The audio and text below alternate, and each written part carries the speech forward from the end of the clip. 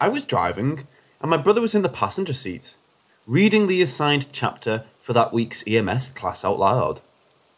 We were coming up on an exit when I saw the thing coming down the eastbound freeway ramp. I have to call it a thing because I have no idea what I saw. It moved so fast. To give an idea how fast, we were about 50 yards away, and I saw it at the same time I heard it zip by. It looked like a ripple, like if you saw a heat distortion but throttling forward. It registered as a momentary blur. I don't have a reference for what I saw, so my brain instantly tried to reject it. It happened so fast, I didn't even react. Not so much as a what the fuck. I didn't even mention it. I will say this though traffic was heavy enough that it seems unlikely no one else saw, and I'm baffled that I, it could maneuver at that speed without colliding with other vehicles. I didn't think about it again until the next time we passed that exit, but even then, I thought about it for maybe a second. When we passed the exit again about a week later, my brother blindsided me. He said, Bro, we have to talk about the blur. Apparently, he looked up from his book and saw the same thing I did, but his take was a bit different. He claimed he'd been trying to talk to me about it all week, but every time he tried, his whole train of thought derailed. His take definitely gave me the creeps, though. He believed that whatever he saw was actively trying to make us forget about it. He also said that he'd practiced saying the phrase, we have to talk about the blur, several times that day just to make sure we talked about it. My best guess is that we saw an alien vehicle. I wish I had more to say on this, but that's all I have. If this has ever happened to you, I'd love to hear about it.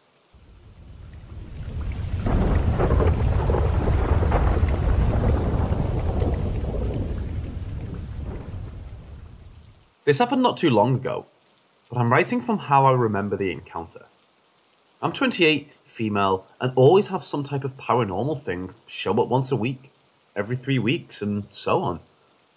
As I write this, I'm in Queens, but I live in the Bronx, visiting family. Anyway, I was sleeping in my bed. Just to give you an idea, my room in the Bronx is a small to medium sized place. My room is small, but manageable enough to switch it up. My bed is near the window. The bookshelf is near the wall, next to the closet and door into the hallway leading to the kitchen. I have a dresser near my bed and a bigger dress. I only mention that because sometimes that is also where I see odd things. Anyway, it has to be around 3 or 4 o'clock in the morning when I felt something going like a crab moving on top of me in my bed. I wake the heck up thinking it's a family member or the cat, but neither. All I see is a dark shadow of something like a male figure, but a shadow, near the bottom, moving from side to side of the bed. I wanted to move, but I felt like I couldn't for whatever reason, so I just kept my eyes directly at it. It was using its arms like a crab walking on my bed. This happened for a few minutes before I finally woke up from not being able to move, and my half awake, half asleep self. I looked around and went back to sleep. Anyone wondering what that was? I got my guesses. Once it was completely materialized, meaning it was using a lot of energy. Two, I could not move. Which I beat was it on a fucking purpose to put me in a damn neutral state. But the arms and body, that does raise questions. I have other experiences. Sometimes around the bookshelf where I hear books or small items move. Sometimes by my dresses, where things get knocked into or I hear tapping. The hall is basically near the bathroom, where in that experience I heard something in the bathroom. I know because when I'm in the dark, it happens one way or another. But you be the judge of that.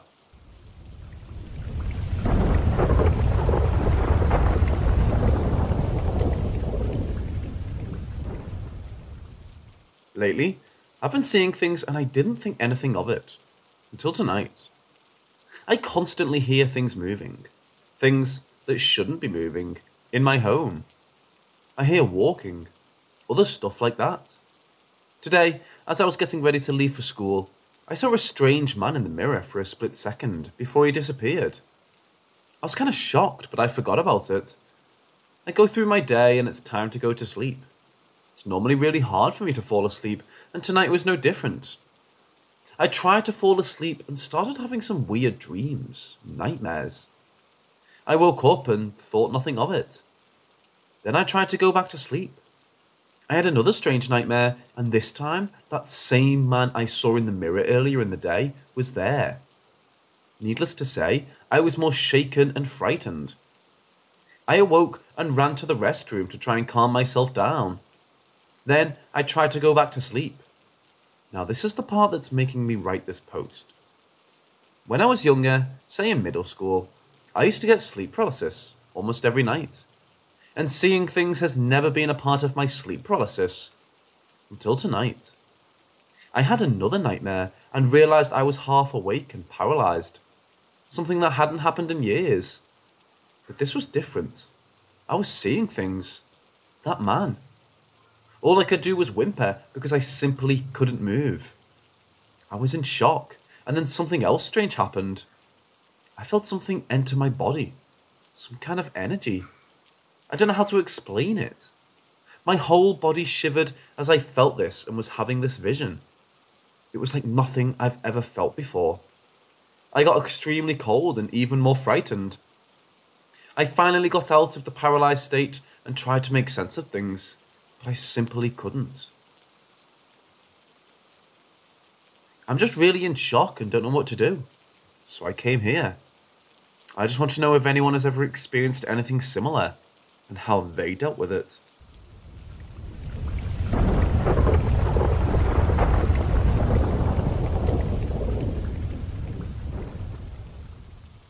I'll be telling these stories like if I would have to write it in a diary.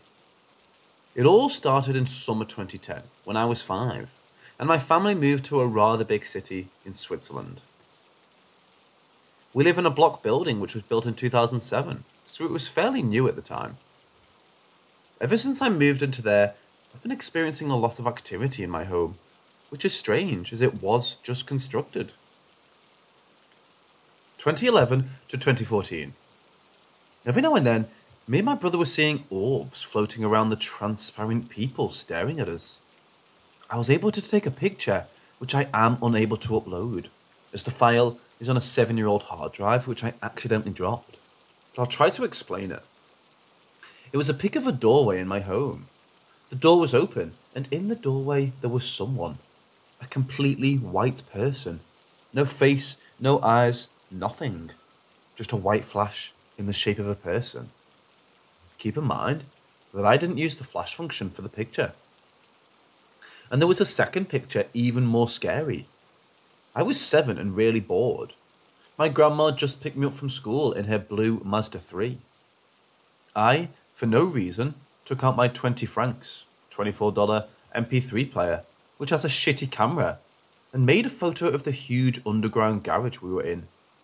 There was it a round, seven foot tall, completely black person, again with no face or anything else except eyes, was standing right in front of my grandma and staring down at her. 2015 to 2018. My brother and I were seeing a lot of ghosts in the reflection of our windows, especially when studying. But in this time period, nothing more happened. Activities became so rare that I thought the ghosts were gone. 2020 to now. I've been hearing a lot of strange sounds coming from my room. Something even growled at me while I was playing Minecraft, single player. I didn't have my headphones on as I was trying to listen to my brother who just got called by a call center scammer. Then, right behind me, a growl like a werewolf. It's still one of the loudest sounds I ever heard, but I was the only one who heard this. The day before yesterday, 1.15am. As I'm 15 years old, I live with my parents, just like any other 15 year old. So that night, I had to take a massive dump. There is a hallway connecting the kitchen and the bathroom. So I just finished taking a dump and washing my hands. My brother, 16 year old, comes bursting into the bathroom and locks the door. He said he heard a door opening and locked us in so we don't get grounded for staying up so long. But it wasn't my mom, not my grandparents who live with us. It was something unexplainable. So 20 minutes have passed and we're still locked in. I can hear rustling like someone was searching my jackets hanging in the same hallway as the bathroom. 30 minutes have passed. I hear footsteps and have freaked out. 34 minutes later, my brother just unlocked the door and we're making a run for it. Since then, every night, I hear footsteps coming from the same room. I need an explanation of what's going on in here, as I can't get any sleep from hearing footsteps in the hallway and kitchen.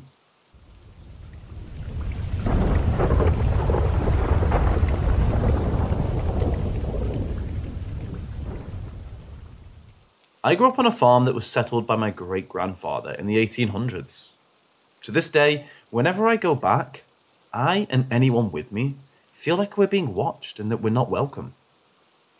My childhood was filled with terrifying interactions with the paranormal. My closet door would fly open in the middle of the night. My siblings and I would hear banging and voices all night and would discuss what we heard in the mornings. On a weekly basis, I would hear this cackling, growling sound getting closer and closer to my bed, eventually hearing it right beside me, and then feeling something push me into my bed and tell me it was going to drag me to the pits of hell. I would assume this was sleep paralysis, except for some noticeable things that happened afterwards. One evening after the threats, I went to my sister's room as my mother was sleeping in her bed because she was scared. I walk into her room and a floating head was on her bedpost, turning in circles, making the cackling sound. I went back to my room for a sleepless night. A few nights later, I heard the cackling again, getting closer and closer. I pulled the covers over my head and waited for the inevitable. My sister then screams at the top of her lungs, sending us all running to her room. She had heard the cackling, and a ghost of a woman flew into her room, right above her bed. Terrifying. I won't get into details unless asked, but we messed around with a Ouija board my parents bought us for some reason, including once when we snuck it into a church, which was the craziest thing I've ever seen. It was like adding fuel to fire. Eventually, things quieted down after they got someone in, unsure who, and they determined there was a portal to hell in the closet and put some crystals around the house. The house to this day still has that eerie feeling of being watched and the feeling of not being wanted. I've been periodically stalked by entities since, but that's ended since I became a Christian.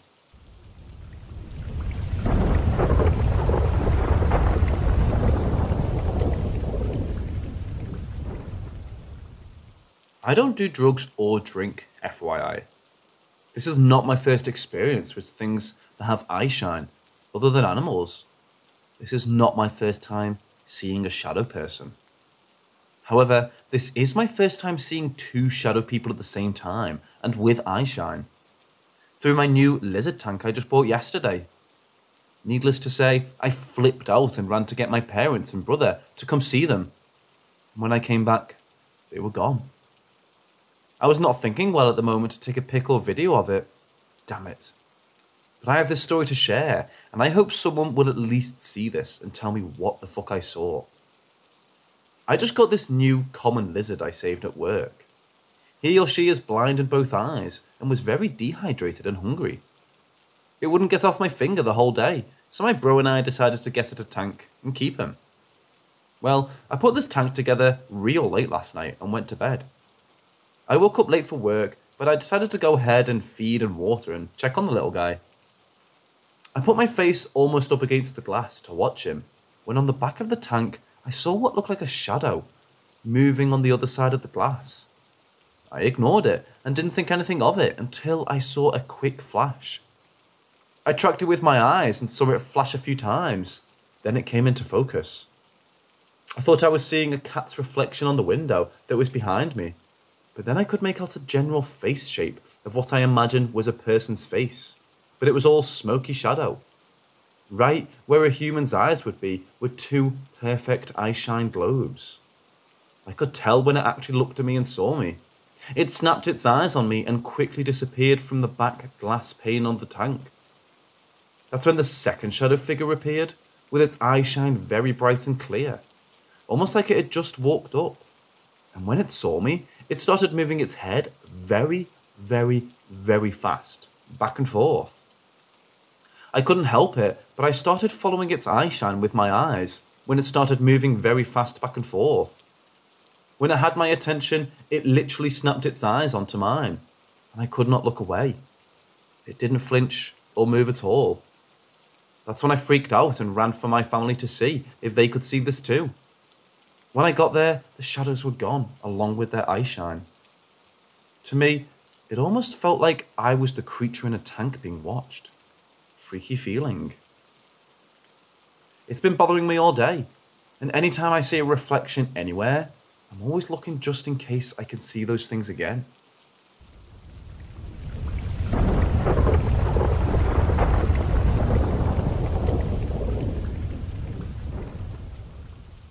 Whenever my grandfather would come to my house, I was 11 at the time, he would wash our dishes simply because he liked to.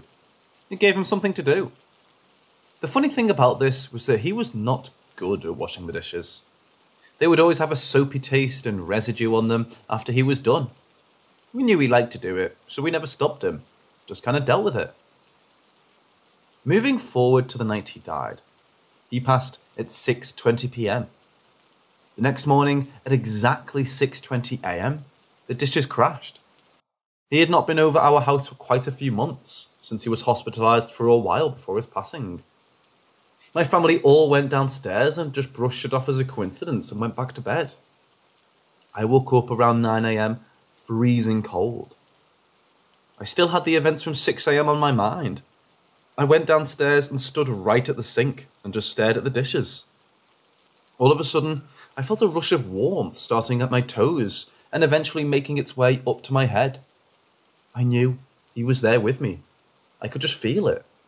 I started to make breakfast, pouring cereal and milk into a bowl. I couldn't believe it. My cereal tastes soapy. It had to be a sign from him, as he hadn't washed our dishes in months. I know that this isn't something entirely too active, but it stuck with me to this day. I think about it so often so I figured it was worth sharing.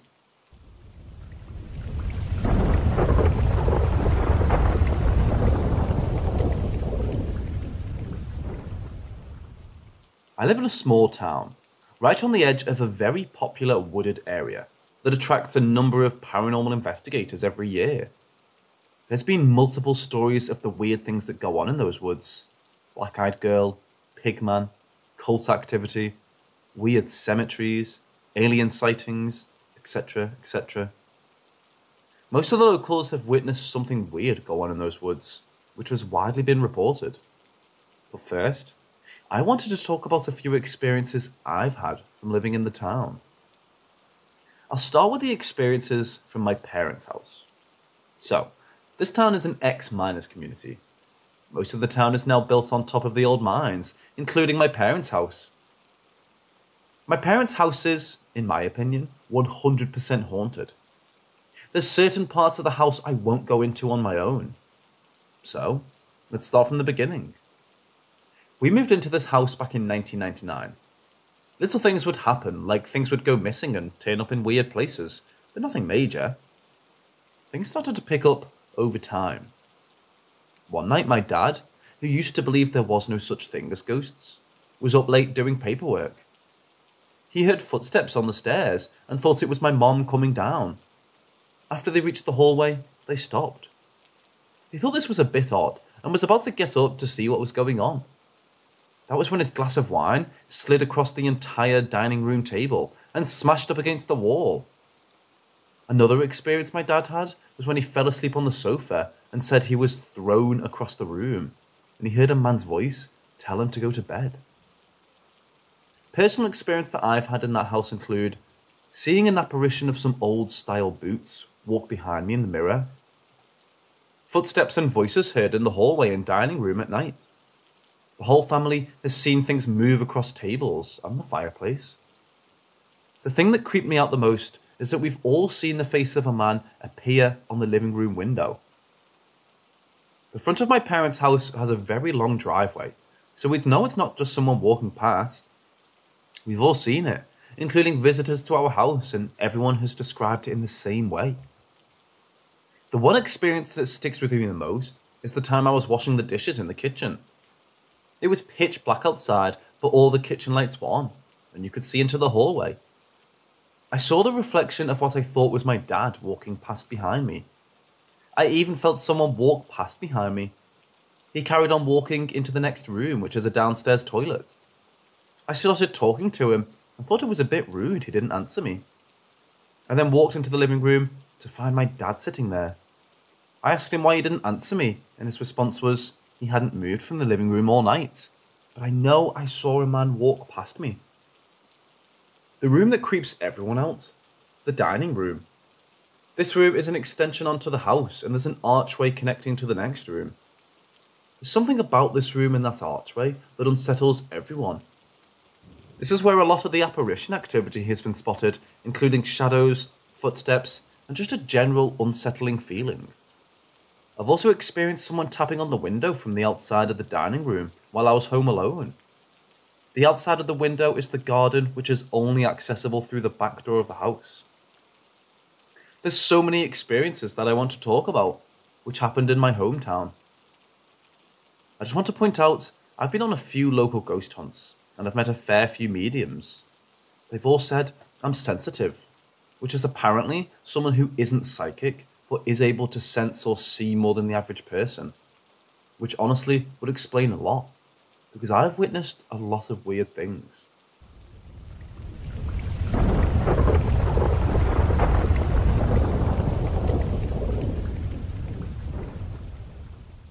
I visited my parents' house this evening for dinner, which reminded me of a few more experiences that I'd had in the house, which I'd missed from my previous story. So, back when I was 18, I worked nights. I came home at 7am on a Saturday morning with my now fiance. We used to work together, which is how we met. We were always super quiet in the morning because everyone else would still be in bed. We went straight into the kitchen as usual and clicked on the kettle to make a post work brew before bed. I also forgot to point out in my last story that the very active dining room is the room attached to the kitchen, so you walk through it to enter the kitchen. Myself and my partner were quietly chatting away when we heard footsteps in the hallway which entered the dining room and abruptly stopped. We both heard, as clear as day, a woman started laughing. We both whipped our heads around thinking it would be my mom, but obviously there was no one there. Everyone else in the house was still asleep in bed. The following evening, when I woke up, I spoke to my mom about what had happened in the kitchen. She told me that she had also been experiencing weird things going on in the house that week. At this point, we were used to the spirit of the man that lived in our house, but this was something else. It felt sinister. The following weeks brought some odd activity in the house. I and the rest of the household on different occasions heard a little girl skipping and laughing in the hallway. Female whispers and crying could also be heard in the night. My mom went to see a friend after this who was a psychic. She explained to my mom that this little girl had come into contact with her while in the local town. The girl had taken a liking to my mom and decided to follow her home. It wasn't the first time someone had come to see this psychic about this girl. Apparently, she had followed a few people home. We decided to get the house cleansed to send this girl home. However, the male spirit that we've nicknamed John still remains in the house to this day. Although the spirit of the girl has now left the house. There was something very unsettling about it being there. That atmosphere at the time changed in the house, and everyone seemed on edge.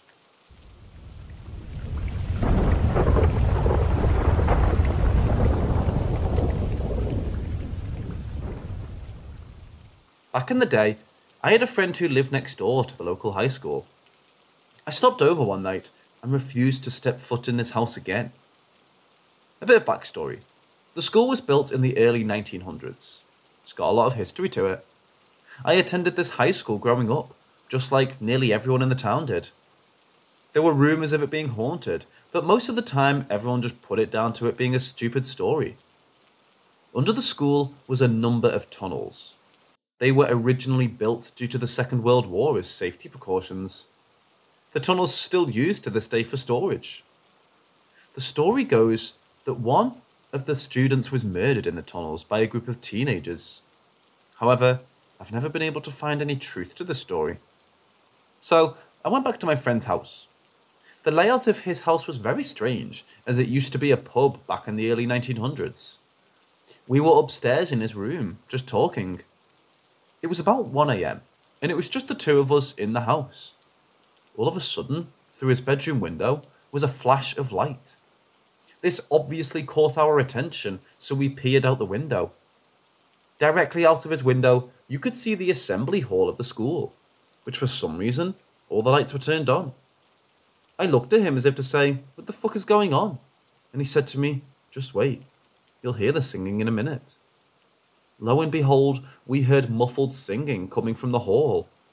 It carried on for about a minute and then abruptly stopped, and all the lights switched back off in the school.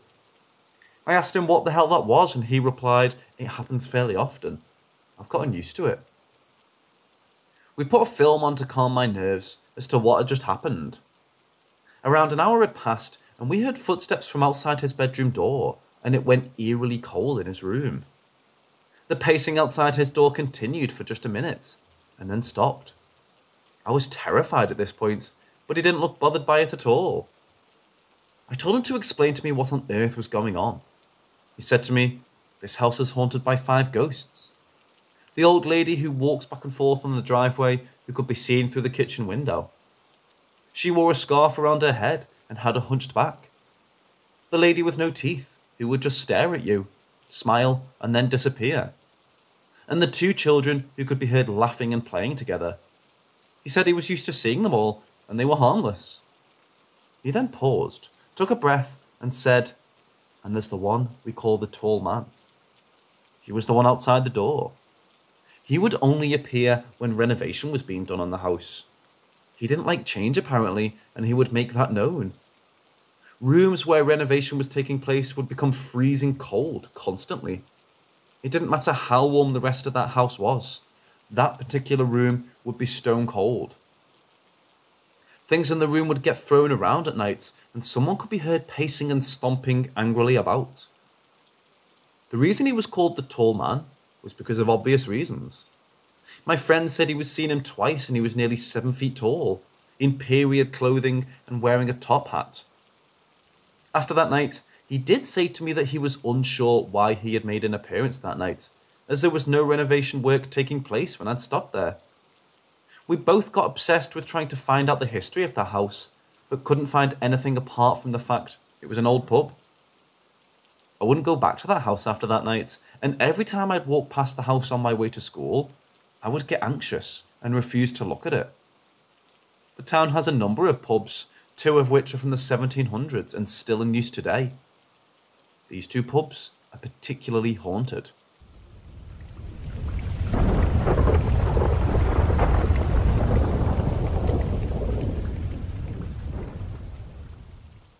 The Cross Keys. The former coaching inn was built way back in 1746 and still stands and functions as a pub today.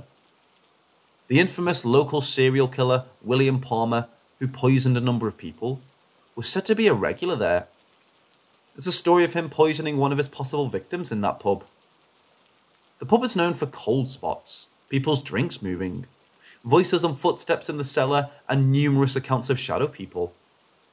William Palmer was eventually caught and he was hanged for his crimes. It's his spirit that people believe still wanders the pub. The Four Crosses. If you're ever on the hunt for a truly terrifying experience, the Four Crosses is the place to go. Declared as one of the most haunted pubs in Britain. The Four Crosses was built in the 17th century and again is still in use as a pub today. There's reports of a Roundhead soldier from the Civil War who's spotted in the ladies' toilets, as well as a woman called Emily who constantly cries. One of the locals from the early 2000s is said to have never left the pub after he died. A young man in the garage who committed suicide to also still used to reside here. The most common ghost is that of a little girl who's seen often in the downstairs bar. Police report this as being the black eyed girl from the local woods. But from my personal experience, it's not her. The Four Crosses hosts ghost hunts on a regular basis, one of which I attended a few years ago. We got started on our night with the usual tour of the building before splitting off into smaller groups. About six of us were sitting in one of the bedrooms, asking the usual, if there's anyone here, make yourself known. After a few minutes, the TV came on in the room and lit the room up with static white noise. This obviously shit us all up. After a few seconds, it switched back off again. Upon investigation, we found that the TV wasn't even plugged in. None of us had a logical explanation as to how this had happened. We moved our investigation into the attic of the building. Just a bit more history for you here. The wood beams in the attic were originally beams taken from a ship, so the wood beams are older than the building. This was told to us after a couple of people in my group, myself included, said we felt a bit motion sick. Apparently, it was a regular occurrence in that room.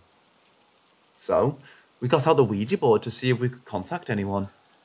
We did. We started talking to this little girl. She was scared and felt alone. She was trying to find her mother. She spelt out her name to us, Emily, not the woman who's supposedly meant to be seen crying. We asked if she was buried in the cemetery across the road, and she said yes.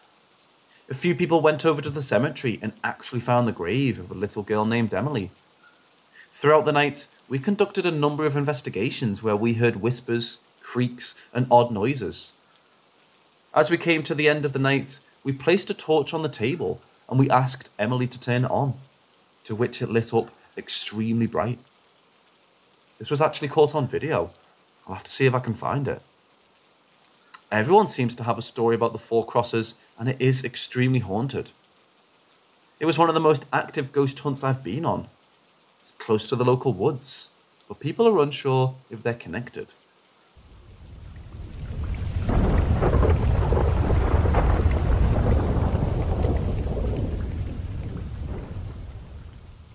As I edge ever so closer to talking about the infamous woods, I thought I'd talk about one of the oldest locations in the town which lies just on the edge of the chase. Castle Ring. Castle Ring was originally thought to be back in the Iron Age. Although there's no defined date, the area is believed to be over 2,000 years old. Unfortunately, only the perimeter groundwork is there today. During the 12th or 13th century, a hunting lodge was built, the foundations of which are still visible. Rich in history, this small hill fort has a lot of stories behind it, from UFOs to werewolf sightings to the spirit of a nun. And as always, my own personal experiences of the place. So, let's get into it. Back in 2004, a local was driving past the car park that lies at the bottom of Castle Ring when he spotted a hair covered humanoid figure that crossed the road. Shocked by what he was witnessing, he slowed his car down and attempted to take a photo.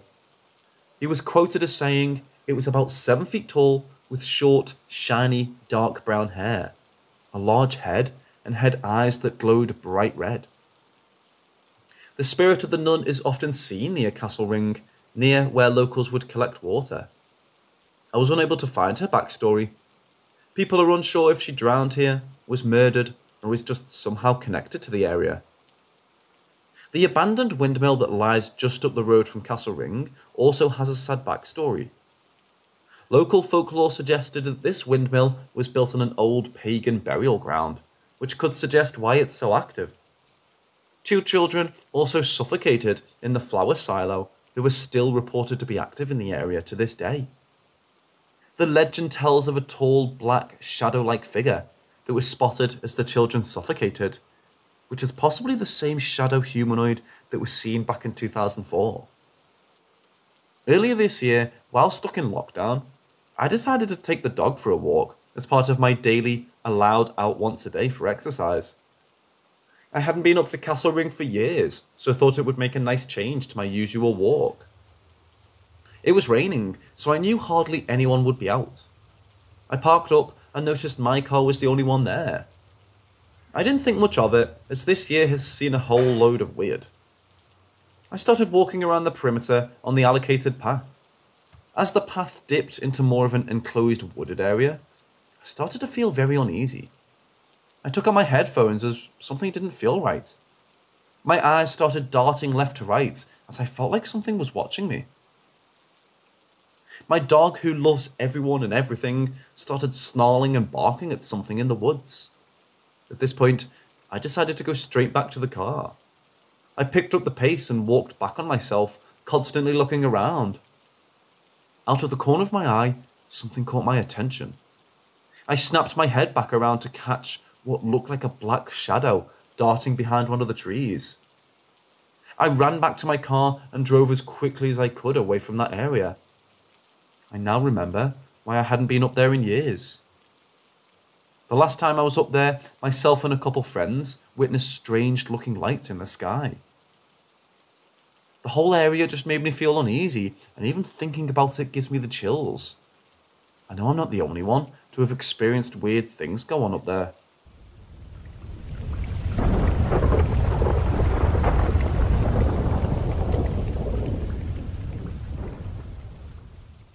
I thought it was about time I spoke about the woods. Strutting for 30 miles, Cannock Chase truly is a stunning place to go in the day. If you're stupid enough to wander up there in the night, make sure you don't go alone. However, just because you go in the daytime, don't think the light will protect you. The spirits and demonic entities of the chase are known to make an appearance throughout the day. In the 60s, two girls between the age of 5 and 6 were murdered. Their bodies were found on the part of the chase that is now known as Birches Valley. This bit of history is important, so keep it in mind. So, let's get into it. The most famous spirit that haunts the chase is that of the black eyed girl. She doesn't appear very often, but when she does, it causes a media storm. Back in 2014, a local was flying his drone over a dense wooded area of Birches Valley. It was there he captured what looked like a girl with black eyes floating between the trees. It had been 30 years since the last sighting of this girl, but no one knows why there was such a long gap in the sightings. When sightings take place, a piercing scream of a girl can be heard. People flock towards the noise, thinking a child is in danger. No older than 10, the girl is known to stand there with her hands covering her eyes. She will then lower her hands to reveal the coal black pits that she has for eyes. And within a blink of an eye, she'll disappear back into the woods. Every person that has witnessed her is given the same account. She does the same thing over and over. She will also only appear in the daytime. So, the murders that I was on about at the beginning of this some people believe that the black eyed girl is the spirit of one of those little girls. It is said that around the time of the murders, another seven year old girl went missing, but her body has never been found. Just a bit more to add to this story that's slightly more close to home. Around 15 years ago, my father in law was driving back from work. He drove through the chase, just as many people do every day of their commute. He drove down the long stretch of road through Birches Valley.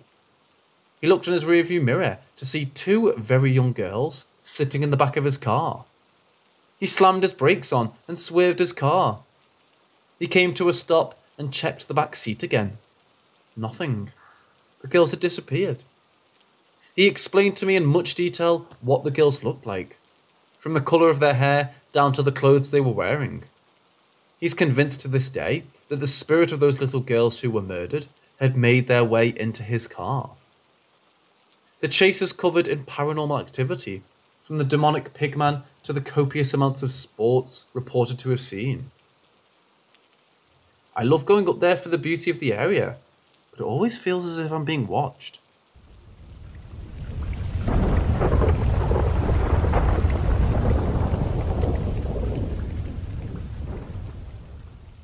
Local folklore talks about a horrendously creepy looking creature that stalks people of the chase. Ask a local about the pigman, they'll smile and tell you the story as if a ghost story to tell children. Ask them to go into the depth of Cannock Chase with you, and you'll see the look of horror take over their face. The story goes that a woman who was accused of witchcraft became pregnant. She didn't want to bring shame on her family by having a child out of wedlock, so she went deep into the woods to give birth. When her child was born, it was horrendously disfigured, supposedly due to the corruption of her practicing in witchcraft. She offered her child up to the woodland in hopes that she would be forgiven for the evil she had done. It said she returned to the village where she soon died from a flu like illness, taking her secret about her child to the grave with her. A few years later, people started to report a humanoid like creature that had facial features that resembled a pig. He would watch the children from the village while he stood in the tree line sulking. After a number of children went missing and livestock had been gruesomely killed and thrown around the farmland, the village soon became abandoned and reclaimed by the woods. Centuries went by when the local scout club was camping over the chase, close to where the abandoned village was. The scout leader recalled the story of the pigman. He told the scouts that if they sing a certain song, Pigman would appear. So they all stood around the campfire and summoned a pigman. He is said to have appeared and murdered all of the group apart from one boy. From that day, the pigman has been known to roam the woods once again. Now, there's absolutely no proof to back up this story, which is why a lot of people state it as folklore. However, there have been numerous accounts of people seeing a man that stand in the tree line with unusual facial features. People have gotten close enough to see his demonic muted face.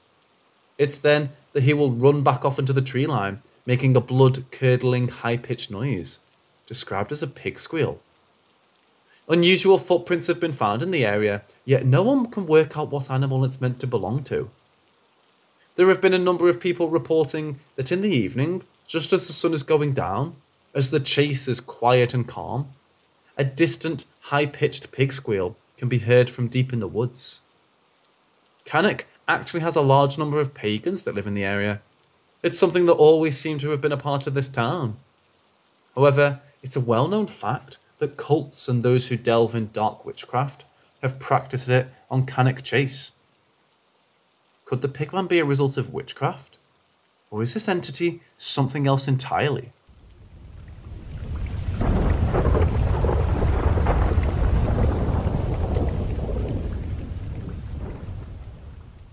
I still have more stories about the chase, but those are more UFO related.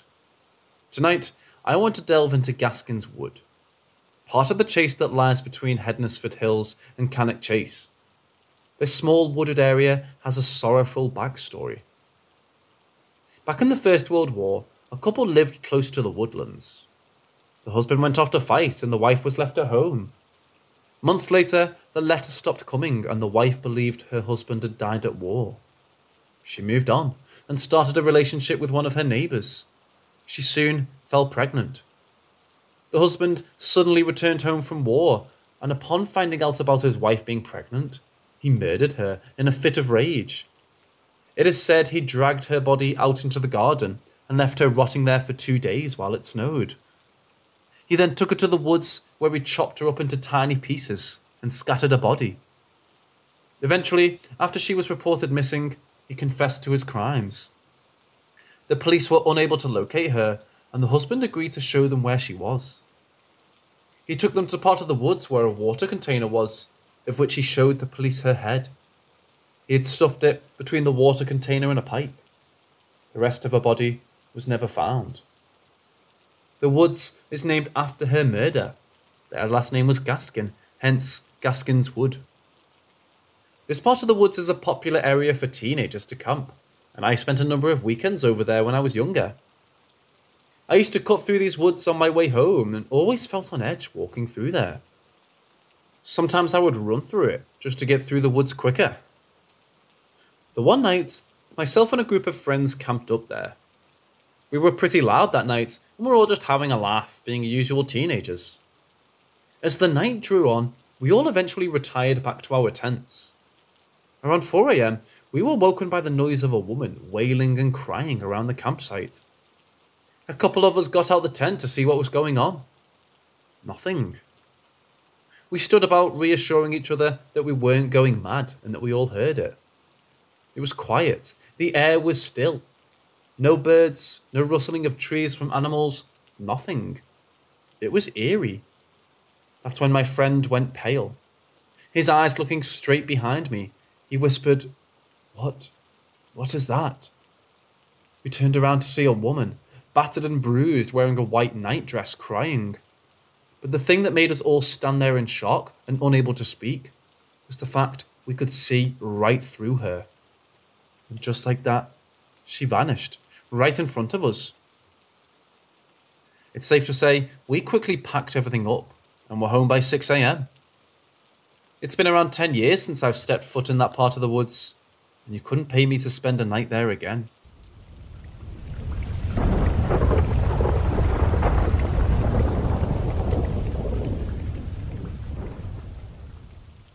Back when I was 13, my great grand became very poorly. She was 93 at this point. She'd had an amazing life, but unfortunately, she was suffering from cancer. At this point, she was in the hospital of an end of life care. We knew she was going to die, and we were trying to make her as comfortable as possible. The one night I woke up suddenly and sat in bed. I remember seeing my alarm clock that said 3:04 a.m. At the end of my bed, I saw my great gran. She was holding hands with my great granddad, who had died 40 years previously. She was holding a bouquet of flowers in the other hand, and she was smiling. She came to say goodbye. I woke up the next morning thinking about how weird the dream I'd had was and how detailed it was. After brushing this off as a dream, I went and spoke to my mum about it. She went pale as I explained in detail what I'd dreamed about. She told me that she had the exact same dream and she remembered the clock in her room saying 3:03 a.m. My great grandparents were both wearing and doing the exact same thing in both our dreams. At this moment, the phone rang. It was my granddad. He'd been crying, but was clearly trying to hold it together for the sake of the phone call. My great grand passed away overnight at 2:57 a.m. To this day, I'm convinced that it wasn't a dream, and in fact, the spirits of my great grandparents who came and visited myself and my mom to say goodbye.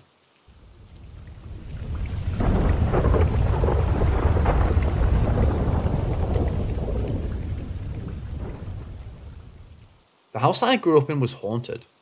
Has many stories from all of my family, and from the previous owners and even the people before them. Well, the house had issues. A lot of people refused to go back after visiting just once. So, with that and just how old it is, no one wanted to buy it when my dad put it up for sale in 2011. In 2014, my fiance and I took it over.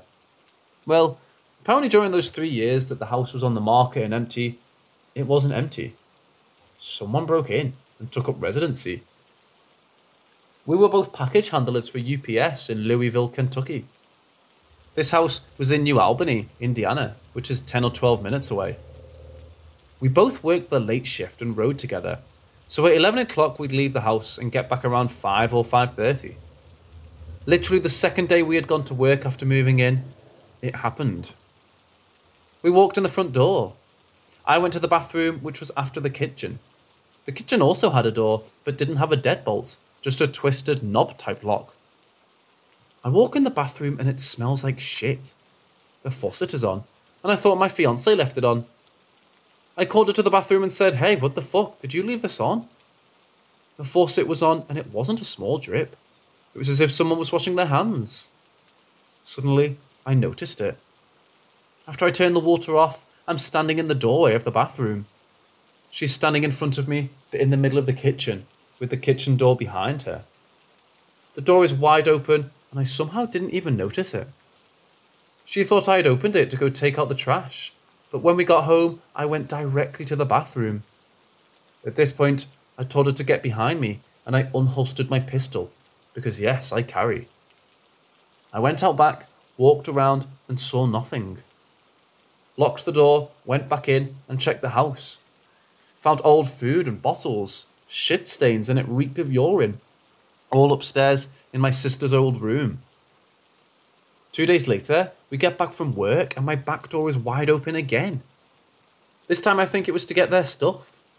I think we almost caught them two nights prior, and that's why the faucet was on.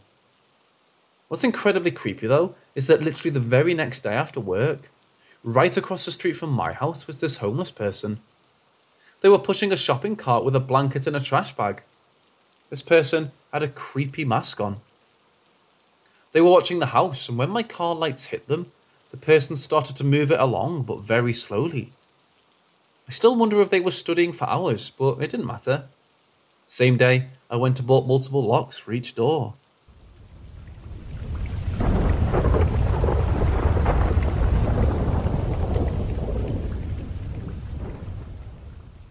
When I was either four or five, I was alone and asleep in my bedroom. I slept on a bunk bed, but my half brother only lived with us every other weekend, so he wasn't there. I was completely knocked out, and then I started to wake up, but my eyes remained closed. I remember hearing my heartbeat fading, but with every heartbeat, I saw pulsing black and red. I was trying to completely wake up, but after maybe a minute, I took a huge breath and opened my eyes. It was still dark outside, and I was breathing incredibly heavy. I was sleeping on my side and was about to raise my head and look at my closet behind me. As a kid, I hated my closet because the door would not close. It would close just enough to leave maybe a two inch dark gap. Remember, I'm in my bunk bed, about five feet high. The bed is parallel to the wall and the ladder is on the front side of the bed. My head rests right in front of the ladder my closet is maybe six feet away, but along the same wall. So suddenly, I wake up and go to raise my head and turn to look at the closet and make sure it's still as closed as possible. Immediately, as I start to turn my head, a voice from directly behind my head stays Stop, don't turn around. I start to turn my head a little more. The voice then said, If you look behind you, and something along the lines of, We'll be dead and hanging on your back wall. As a stupid four or five year old kid, at this point I'm terrified, but my but turn my head really fast to face this voice. And nothing. I got out of bed to turn my TV and light on and just sat there in terror for the rest of the night.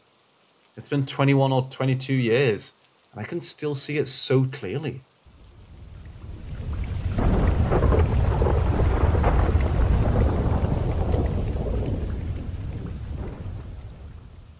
So at the end of the afternoon, I believe, I went to the basement, which was accessible from the outside instead of the inside.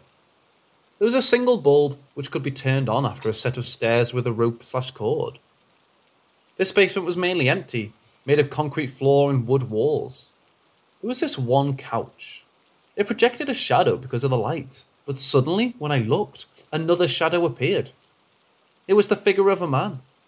It was a figure on the floor as if something was standing there, but obviously nothing was. I was scared, but it got worse. It started running towards me.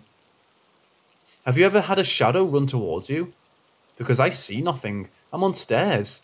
I have a door which is easily blocked by anything. I had to almost bash the door for it to open, to which I always hated the basement and never went again. Each time I left my house, there was also a garage which wasn't ours but right next on our property. My friend's dad owned the garage. It was a glassless window, which was always pitch black, even in daytime.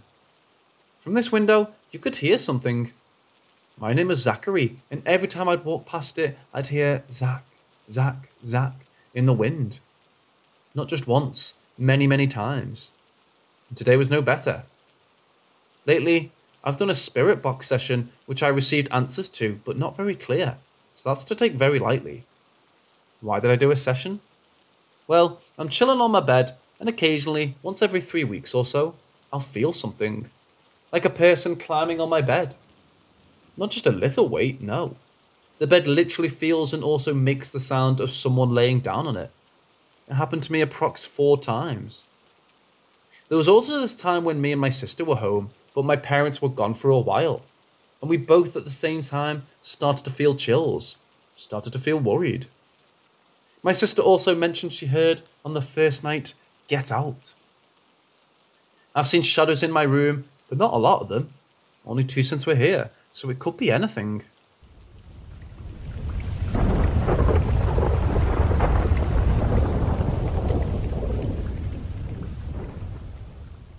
When I was 17, I'm 24 now. I visited a cemetery at night with a small group of friends. We were just going to look at the graves, give a little love to the graves that looked like maybe no one visited them anymore because they were from so long ago. We weren't going there to hurt anyone or mess around with the graves, because we were, most of us still are, very spiritual, i.e., not religious. I'd always liked cemeteries and felt a kind of peace when I'm in one, so I was very comfortable there and relaxed. I think that may be why what happened happened at all. I was following near the back of the group, lingering on some graves to read what was written when everything, for me, goes blank. The rest of what happens is what my friends told me about hours later. hey, this one's mine.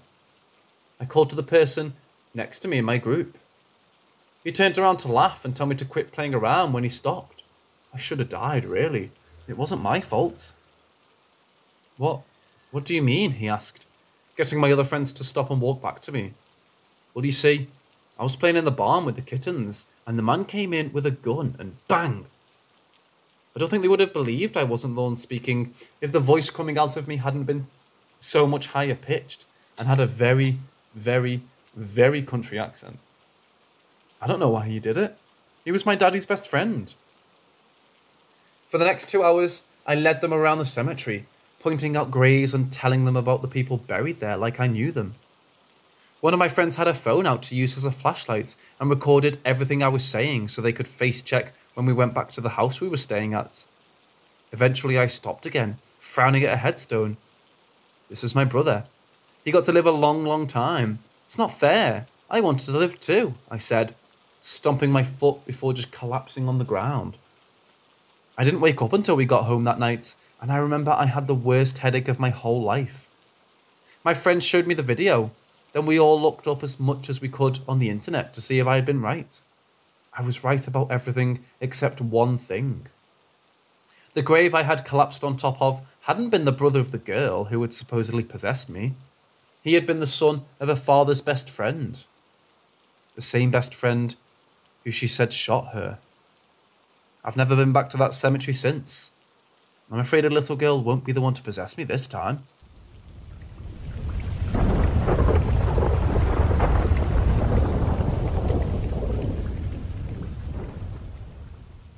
I was around six or so, and my brother about ten. We had just moved to a new council flat where the previous tenant had passed away from old age.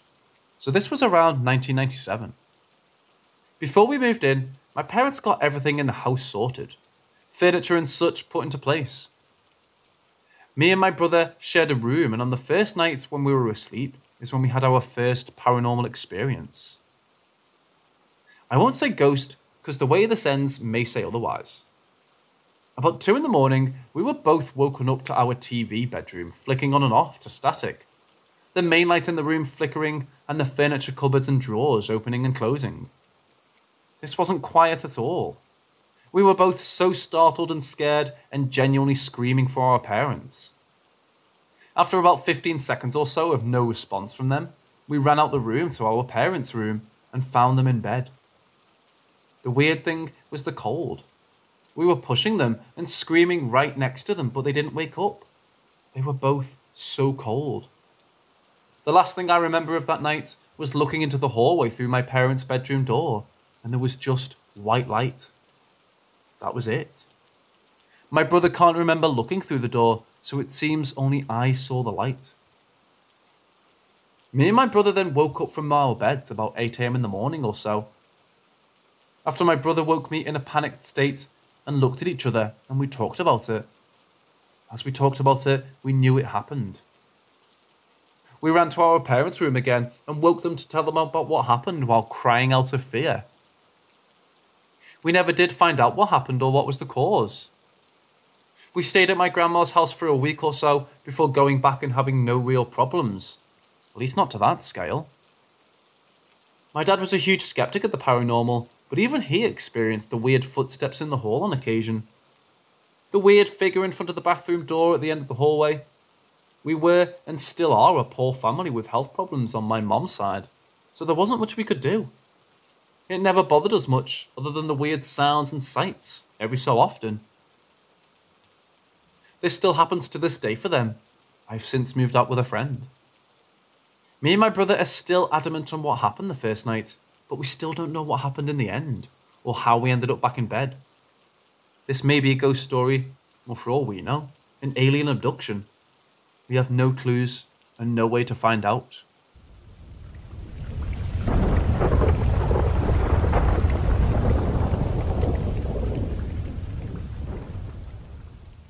My parents were both born in Poland, but met and had children in Canada.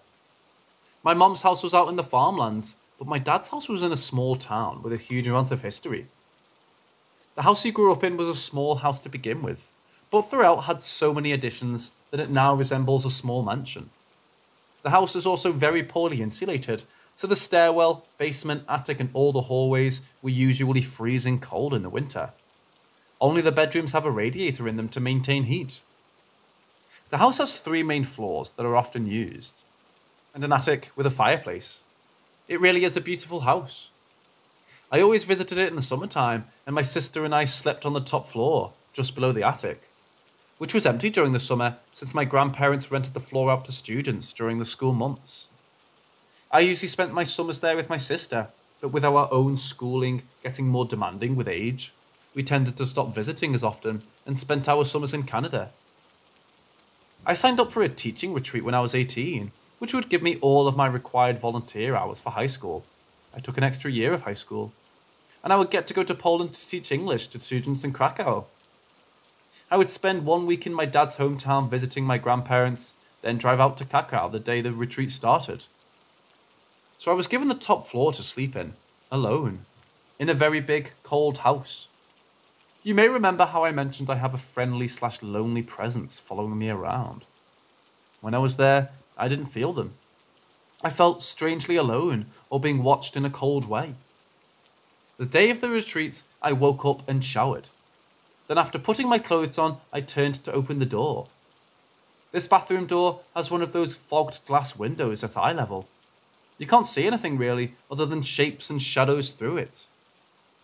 I reach for the handle and before I get a hold of it, I see a tall figure approach quickly.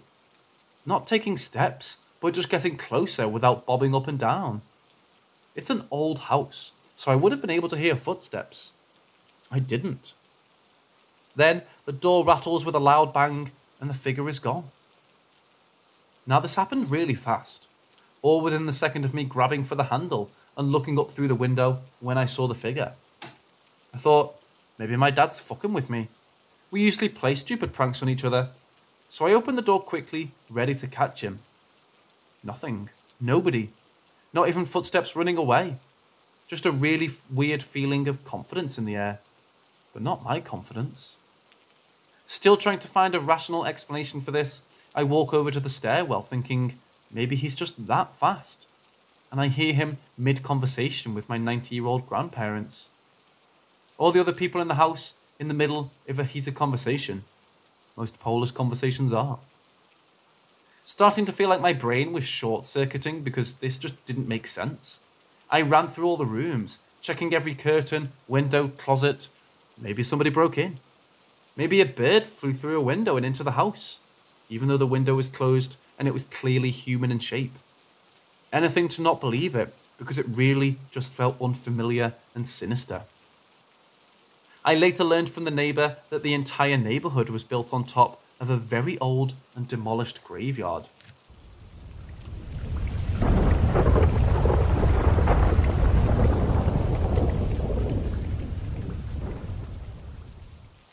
My mom's house always felt a little off. Not in a necessarily unsettling way, but in the way that you never really felt when you were alone. I've always been the silent and more observant type, so maybe that's why she targeted me out of my family. I never had a real definite feeling for her at first. Just this somebody is staring at you right now feeling. Which always forced me to push my back up against a wall in the living room and stare out at all the house. One time a bird flew into the window while I was doing this, but that could have been nothing to do with it. It really started to get bad after I watched Paranormal Activity, the first one. I feel like she follows me around and feeds off of my emotions. I saw this movie at my sister's boyfriend's house and couldn't sleep that night when I got back home because I felt that feeling like you know your friend is going to jump at you, just around the corner. You just don't know when. I exited my bedroom the next morning to find everybody had left and I was home alone. I wanted to go to the bathroom, but then suddenly heard one of the metal kitchen chairs sliding against the stone floor in the kitchen downstairs. I stopped and called out to my family again, and no one answered. I went downstairs and saw one of the chairs slide back, and make the same noises I heard from my bedroom the metal against stone, but nobody was around. I doubled back into my bedroom and blocked the door with my body weight. Sat there until my parents came home, then rushed out to use the bathroom. After I moved out, that's when I felt her following me. That's also when I felt her getting closer to me, and when I started to sense she was also a woman. She started sliding things across tables and misplacing things. I'd leave my phone on the table in front of the couch, not get up at all, then reach back for it and it's gone. I'd throw the couch apart, thinking it's behind the cushions, check the kitchen and the bathroom, and even throw the sheets off my bed, thinking maybe I sat down there for a bit and forgot. I returned to the couch with my hands in the air, and there it fucking is. Sitting right on the centre of one of the couch cushions, I just threw it apart, looking for it. At that point, I just yelled out, Look, if you want to stay here, don't bother or disturb me. Don't hurt me. You can stay here only if you let me keep to myself and you keep to yourself. Or something along those lines. After that point, things I know I lost years ago turned up in cabinets I didn't have at the time I lost them. I didn't hear footsteps around me anymore. My cats stopped staring at a corner and yowling. I still feel her watching. I know she's following me, but I kind of like her now. But I can't stop thinking maybe she's waiting for something.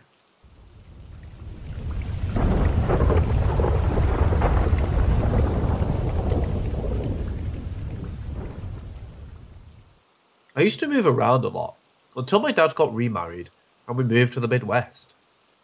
The house I ended up spending the rest of my adolescence and teen years in was built two houses down from our small town cemetery. We were the first ones to ever own the land and build on it, so we were also the first people to live in our house. But that hasn't stopped weird things from happening. When I was 11, I had moved into the new bedroom in the basement and got one of those loft beds with a desk under the top bunk. One night, I woke up in the middle of the night to my TV going in and out of signal, and then went back to sleep after I turned it off.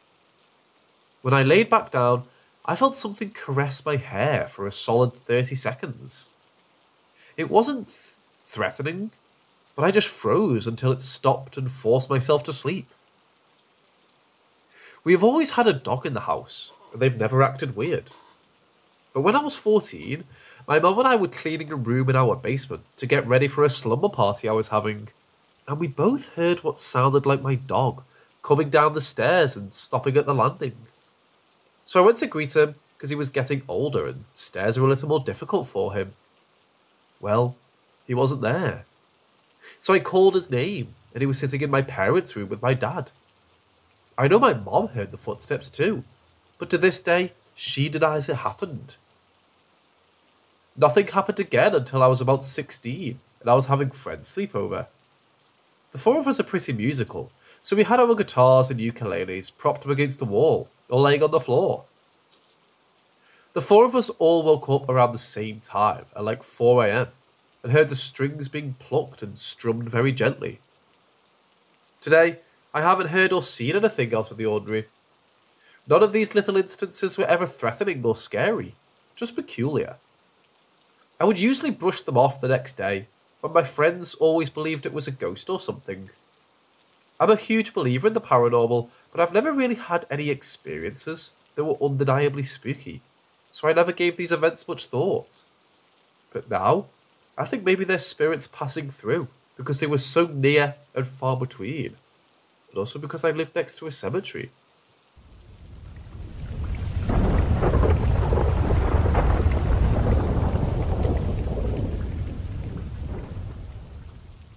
First, my mum is a diagnosed PTSD sufferer, and she has anxiety. So she has a hard time dealing with bad and sad things. She also tends to emotionally shut down when things get tough. She is in therapy and has been for nearly a decade. She had a really traumatic childhood. My grandmother, my mum's mother in law, died in 2019. My mum loved my grandma like her own mom. Her death was rather sudden. Dying of heart failure that she didn't bother really telling anyone in the family about. My mom also lost another mother figure to her around the same time, and my mom was also about 16 weeks pregnant at the time. She had me young and is only in her mid 40s now. The combination of the loss of my grandma, the other mother figure that was lost, caused my mom to miscarry. She ended up needing a D&C to get the fetus out, as it wasn't expelling naturally and was going into decomposition. The combination of all three losses had my mom spiraling. She was closing off to my dad, to myself, my sisters. We were all so worried about her. She was like this for a few months, until she started to come back. Turns out, she had a dream. In it, she saw my grandma and my great grandma, who passed away in 2006, sitting at my grandma's old dining table and drinking coffee. A sight that was common to my mum in the early days of my parents' relationship. My mum starts trying to walk to them, but for whatever reason, isn't getting any closer. And calling out to them doesn't do anything either. After a few moments of this, they both look over at my mom, and my grandma says, It's okay, we've got her before looking down into her arms, where a small bundle is held. Mom woke up right after. She needed a good cry, but it was right after that she was able to stop processing her grief of the deaths. Mom never found out what the baby she lost was, but named it Caitlin after the dream she had of my grandma. We all still miss my grandma so much, and her loss never gets any easier. I'm tearing up writing this. But every now and then, we know she visits. My mom, dad, 13 year old sister, and myself have all smelled her perfume when at home. My parents have heard her voice. My cousin Aidan even once saw her at a place he, his dad, and my grandma used to meet up at all the time.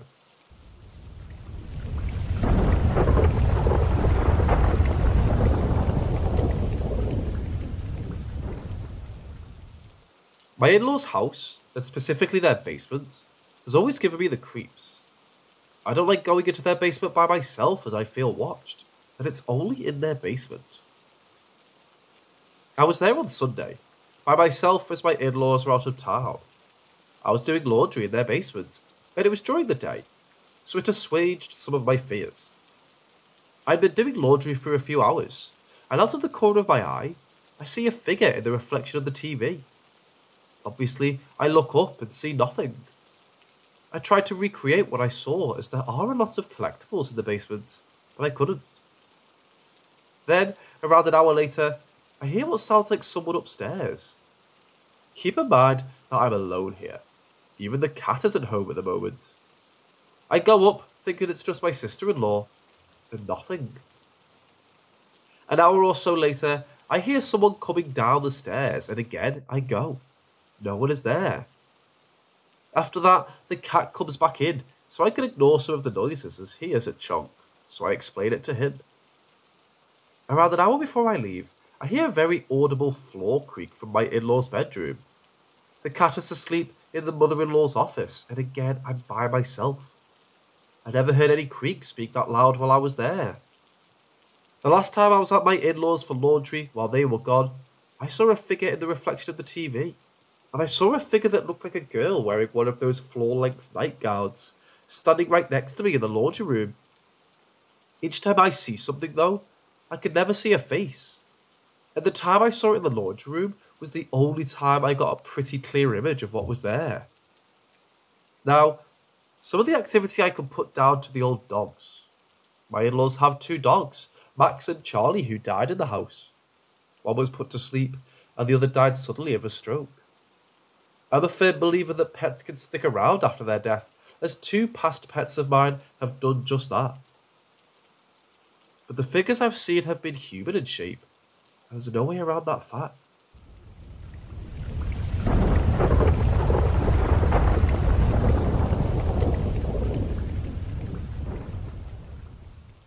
I lived in this apartment building at the edge of my city from the time I was two to four. We had odd things happen in that place, I have weird dreams.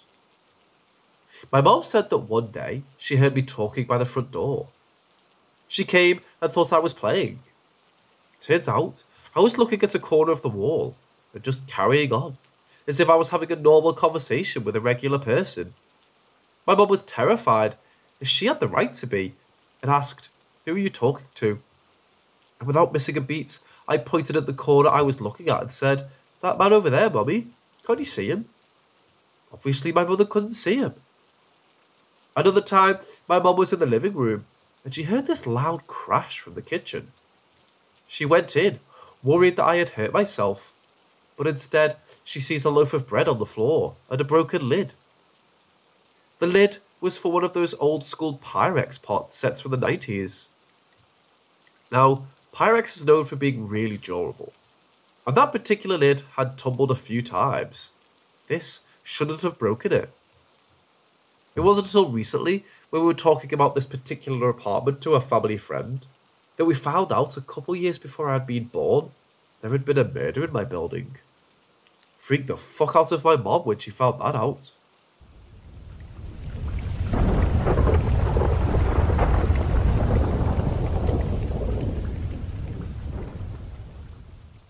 When I was five, my parents and I lived in this apartment building. My family had been having many things happen seeing figures, noises with no explanation, our cat running around like she was being chased. We even have photo anomalies, parts of photos being really shadowed. This is one of the times the spirits focused on me. I was terrified of the dark, to the point where I had a nightlight. The bathroom light was on and shining light into my room, as well as street light coming in through the open blinds in my room from the main street we lived nearby. My room was so well lit, I could essentially read with no issue with my light off. This night in particular, I couldn't sleep. I'm laying in bed waiting to fall asleep. My parents were already in bed sleeping. When suddenly, my room goes pitch black. I'm talking so black that I wouldn't be able to see my hand right in front of my face. I look towards where my door should be, and I see this large figure in the doorway, with blood red eyes. Being the little five year old I was at the time, I screamed as I saw him begin to walk towards me, which wakes my parents. They don't get up and ask me why I'm screaming. When I can't get a coherent response out, they tell me to go to their room to talk to them. They didn't know what was going on. By this point, the entity is halfway from my door to my bed. I get the courage and run. I ran right through it, and as I hit where the entity is, it gets ice cold. I didn't stop though till I got to my door. I turned around at that point and my room was back to normal. I then go tell my parents what happened. They felt horrible that they didn't come to me after I told them what happened. Over the years, people have tried to claim it was a dream. I know it wasn't though. My main reason for knowing is because when I was a teen, I stayed at a cousin's place and I told her that story.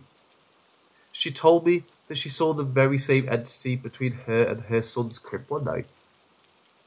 She lived a block away from my old apartment at the time.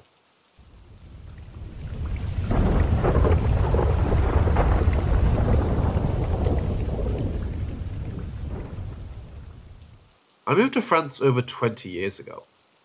My husband and I bought an old Maison Bourgeois, which was built in 1789. I've always been curious about the paranormal, and I've had some strange things occur in my life, but nothing prepared me for living in this house. The house needed a lot of work, but in the beginning, we just did some basic remodeling and updating. Shortly after we moved in, my daughter was born. We'd invited quite a few out of town guests for her christening. My best friend was sleeping in a room we were using as a guest room. She's pretty pragmatic and not really a believer in the supernatural. She was awoken by a sharp punch to her stomach. She said it was so forceful that she was actually lifted off the bed. My husband laughed and said that it must have been a nightmare, but this made me feel very uneasy. Already, I had experienced weird sensations and heard footsteps in the hallway. I kept these feelings to myself. I decided to share my thoughts with my best friend. She was very unsettled by the whole episode and was reluctant to spend another night in the room. The next night, she was again hit in the stomach, although not as violently. At this point, we were both pretty freaked out about it. She left the next day to return home. Needless to say, she now definitely believes in the paranormal. This episode was just the beginning of the strange occurrences that happened periodically throughout my time living in this house.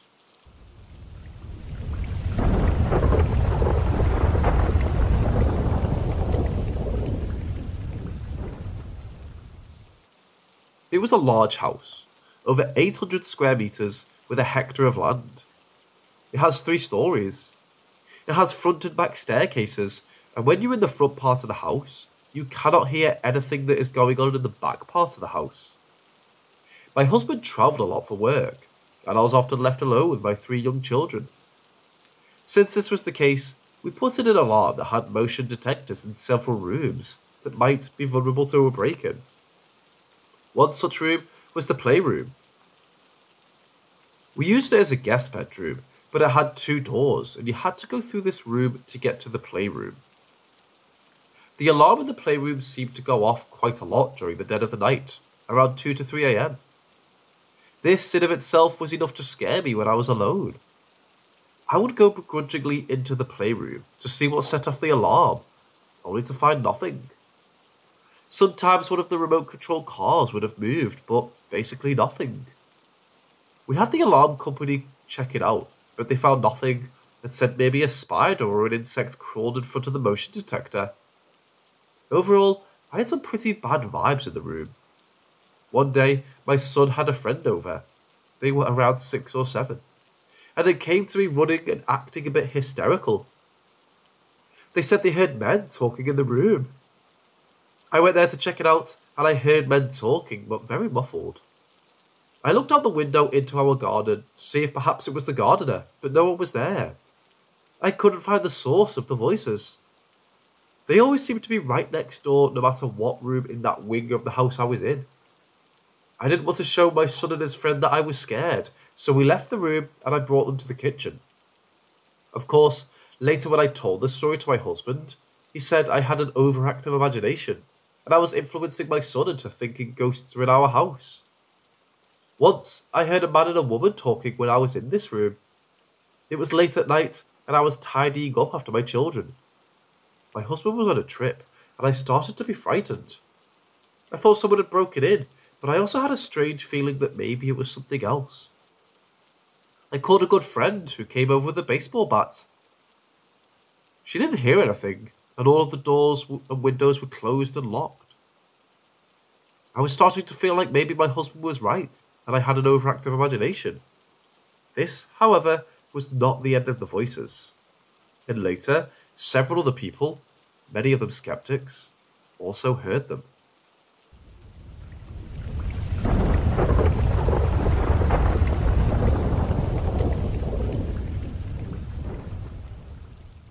There are certainly parts of the house that see more activity than others. The activity is not limited to the house. The front yard of the house is quite large, with a circular driveway made of gravel. The whole property is enclosed by tall stone walls with a large gate, so it's not very easy to enter unless you go through the gate which is always closed, unless opened by an electronic opener. One day, when my oldest son was about 10 or so, we were playing around in the yard. He was running the circular driveway, and I was timing him. Then I would run it, and he would time me. About halfway through running a circuit, he came barreling towards me, saying, Mummy, why did you do that? You scared me. I had no idea what he was talking about. I said, Do what? I've been here the whole time. He said, Someone was running right behind me and breathing down my neck. I felt like they were going to push me. The gravel was even crunching behind me. I immediately felt uneasy. I tried to reassure him, but I too had felt as if someone was walking behind me on the driveway on several occasions, only to turn around and find no one there. My daughter also had an experience walking from the front gate to the house one night. She said someone or something had pulled the scarf from her neck and threw it to the ground. She ran into the house hysterically, thinking someone had followed her inside the gate. We turned on the light to the yard, and my husband went to check it out, but nothing. My husband said it must have been a branch from a tree or bush, but honestly, I think it was something else. What? I don't know. It left me feeling very uneasy, and I didn't like to be out front by myself.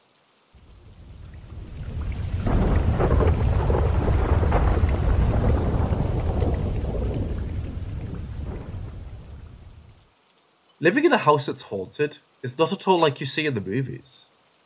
Months would go by and there would be nothing out of the ordinary. There were times that I would even start to believe that perhaps I had an overactive imagination.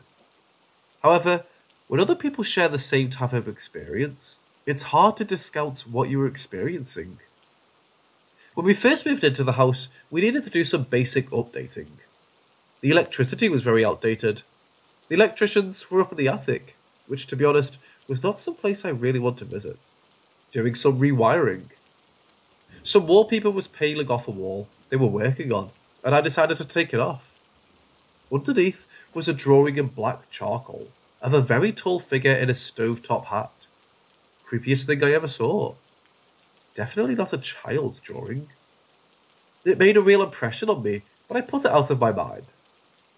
Years later, we were preparing to go on vacation. The car was loaded up, and my husband asked my oldest son to go back inside the house to make sure all the lights were turned off, etc. After about five minutes, he came racing out the front door, terrified. There's a man in your room. My husband and I went inside and searched the house. No one was there. My son later told us he reached the landing in front of our bedroom. He saw movement in the room. He looked inside and saw a tall man dressed in black with a hat looking out of the window. The man then started to approach him with his arm out. He ran out of there as fast as he could. This experience so affected him that he would not sleep by himself during our vacation. He was about 11 at the time. We talked about it quite a bit during the vacation.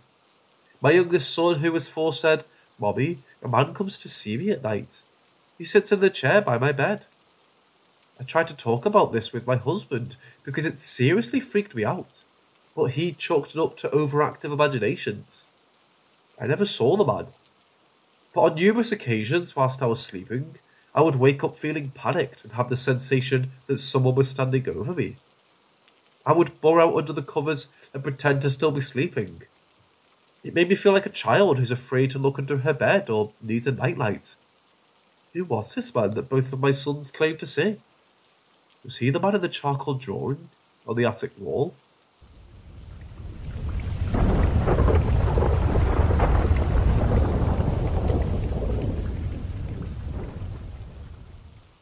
They always seem to be in the next room, but when I go to that room, they seem to be in another room.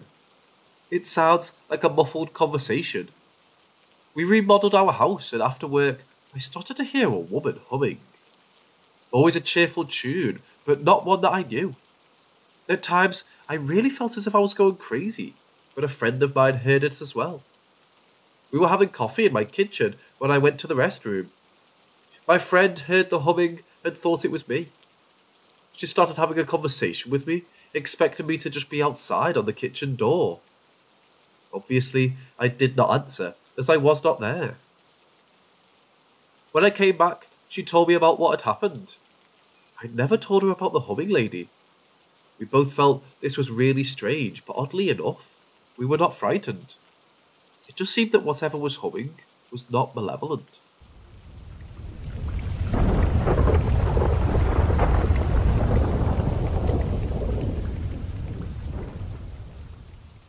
This is probably the scariest experience I've had.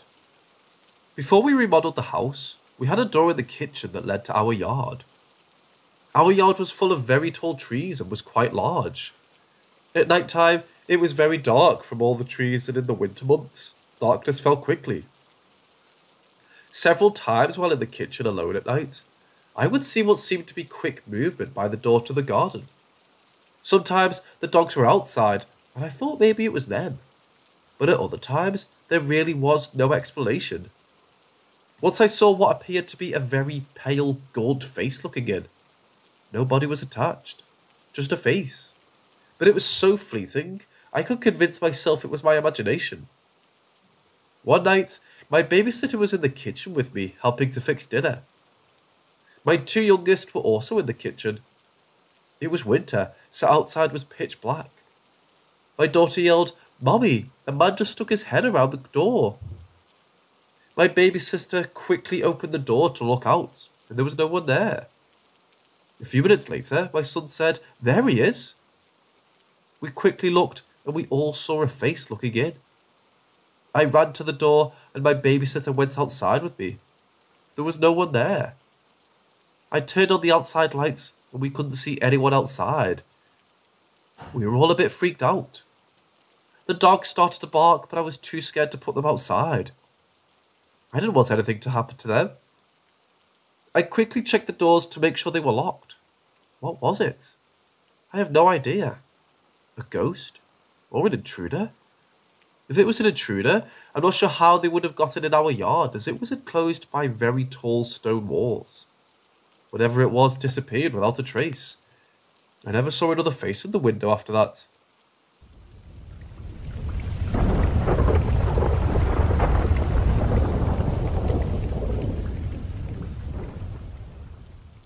In my town, we have a library that's almost as old as the town itself.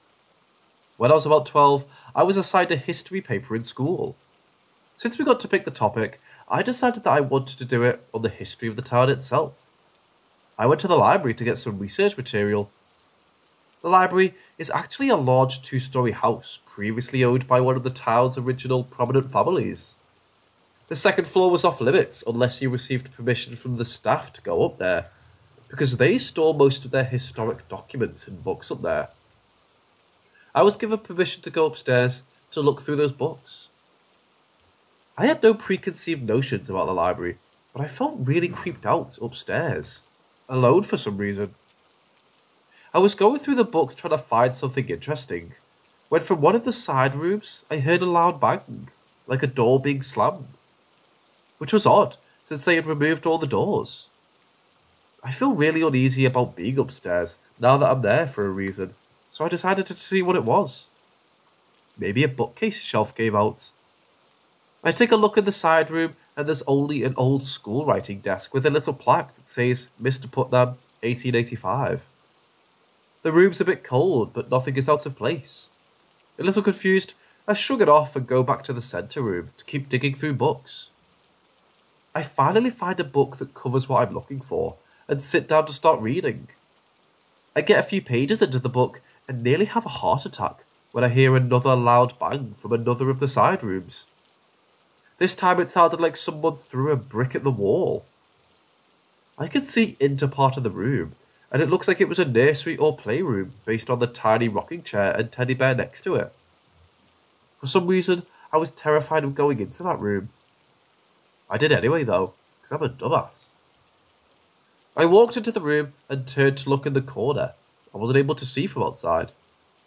I froze in utter terror as I meet the eyes of a young woman in a white dress, hanging from the ceiling by her neck. She seemed to see me, but was motionless. I tried to yell, but just couldn't get it out. I was, however, able to break free of her horrific gaze and run downstairs and out of the library. I sprinted the six blocks home, it wasn't until I told people about it that I found out one of the maids that worked in the house had become pregnant out of wedlock and hung herself in that room. I still hate going near that library.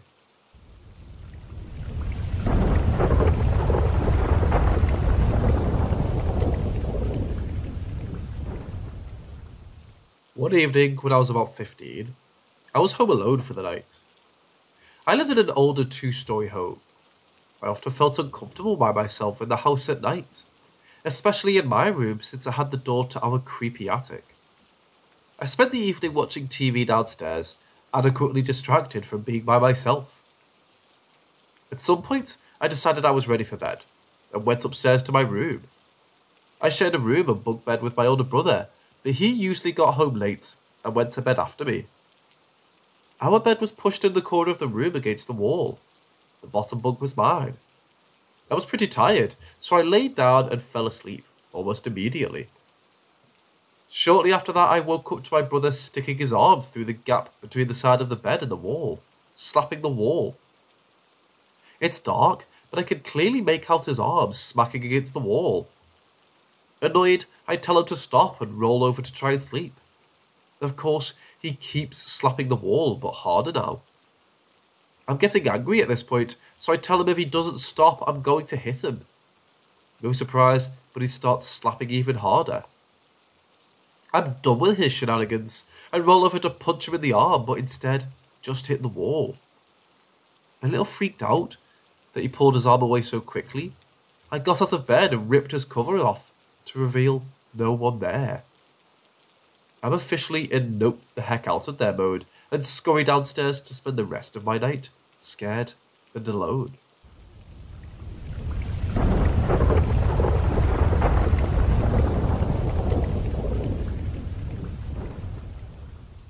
So I used to have intense poltergeist experiences. Things in front of me would literally be thrown across the room. And once, I was on the edge of sleep when something grabbed my foot. I felt it and yanked me to the very bottom of my bed. The latest to that string of events was when about five months ago, before quarantine, I heard something while I was home alone running through the halls. Keep in mind, both of my dogs were with me, and I have no cats. After that, things just stopped until about a month ago, when my mum and her friends over, they were all outside talking, from which I could see from my window. And all of a sudden, I hear a loud, constant banging on my door as if, if I didn't open it, it would bust open. So I swing it open mid bang, expecting my little sister, but absolutely nothing, no one is there. No one is in the hall. I'm on the second story, so if someone would have ran down the stairs, I would have heard them. After that, things died down to the occasional bangs and things falling over, without any obvious solution, until last night. When I say last night was one of the most terrifying nights of my life, I mean it.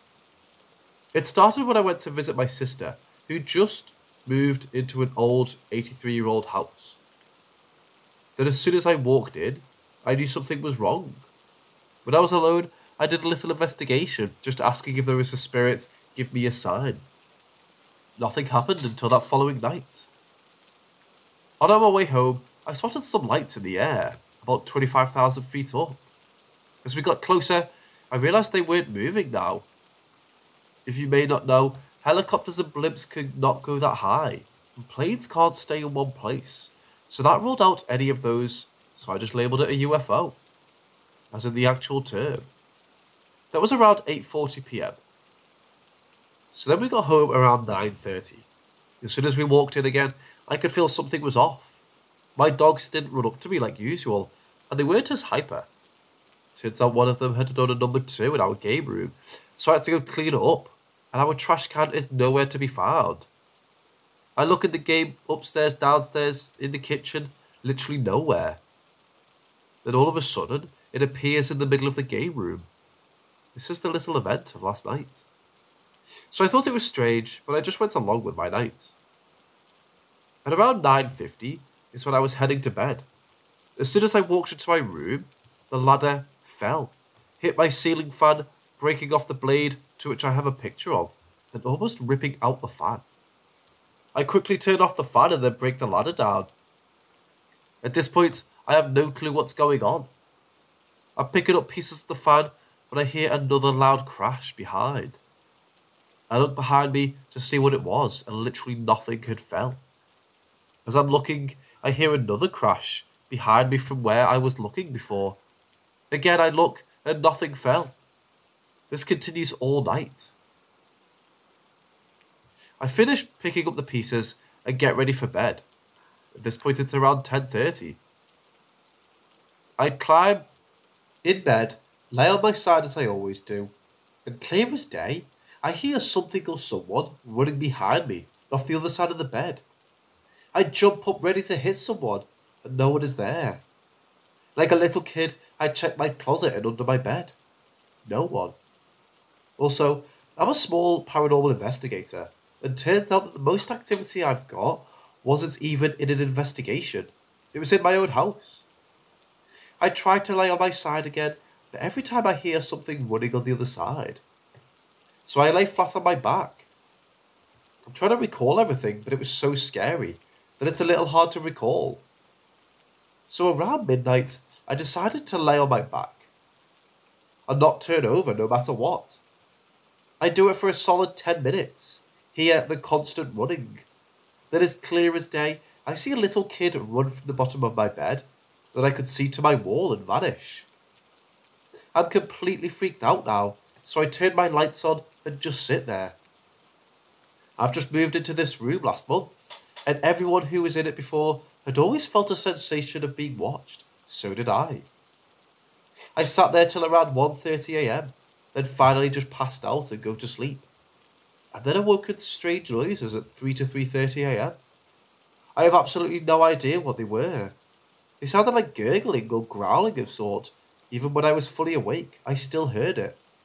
That's when I heard a bang on my closet door, so I fling it open and no one is there. I don't recall what happened after this, but I remember staying up to sounds and weird things till around 4.30, then finally going to sleep and staying asleep. And that was one of my scariest nights ever.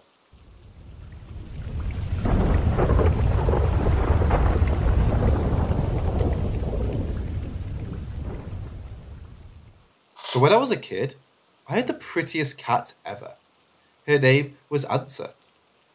We got her in 2004 when I was five years old. She was the best girl, and we were literally inseparable. She always came to sleep next to me, and wherever I was, she would sit on my lap or near me. If she was outside hunting, she would come running whenever I called her. And if I was sad or sick, she would lick me and come lay next to me. She started purring every time I even looked at her, and she purred loudly. Like she was the ultimate purr machine. We lost her when I was in the army, so I didn't have a chance to say goodbye. It broke me when I got the message from my mom where she told me my cat had died when she was sleeping. But then again, she was old, so I had been expecting it. We still had two cats, but still, nothing could replace her. And as much as I loved the other cats, she was special. After that, whenever I'm visiting my parents' place and I feel sad or anxious about something, I start hearing this quiet, soft purring underneath my bed, and it sounds like her purring.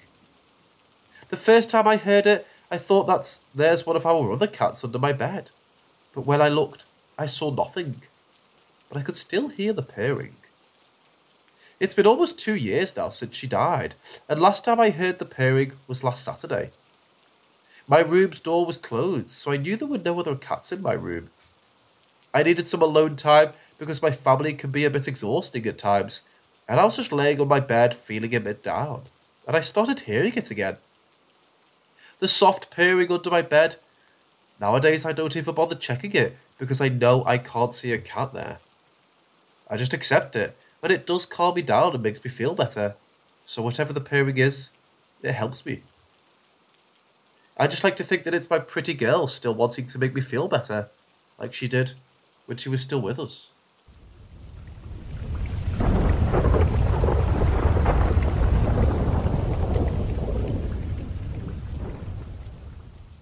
My boyfriend can sometimes see dead people. I can't. He said that his first encounter was with his stillborn big brother when he was about five years old. He met him in a school toilet and they talked a little, and then he disappeared and he didn't see him again. Until recently. Now, my boyfriend's apartment's hallway and toilet had always freaked me out. I always felt like there's something there watching me.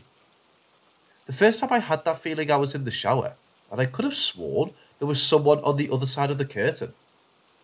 I was literally shaking because I was so afraid, but when I slid the curtain to the side, there was nothing there. Once, when I was watching the TV, I saw a reflection from the window. It was a dark figure moving away from the bed to the hallway. My boyfriend was cooking in the kitchen, so there was no way it could have been him. I didn't tell him about it because I didn't want to freak him out, and I was doubting my eyes. I've also seen shadows in the hallway mirror, but again, I was doubting my eyes. My boyfriend has insomnia, and one night he was on the couch playing mobile games while I was sleeping on the bed. I often have nightmares, and according to him, I was acting restless again. He turned to see if I was okay, and he saw a dark figure standing at the end of the bed. It left immediately when my boyfriend saw it and disappeared in the hallway again. My boyfriend sat the rest of the night at the end of the bed, protecting me from whatever it was. That morning, I told him about the dark shadow figures I had seen. Once, when we were coming back from the store, my boyfriend started to open the door with his key, but the key didn't turn. He tried many times, and when it finally turned, he had to pull hard to get the door open. Later, he said that it was like there was something pulling it back. When he finally pulled the door open, I saw the air move inside the hallway, like on a warm day outside. When we stepped in, we felt really weird, like we're not welcome there. Then one night, we were watching a movie at his place. I had a migraine and I started to feel sick and overall super tired and grumpy. When the movie ended, I crawled to bed and my boyfriend joined me, hugging me and trying to make me feel better. It was about 1.30am when suddenly all the hairs in his body stood up and he froze. He started squeezing me even tighter, almost hurting me, and I told him to let me go. He loosened his grip and turned to me and said, Honey, I don't want to scare you, but there's someone behind the front door. I was confused because I couldn't hear anything, and we couldn't even see the door from the bed. He stood up and walked to the hallway. Suddenly, he kind of jumped, backed off, and stared at the corner. He stood there for a while and reached his hand forward. My migraine disappeared because I was so scared. I didn't know what was going on. I couldn't see whatever my boyfriend could see. I thought it was the shadow I had seen before. After a while, my boyfriend came back. He seemed calm and just said, He's gone now. I was just staring at him, and then he continued, I think it was my brother. He was just smiling and looking at me. We then talked, and he said he didn't feel scared at all when he saw the man. Like he felt warm and loved. The man was young, like my boyfriend's brother would be, and had the family ears. I painted my boyfriend's family's coat of arms on the wall before, and the man had stood right next to it. My boyfriend thought he came to warn him about something, but he wasn't sure what it was about, because he didn't say anything. Nevertheless, my boyfriend seemed happy about the encounter, and I was happy for him, but I was getting more and more scared for some reason. Then, maybe half an hour passed. We were just talking about his brother and his family, when my boyfriend got goosebumps again. He looked at me and whispered, He's back. But this time, he looked a lot more worried. He jumped out of bed and ran to the hallway. He stood there for a while and then he ran to grab a candle. While he was running, he told how he felt something freezing cold come through the front door and go through the toilet wall to the kitchen. He shut all the windows, lit up the candle, and blew the candle. The smoke rising from it went crazy. It spiraled all around the kitchen, but there was no wind inside. My boyfriend backed off and came to the bed and grabbed me to protect me. He told me that he thinks it's a poltergeist and his brother's fighting it. We sat there for a while, but then suddenly I felt completely calm, like a weight had been lifted. My boyfriend felt it too, and we looked at each other. He whispered, I wonder if it's over. Right after that, our dustpan that was leaning against the wall fell over. He smiled and said, I'll take that as a yes. I guess my brother would. After that, we stayed awake for a long time, talking about what had just happened. I kept telling him to thank his brother for protecting and warning us. After that, we haven't seen or felt anything weird in his apartment.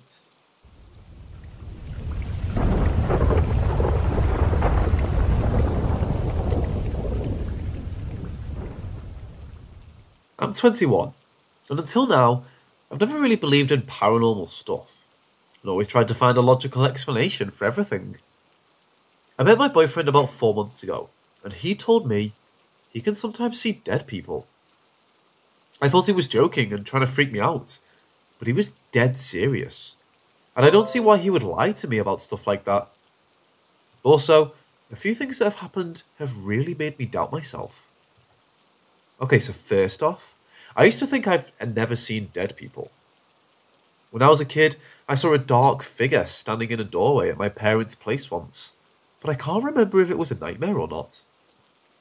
I also saw a lot of nightmares about a small girl living in our storage room. My parents' house is well over 400 years old. I still sometimes get the feeling that someone's following me when I'm visiting my parents, but I used to think it's just anxiety.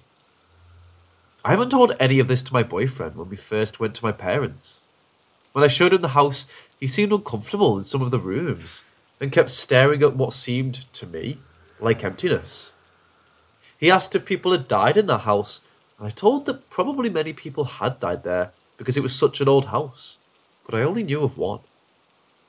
At that point, I didn't know what he could see dead people. He also was really uneasy when he met my grandpa, and it seemed a bit odd but I thought he was just nervous. The next night was the one when he talked about his ability to see dead people. He told an out seeing people sitting on the chairs. He also talked about seeing an old man that looked a lot like my grandpa, and that's why he was uneasy with him. Because at first, he wasn't sure if my grandpa was alive or dead. I showed him a picture of my great grandpa who looked exactly like my grandpa, and he said that he was the man he saw. He also described seeing a fat man dressed in early 1900s clothes, wearing glasses. And I showed him a picture of the man who owned the house before my family. My boyfriend confirmed it was him. Then he told me about the presence at the doorway, the same doorway I saw the nightmare about. But he didn't know about that yet. He said he couldn't see anything, but he said it felt like he walked through something freezing cold. And when I went to get a fan from the storage room, because it was really warm in my room, he stayed at the door and noped off, and told me that someone had grabbed and brushed his foot. Now, this was the same room I used to see nightmares about too, when I was a kid. It just freaks me out, because he had no way of knowing about my nightmares or what the people living there used to look like. I'd like to learn more about stuff like this, but I don't want to ask him too much, because he's had really bad experiences with dead people. Is there an easy way of approaching him about this? Also, these aren't the only weird things that have happened after I met him. These are just the ones that made me doubt my thoughts.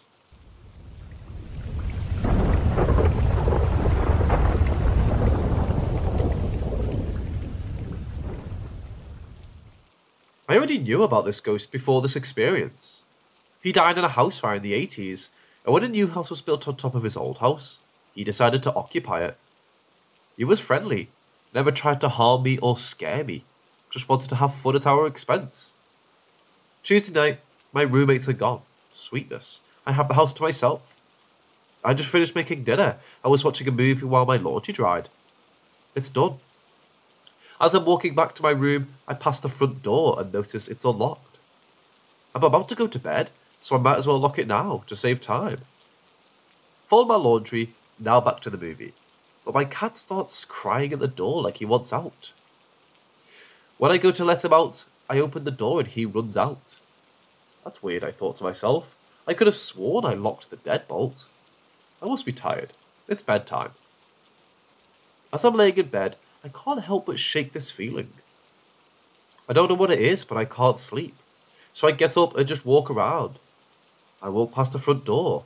It's unlocked. Now, I know something is up because I definitely locked it like half an hour ago. What the fuck is going on? I lock it again and walk to the kitchen for a snack. Munching on my snack, playing on my phone, I hear a click come from the front door. It's unlocked again. Nobody outside, my roommate's cars are all gone. What the fuck, yo? I lock it and sit there waiting. A couple minutes go by and sure enough, the deadbolt turns unlocked on its own. So I lock it again and wait. I sat there straight eyeballing that deadbolt in silence. Just as I predicted, it starts to unlock itself. Uncle Jim, I know that's you.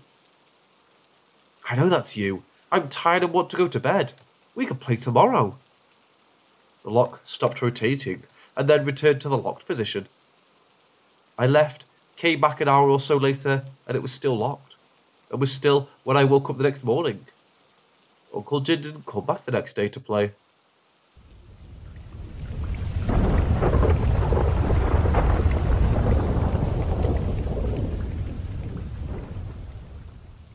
Me and my sister were very young, and we had a full time maid babysitting us because our parents were working. I was probably nine, and my sister was six. The house helper was 40. So I've always been into such stories of the unknown, and I was a weird kid. Not surprised something like this happened.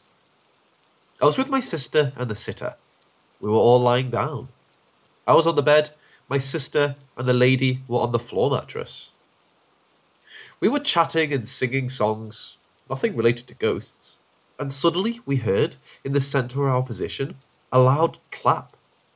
A very distinct and clear loud clap. And we were looking at each other, so we knew it wasn't any of us. It was such an intimidating sound, like a clap made by someone with stiff hands. We looked at each other as if asking about it, and none of us could understand what happened. My sister wanted to use the washroom, and that sitter insisted we shouldn't move.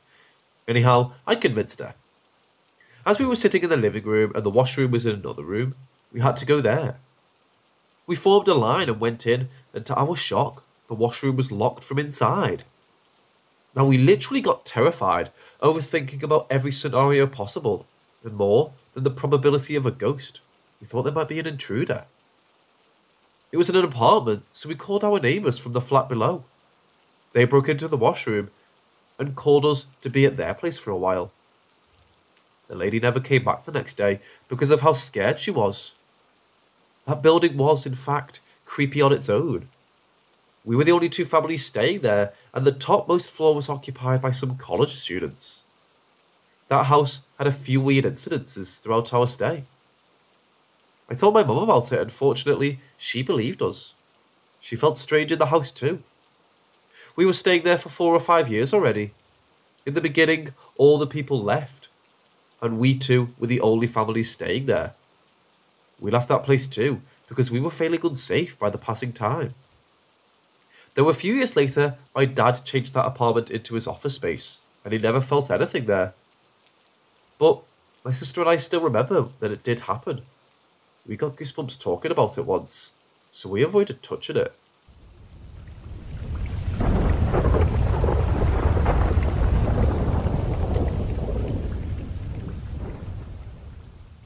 When I was a baby, my mum and dad attended a funeral for her best friend's dad, who had committed suicide.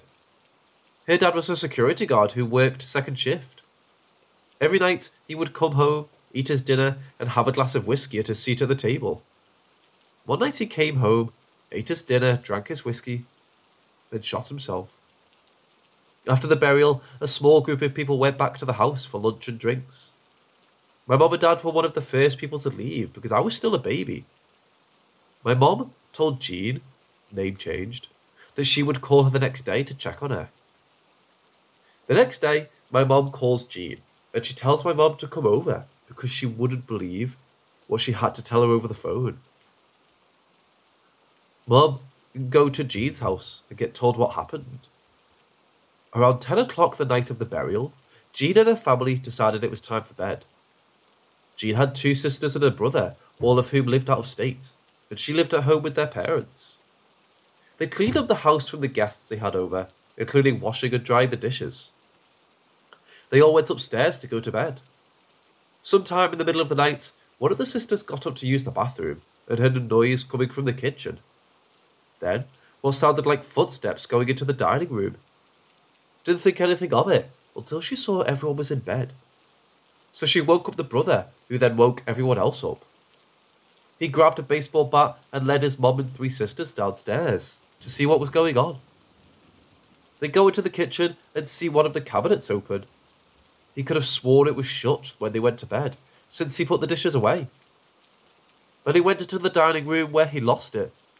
He turned on the lights and saw that the chair their dad used to sit in was pulled out, like someone had been sitting there on the tablecloth was what looked like a ring of condensation from a glass. They all freaked out and ran upstairs. A few days went by, and Jean went to the store to pick up some pictures from a roll of film she had dropped off the day after the funeral. As she looked through them, her face turned white.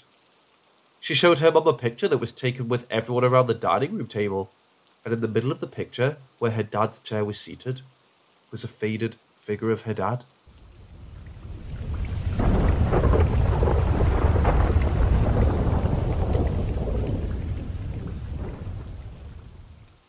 This is all from personal experience. My parents divorced when I was very young, and I chose to stay with my mother and my sisters. So I looked up to my grandfather as a male role model ever since. Sadly, he passed away when I was six or so, so I didn't really have a chance to talk about the true things of life with him. However, he made sure to teach me valuable lessons through his stories. As far as I know, he was horned by a bull. A train rammed his truck, which left him with more than a hundred stitches all over his body. He fell to the sea on a fishing trip, got lost, and was presumed dead before washing ashore two days later. Was a member of the National Secret Service, which I could verify myself through an ID my grandma kept under lock and key. But you know, teenagers. This is not in the US, by the way. He survived two types of cancer, The third he didn't, however, and many other accidents accounted for in pictures, newspaper articles, and the tales of my grandmother and her children, my mom included, that you'd have a hard time believing. But I digress. The day he passed away, I remember coming home from school to find my mother crying at my grandmother's place for dinner. We live two blocks away. He tells me Grandpa has left the building and starts sobbing, urging me to do so if I wanted. Oddly, I was totally aware of the fact he wouldn't be coming back from the hospital, where he used to go a couple of times a week for treatment, and did not feel the need to cry, weep, sob, mourn, or whatever. In fact, I felt my grandfather was with me at the moment. I just hugged my mom and tried my best to cheer her up by saying, Don't worry, I'm sure he'll hang around for a while. You may argue I was a child with a totally oblivious idea of death. But having had an accident around that time in which I almost bled myself to death, which ended up saving my life by allowing the doctors to detect my type 1 diabetes, on which I quickly became pretty well versed, having read my first encyclopedia by the age of five.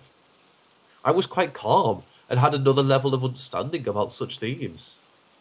I knew my grandfather was there, and from then on would follow and protect me as a sort of guardian angel. I remember the old man used to love fishing, Sometimes we got up real early on weekends and went fishing at the beach.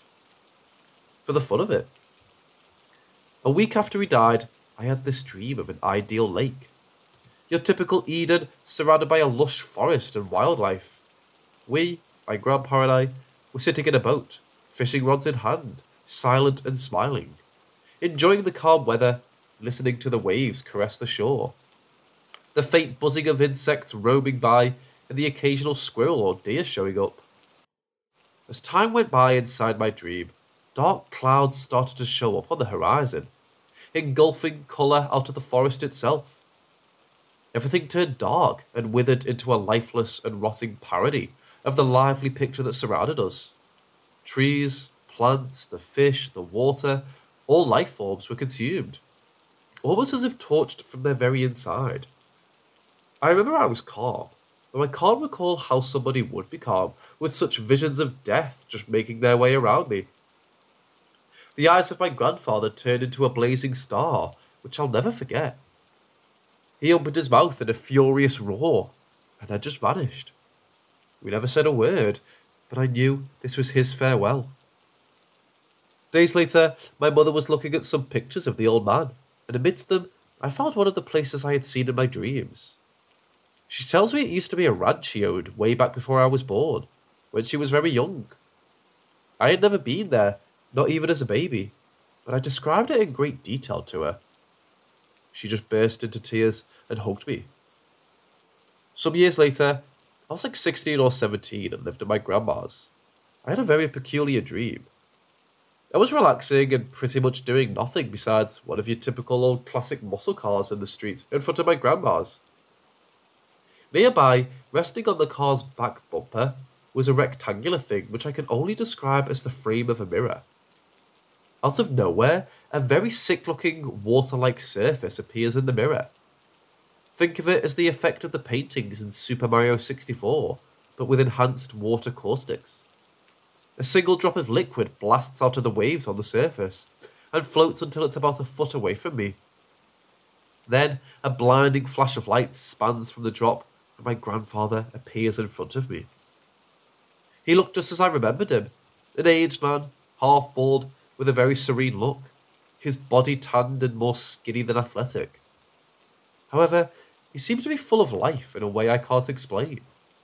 It's like knowing somewhere inside someone's eyes there's a child waiting to burst into hyperactivity with a sugar rush.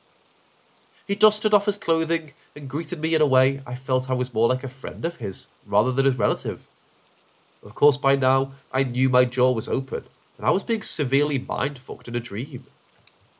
But nonetheless, I kept my composure and greeted him, asking how he was, telling him how much I missed him and all that jazz. He asked how everybody was, said he was watching me and was proud of me, that I was doing well and taking care of my sisters and my mother. We chatted about the last years, and I couldn't resist the temptation to ask him where he was and how stuff was going wherever he was. He says, and I remember vividly, he said that place was like an infinite, pristinely white corridor filled with doors. No matter which door you choose, when you opened it, you could do whatever you wanted, with whoever you wanted, and whenever you wanted. I remember he described how he was having a great time horse riding, taking care of cattle, and spending days playing domino and smoking cigars with his friends. Activities I recall were his greatest pleasures in life. There were no limits to what you choose, imagined, or wanted to do. I was amazed by his description, but decided not to ask further. At some point, he said he had to go back, because he had been granted permission to visit us for the night, and his time was about to finish. Once again, he sent his regards to the family and two specific messages. To my mother, he recommended checking herself at the doctor. To my grandma, he told her she could sell the ranch. Times were hard, but he prohibited her from selling the house. He had built it and would stay in his family forever. No questioning. As soon as he finished, he waved away and threw himself into the liquid mirror, back into wherever he came from. I saw myself turning around and feeling a breeze in the dream, just as I woke up. When I woke up, I remembered everything perfectly and pieced all this in my mind as a rather creative and intriguing experience. I was shaving early in the morning when my grandma came around, and I decided to tell her everything about the dream. To me, it meant nothing, but when I finished, I turned around and saw her face distorted into a mix of shock and disbelief. I was more surprised about her expression, and asked what was wrong. Nothing, she said. It's just that today is his death's 10th anniversary. I also delivered the message to my mother. She was confused at first, but guess what?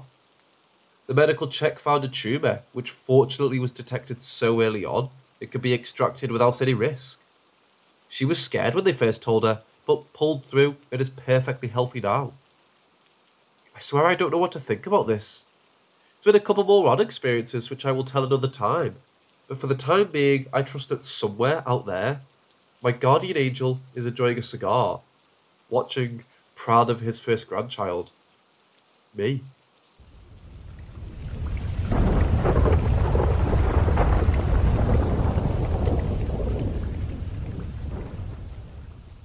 This happened to one of my friends. He and two of his buddies decided to go camping one weekend in the Uinta Mountains, Utah. They wanted to go out in the middle of nowhere to really get away from civilization and just chill and fish and stuff like that. All three of them are pretty outdoorsy and experienced with camping and backpacking, so this was no big deal for them. They went to a trailhead in the Uintas, hiked about half a mile up the trail, and then turned off the trail and just hiked for about four miles away from the trail. They had little trail markers so that they wouldn't get lost coming back. They find a spot and there was no sign of anyone around. The ground looks untouched by humans. There was also a brook close by, so they decided to set up camp. All three of them had camping hammocks, so they set those up in trees and then just kind of explored around for a bit before they decided to build a fire and eat and stuff like that. Eventually, the evening rolled around, so they built a fire and made tinfoil dinners, and were just shooting the shit. When they decided to go to bed, the guy who told me this said he remembered laying in his sleeping bag in his hammock, thinking that even though there was the sound of the water in the brook close by, and every now and then there'd be like insect noises or whatever, the woods were so quiet.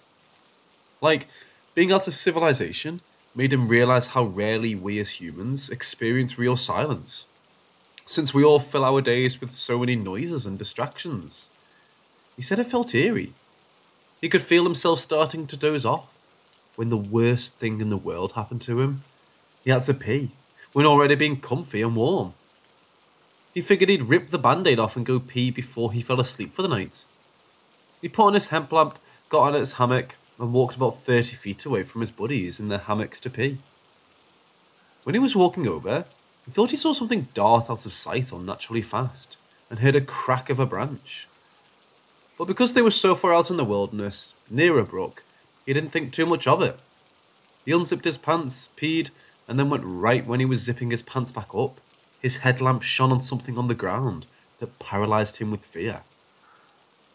A few feet away from where he was peeing was unmistakably fresh human footprints on the ground. It had rained in the mountains the day before, so the earth was soft in some areas, and there was no doubt in his mind that these were not only human footprints, but that whoever made the footprints was barefoot. The creepiest thing was that the footprints weren't staggered. They were side by side, facing where the guys were camping. It was as though someone was just standing still at the edge of their camping spot in total darkness, just watching them. Those were the only footprints my friend could see. No other prints leading to or away from the ones he saw. Totally freaked out, he ran back to his hammock and got his knife that he always takes camping. He loudly whispered his two friends' names, but they were already asleep, so they didn't answer. He debated whether he should wake them up, but decided against it because there was no real physical threat he could think of that would justify waking them up. He put his headlamp on a brighter setting and shone it up in the trees and around the general area of where he had peed. Nothing. He didn't sleep that night. He laid in his hammock wide awake with his knife in his hand all night. Those footprints looked as though someone had been standing there moments before he walked up to that spot to pee. He felt like he and his friends were not alone. When it reached early in the morning, when the sun just barely started to rise, my friend decided he was going to pack his stuff up because he was still spooked and wanted to start hiking back to their car when his friends were up. When he was taking down his hammock, he saw another set of fresh footprints. But this time, they were like 10 feet away from his hammock, like on the edge of the trees behind his hammock, as if someone had been standing about 10 feet away from his hammock, just staring at him. Again, no other footprints leading to these two footprints. He was full on freaked out by this point, so we woke up his friends and showed them the footprints, and they got the hell out of there. Sometimes, you're not as alone as you think you are.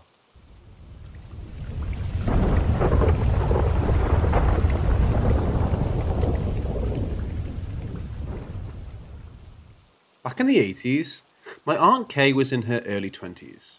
This was before she married my uncle and when she would drive long distances back and forth between her parents and my uncles to visit. It was a transitional period for them. He had just graduated and she hadn't moved out yet to be with him. It was a long drive across several states, through the desert, which took her hours. This desolate highway would have stretches of road that lasted hundreds of miles, where you quite often wouldn't see another driver, let alone a gas station. So Aunt Kay set out and began one of these journeys. A couple hours into the drive, she noticed a dark vehicle slowly catching up to her. She barely noticed, as she continued to sing along to a tape until the vehicle got aggressively close. She turned off the music and looked into her rearview mirror, seeing the vehicle flash its brights and a hand pointing at her car and monitoring to pull over. Alarmed, she quickly slowed and began to look for a good place to pull off the road to see what must be wrong with her car.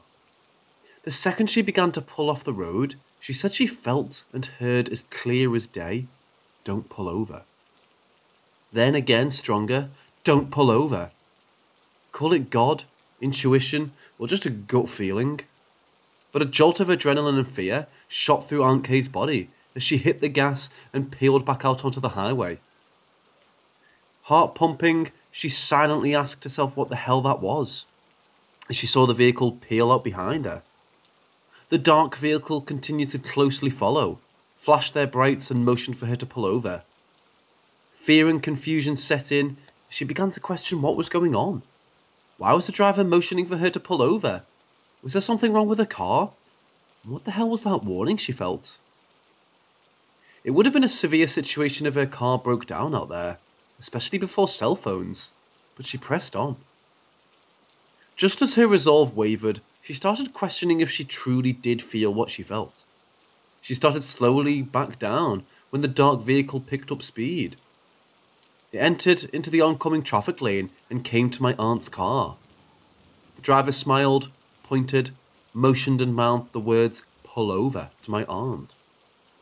She said the second she looked into his eyes, she felt pure evil. She felt a horribly sick feeling in the pit of her stomach and again heard the words in her head don't pull over. She described him as looking scary, greasy, and noticed he was missing a couple teeth in his smile that she'll never forget. That sent chills through her. This quickly dispelled any thought she had of pulling over, and she put the pedal to the metal to try to lose him. He chased after her. She slowed down. He slowed down. She sped up. He sped up. It got to the point that he began to try to push her car off the road. Aunt Kay was to the point of tears as this creep continued to terrorize her alone, out in the middle of nowhere. Finally, after what felt like an eternity, she sees a couple of semis off in the distance. She felt if only she could get closer or even get in between those trucks, she would be safe, so she took off. He continued to flash his lights, honk his horn, and try to hit her car until she got close enough to the trucks. As she got in between them, she saw the dark vehicle slow way down and eventually disappear from view.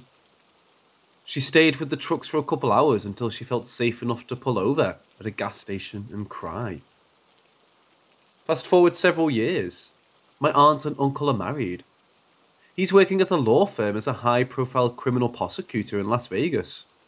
She's now a full time mom of several young children. Since I've known my aunt, she's been obsessed with true crime. Dateline, 2020, and Unsolved Mysteries were always playing at their house. This day was no different. She was folding laundry in the kitchen while listening to the TV in the other room. The interviewer was talking about a man who was being interviewed on death row. As she paired another match of socks, she heard the man describe one of his tactics for procuring victims. According to him, he would wait along the side of the highway. A car would go by with a family, and he'd wait. Another car with a male driver would go by, and he'd wait. But every so often, a car would go by with a pretty woman driving alone. So I'd pull out behind and follow them. I'd flash my brights, honk and motion for him to pull over. Aunt Kay, paralysed, continued to listen.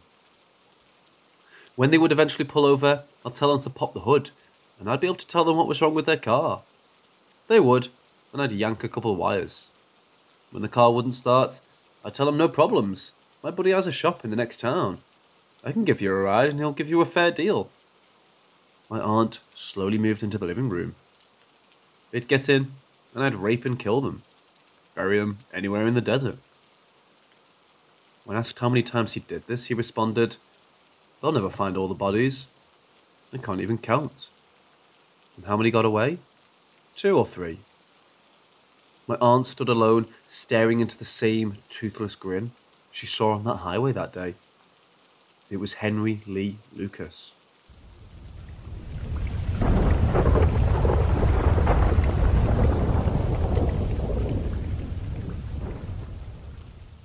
I was with my girlfriend preparing dinner. The year was 2015. Everything seemed normal. I put on some music and the speakers were in my room. While we were cooking, I noticed that the music was no longer being listened to. I was surprised that something happened with the internet because it was Spotify. I went to the bedroom and I noticed that the playlist continued, but the volume knob had been set to zero. I didn't pay much attention to it at that moment. I set the knob again and went to the kitchen to continue with dinner. Not even two minutes passed when again I noticed that no music was being heard. This time it seemed something strange to me. I lived alone and we were just my girlfriend and I. I went into my room and this time the knob was on one so I could lightly hear some music. I was surprised because it was a physical and not digital fault. Again, I turned the knob and returned to the kitchen. I tried not to think about that and concentrate on cooking, when suddenly I clearly heard things on the floor this time in the studio that was next to my room. It bothered me the idea of passing by these things instead of enjoying a pleasant evening with my girlfriend. I asked her if she had heard that sound and she said no. I replied that it was clearly a noise from the studio, so she told me, let's take a look. In effect, there was things on the floor. I wanted to think that it had simply fallen. We picked them up, turned off the lights and left. We were in the kitchen again when we heard another noise. This time, she could also appreciate it. I told her something is happening, and she, being a very religious person, told me not to worry. We went to the studio, and this time the light was on, and there were again some things thrown away.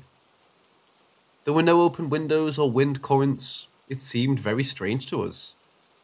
We lifted everything, and before leaving, I pronounced aloud that I will leave the light on, and we retired kind of nervous. We hadn't reached the kitchen when noises were heard again. This time I was really afraid that it was a thief who had entered the house. We ran to the study, and the light was off, and the TV that was there was on with static. We looked at each other, and I told that it was not normal, that something was happening, and we should do something. She proposed to pray. We went to the kitchen, she took my hands, we said two prayers that she knew, and when she finished, something was heard again.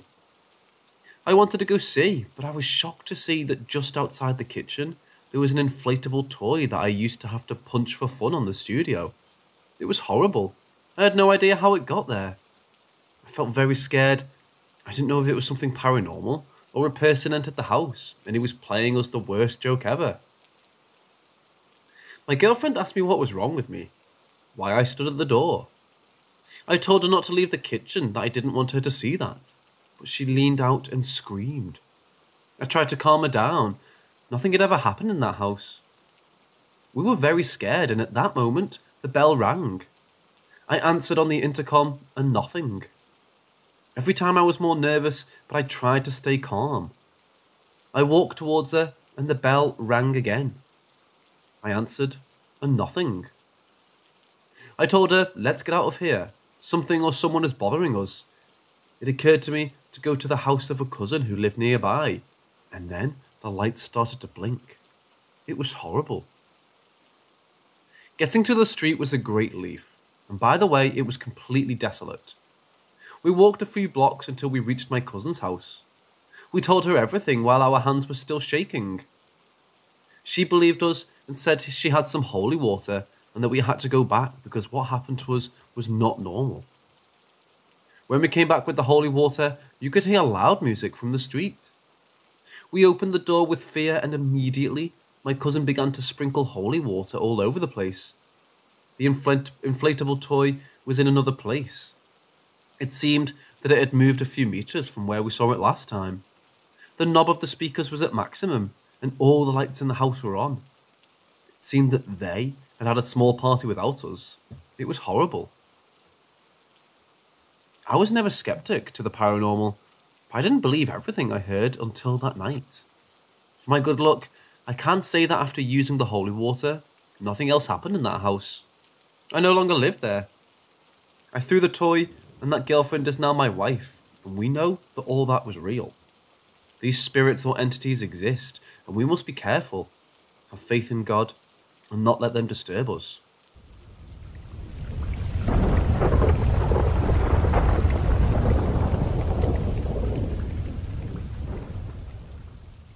So around 2016, I'd been living in my new house for about a year or two with my mom's now ex husband and my mom. After a while, it began to feel weird being alone there. And at night, it would feel like I was being watched from my hallway. I would go to sleep with the door open, never once falling asleep not facing the door. Anyway, after a few months of this, one night while falling asleep with my TV on, I wake in a dream. At this time, my bed was laid on a side in front of a large window, and my door was on an opposite side of the room. So, I think I'm awake, and I notice that on my side, my room is only faintly lit by an orange street lamp, and as I turn my head towards the door, something is in my doorway. It looked like the shadow monster from Stranger Things Season 2, but in a more humanoid form. Yes, it looked to be about 8 feet tall, and I could see no eyes, but it felt like the eyes of a predator were on me. It was arched in a way that I felt like I was going to be attacked. I opened my window, jumped out, and ran down to the street. I'm running in jello about half a block down. I feel out of breath. I turn and look. I see my street and a street lamp. I try to run further, but I can't. We turn around again, and I see it standing there under the street lamp. It screams a loud, harmonious, guttural, and terrifying scream, one that makes your stomach drop. At that moment, I woke up and my abdomen shot up. I'm gasping for air and crying. My TV was turned off and I was in darkness. I woke up around midnight, I believe, and I stayed up until 3am watching SpongeBob or something. I know the TV thing could be explained like automatic turn off or my mom turning it off, but I have reason to believe she didn't do that. I also had AT&T, and usually after a while, it would go to some blue screen instead of turning off. Either way, waking up again in the way dream started terrified me. After that, I smudged, and I think I told whatever that was to leave me alone. Now that I think about it, I believe I put salt in my bedroom doorway. I don't remember anything happening after that, but my mom and I ended up moving into another haunted place because she got a divorce. If anyone has any idea about what this was, or has seen something similar, I would be interested in hearing. It didn't feel human.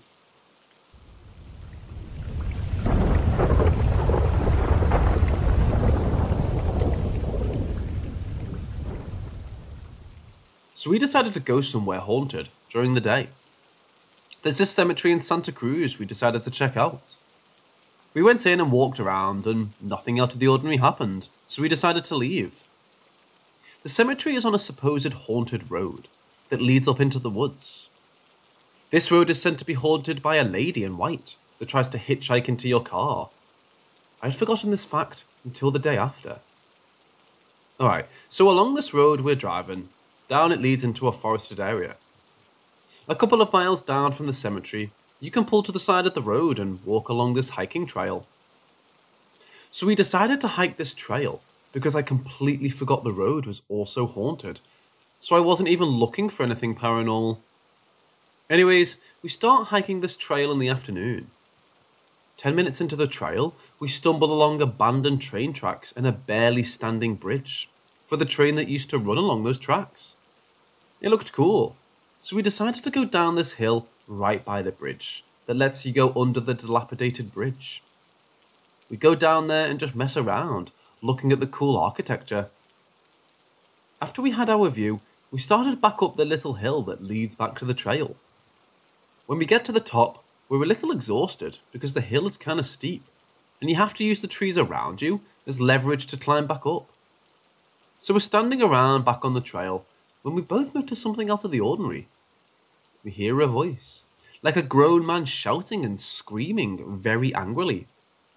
When I say angry, I mean angry. This voice sounded like a rage filled, hatefully murderous man. We quiet down, and I can tell the voice is very far away. Almost sounded like it was in the mountains around us. Sounded more than 500 feet away, that's for sure. We both look at each other like, the fuck is that? We stand around listening for like 15 seconds, and next thing we know, the voice came down the trail from what sounded like hundreds of feet away to being like right down the end of the trail. The inhuman speed the voice came closer to us was unnatural. I noticed the voice coming from down the trail, and I'm thinking to myself, this voice sounds like it's someone who's about to kill someone out of rage. But the weird thing is that the voice is speaking what I can only call gibberish. I understood not one word it was saying. I instantly get this fight or flight feeling all in my body because the voice starts getting very loud and closer to us at inhuman speeds. I told my brother to pick up some huge sticks with me to defend ourselves, because even though the voice came out of nowhere and moved down the trail at lightning speeds, I still had the assumption it was some kind of crazy person ready to kill someone. We pick up the sticks and run down the trail back to the car. Now, here's the weird part. As we're running away from this voice that's coming down the other end of the trail, I hear the voice come up behind us in an instant. It sounded like he was no more than 10 feet behind us, chasing us back to the car. I turn around even though I don't want to, because I have to see how close the psycho is to us. As I look back and hear the voice right behind me, I see no one. I tell my brother to run faster because the voice is right behind us, yelling in absolute rage, but I see no one chasing us. We started picking up speed, and the craziest thing in my life happened. The voice starts panning around us in 360 audio. I hear the voice yelling in gibberish right behind me. Then it starts panning to my left, through the trees just off the trail.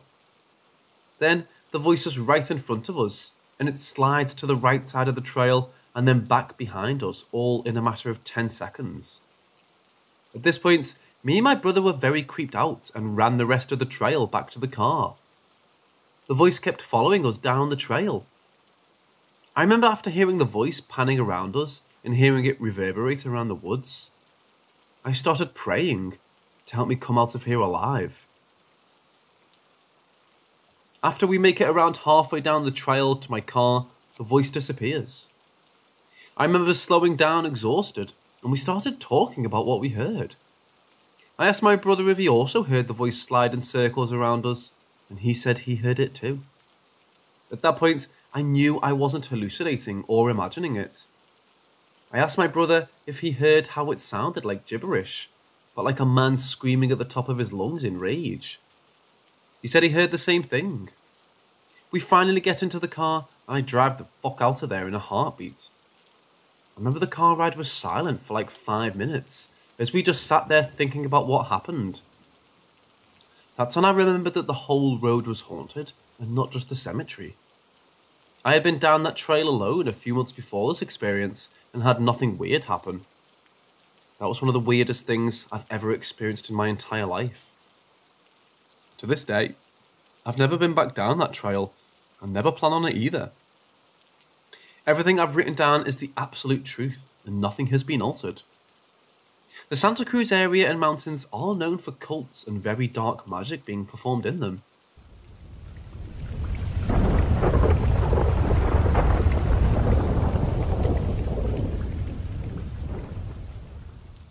This happened many years ago. I think maybe 2010 or 2011. It was winter break, and I was out in the woods camping with three other friends. I've been camping on an almost weekly basis for years, and occasionally for my whole life, and was very familiar with the whole experience of it. For some reason, I was really complacent this time, and didn't prepare very well. It was about zero degrees, well below freezing, and I just have a sweatshirt and a jacket. Walking around, I was doing fine, although my feet were cold, I remember. We found our spot to make camp for the night. We don't use tents or sleeping bags. We built a fire and chatted. I'm growing increasingly miserable as I can't get warm, even with the fire going, especially my feet. I got my feet really close to the fire, boots on, and I can't tell if they're warming up or not. Take the boots off and still can't tell. Can't keep them too close because they'll burn, and I'm so cold I won't feel it if they do. I remember being so desperate for warmth I repeatedly asked my friends if they'd give me anything they have. The only extra piece of gear anyone had is a poncho. I took it, knowing it'll probably do nothing, but I'm really desperate, and I wrapped myself up in it like a blanket. I didn't want to be the reason we have to pack up and go back early on the first night, so I try to just endure this as best as I can. I'm laying there on the ground, so damn cold, and I remember feeling a bit sleepy. I went into it and passed out. After some unknown amount of time, everything from here on was relayed to me later. Some large creature comes crashing through the forest, snapping branches and making all kinds of crazy sounds. My friends try to wake me up, but I'm unconscious from the cold and won't wake up. This creature comes up to right behind where I'm laying on the ground, and my friends are yelling at it, and it supposedly is acting very loud and seemingly aggressive. shaking trees right behind me, maybe about 15 feet away. This would be a good point to mention there are no bears or major game in this area, other than deer. Friends and I all grew up in a wooded country area and know the behaviour of deer well. They don't violently break and shake trees with this intensity. The creature has a standoff with my friends for a few minutes, and I still won't wake up. They make the decision to escape with their own lives and leave me laying there on the ground. I don't blame them. Do what you gotta do. Sometime in less than what I guessed to be 30 minutes after this, I woke up. I felt a strange sense of peace and comfort. Somehow I was warm. Despite hours next to the fire and still descending into hypothermia and temperature continuing to drop, nobody tending the fire, I woke up and was warm. I woke up, as I said, with a feeling of peace. Immediately noticing my friends aren't here with me, I'm unfazed by it and I'm just perfectly content to sit there and exist. After maybe about 10 minutes or so of sitting there awake and warm, I hear my friends coming back. They see from a distance my silhouette sitting next to the fire and run back. They're urgently asking me questions if I'm okay, what happened, etc. Told them I don't know what they're talking about. They relayed this to me, and their decision was we're going back home early because of that. Not because of the cold. We all talked about our experiences, and were pretty confused by the whole thing. My feet were purple for like two months. I constantly had a slight feeling of being cold, and the skin on my feet and legs hurt a lot for a while. Healed up fine, although I think I get cold easier now. Been about 10 years since this happened, and everybody is still very curious about it. I'm very convinced it's not a joke.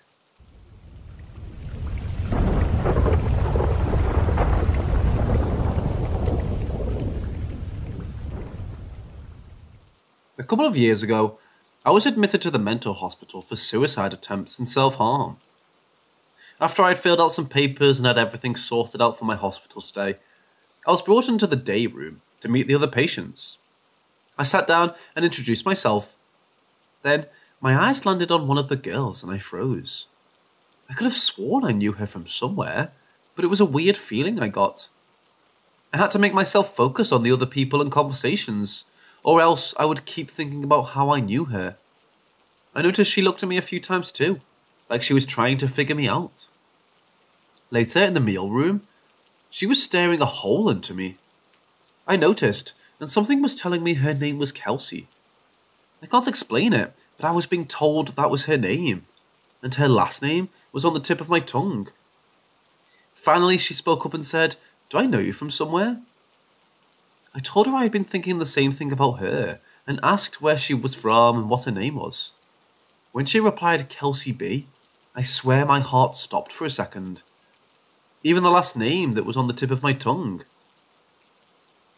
I told her my name, and she replied, I know your name from somewhere. I just don't know where from. We spent the next half hour trying to find any possibility of how we could know each other. While we were talking, it felt like I literally knew this girl. However, no family, mutual friends, mutual activities or clubs, and she had never been to the area I lived in. But I knew her face and voice and name before she even said it. When I got out of the hospital, I searched for her. Found nothing. For the past few years, every few months I search for her using every way possible. When I think of her, I get a yearning feeling. My chest and stomach ache. She wasn't supposed to be a long term patient, so she's still not there. What teenage, now adult girl has no social media? I can't explain it. Do we know each other in a different universe? Do we have connections from our past lives? There's no way this is a coincidence.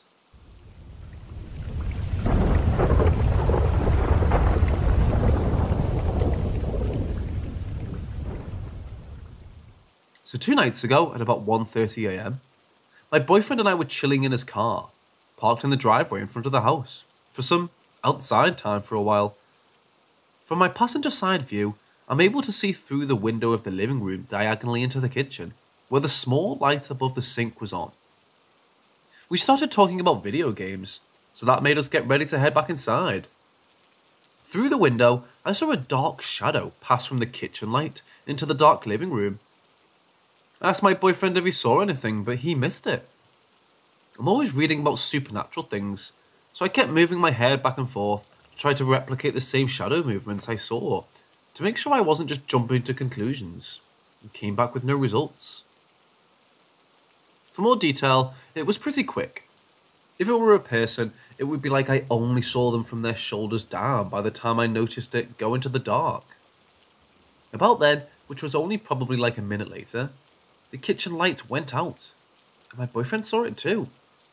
It's probably my mom who said, Yeah, but isn't it always on? That's weird, I said. So yeah, and we spooked, but whatever. Then, the light turns back on. Again, like a minute later, and there's the same shadow. It was only seconds before it walked away again, but it stood still and I made out a body and an arm.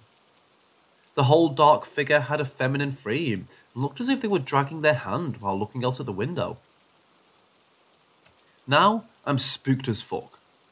My boyfriend was confused too, but insisted it was his mom probably not being able to sleep. I get pretty spooked easily, but it was weird actually having real visual evidence. Anyway, we got back inside and I'm like scanning the room for any evidence of anything and saw nothing. There was absolute silence. My boyfriend's parents were asleep. I was acting so weird. I was so scared, honestly. I was so freaked out, my boyfriend thought I was messing with him. Anyway, I wanted to post this that night, but decided it wasn't that cool, and probably his mom. Until now. So we're all eating, and I hear my boyfriend mention the story above because he started noticing that he'd go from our guest room to the kitchen to get snacks and drinks, and within like 25 to 50 minute intervals, the light would either on or off, with no sounds of his parents moving. Then, his mum straight up replied, Oh yeah, there was a lady who died in that living room, you know. It's probably her. I kid you not, I froze. Then, I learned that that lady who died was best friends with the neighbour across the street, who's a writer. When the writer would get up at odd hours to do her typing, she would see from her window the shadow of her friend. She literally knocked on their door one night to let them know her friend's ghost was there. So now I'm here.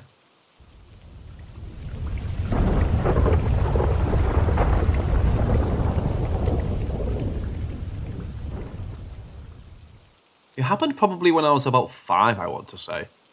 It was before my family moved to States, and we lived in a two story house in New England. I'd say our house was at least 100 years old. That doesn't exactly explain the phenomenon I witnessed, but maybe it had been the site of another house at one time, I'm not sure. A little backstory. I was a pretty sensitive kid, and very in tune, especially around this age. My mom told me she'd often be thinking of something like, I want to make chicken for dinner. And then I'd ask her if we could have chicken for dinner. That sort of funny thing. It seems dumb and silly, but I also think it's a bit telling.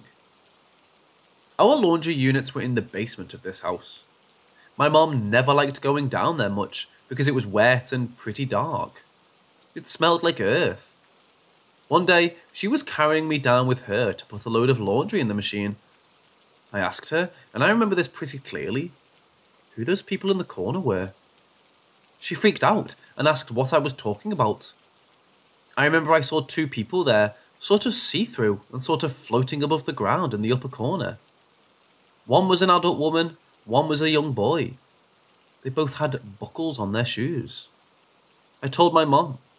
Note, I was too young to know about pilgrims or old fashioned clothing at this age, I didn't learn history in school yet at all.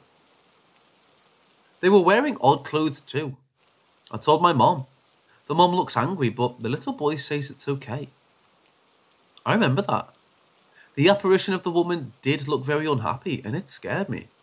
But her son spoke to me and told me it was okay.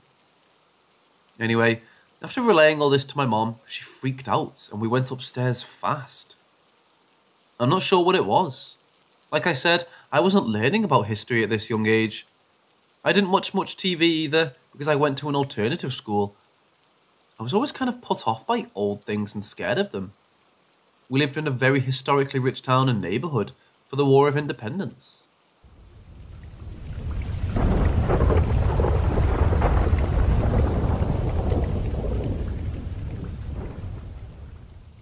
I was probably 11 or 12. This happened a long ways down our street. On the corner, there was a two story greenhouse with a large red gate. We lived in a historical neighbourhood in the south. I can't remember if we were driving or walking when I saw what I saw. It happened sort of fast, I think. I looked over and saw a being short and stocky in stature, standing and sort of looking over the metal red gate. They had very large eyes, almost like the movie Big Eyes or the paintings by Margaret Keane. They, whoever they were, also had brown scruffy hair. And I was start thinking wearing a large t shirt almost cartoonish, like a drawing. I've always been sensitive and tried to block things out if that makes sense. I didn't want to see anything that wasn't in our world, and I wasn't even sure what I saw that day. If it was just a very, very odd looking person or something else. But it made me shudder and blink to double check what I was there. Ever since I saw something there behind the red gate, whenever we'd pass, I'd feel uncomfortable and pray I didn't see what I saw again, which makes me think it was more than normal.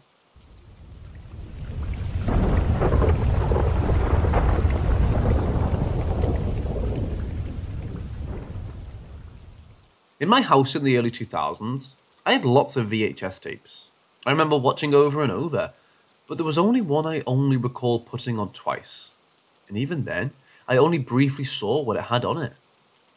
It was some animation with puppets, which might have been stop motion animated, or the puppets controlled like the way the Muppets are, or with strings like in Thunderbirds. I can't remember. Might have been a mix, but in the few shots burnt into my memory of this thing, the puppets looked like they were being controlled like Muppets, but sure as hell weren't as family friendly looking. The first time I put the video in there is the scene of a little boy sleeping in his bed in a dark room and I remember he probably had red hair and looked somewhat realistic, which was what was scary about this show. I'm from the UK, and I used to watch Rosie and Jim, and if you haven't heard of it, look it up. The character Jim is what this boy looked like, except more realistic. The boy's head is only seen lying on the pillow, and then an old man, which I guess is his granddad, is seen talking to him by the bedside. The old man looks kind of like the doctor from Back to the Future, but as a realistic puppet. I remember my dad seeing me watching this and being like, turn this off, whatever this is. Then I put the video in again some other time and saw a different scene. The boy was outside in the daytime in some backyard or alleyway. I don't know it was some place outside a house door. There was a shot of the boy looking at me, and then a shot of the old man standing on his doorstep, looking at the boy. And I think there was a dog barking in the background too. Weird, I know. The vid was so spooky, like it had no box or any label identifying it. And I remember finding such a video and putting it in again, hoping it wasn't the scary puppets, and was relieved to see it was Pingu. I remember watching a short film from the early 90s called Tom Thumb, featuring stop motion puppets and real humans, which kind of looked like this thing and might have been some surreal short film made by similar artists. The grainy quality of the show makes me think it must have been made in the 60s to 90s. It's a mystery as to what this videos thing was meant to be, how it ended up in our house, and what became of it.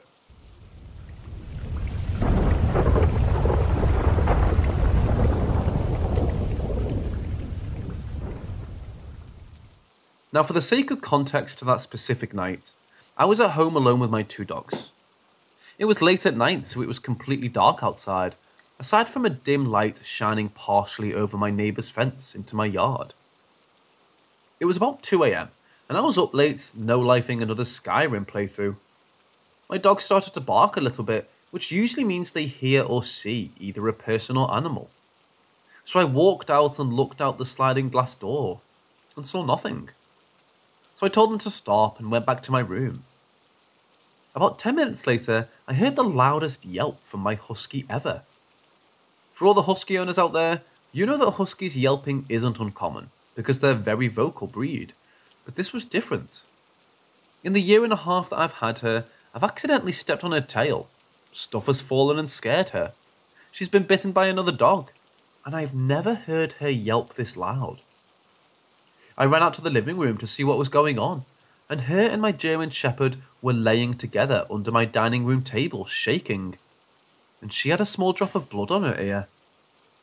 My dogs never lay with each other. Don't get me wrong, they love each other, but whenever one gets close to the other, it always results in a fight. So they generally will lay separately, unless they want to play. I assumed it was an animal, and considering my neighbourhood borders a forested area, I grabbed my dad's pistol just in case it was a rabbit, because occasionally we'll get rabid raccoons in my town, and I've heard stories about even rabid coyotes. I walked out and turned the light on to look out the window, and for about five seconds I saw nothing. And right when I was about to look away, I heard the gravel crunch, so I looked back out again. I again saw nothing, so I decided since I have a pistol, I'm probably safe to walk out. And right as I reached for the door, a hand came flying towards the part of the glass right next to my face. And what appeared to be a male in his late teens to early 20s stared at me with a blank and expressionless face. Normally, I'd assume this was either some lunatic or someone trying to fuck with me, if not for the fact that his eyes were a reflective, deep black, almost like obsidian. Also, I don't know if this is cliche or not, I've never felt such a sense of terror in my entire life. I've been in life threatening situations before. I've dealt with a home intruder before. I've even been shot at before, and I've never ever felt such a primal and intense sense of terror in my entire life. The shock made me fall over, but when I looked back with the gun trained, he was gone. I was still in a state of shock, so instead of going out there alone, I called my neighbour and he came with a shotgun. We both went out back together and saw nothing. Not the person, not any footprints in the gravel and dirt, no handprints on the window. Literally nothing, so I decided it probably wasn't worth filing a police report. I checked over the security camera footage and saw nothing. I used a fingerprint kit on the glass and found nothing aside from myself and my dad's prints. It's been about four days so far, and I haven't seen anything. But I left some cornstarch in the backyard to see if there were any prints there, and haven't seen any. This house has been in my family for 60 years now, and there hasn't been any notable incidents that would leave me believe that a spirit has a reason to haunt my house, considering they do exist. My grandfather bought this house directly after it was built, so he would probably know if anything happened. As far as the area, it's a relatively peaceful community, and as far as accidents or murders, there aren't any that I've been linked to, and none have happened in my area. Again, I'm an extremely skeptical person, so I'd like to believe that this was just someone messing with me, but I didn't recognize the person. And I don't know how a person could achieve making their eyes look like that aside from contact lenses. But I feel like if someone scared me with contact lenses, I'd probably know them, and everyone that knows me understands that they would get shot or bit by dogs if they pulled some shit like that. Again, I'm on bad terms with the local church, and I don't know anyone from any other churches, so I'm reluctant to look there for help. The only reason I can think of that it may be something that isn't human is my ex was borderline obsessed with the occult. And when she cheated on me, I broke up with her and grilled her for a few hours. So I guess it's possible that she did something to my house. I don't know. We've been broken up for over a year now, and I haven't seen her since then.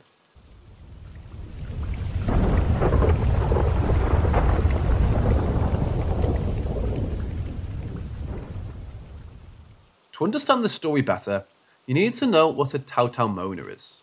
It's a term from my people's native language, Chamorro from Guam, that best translates as forefathers, but it has a broader meaning than that.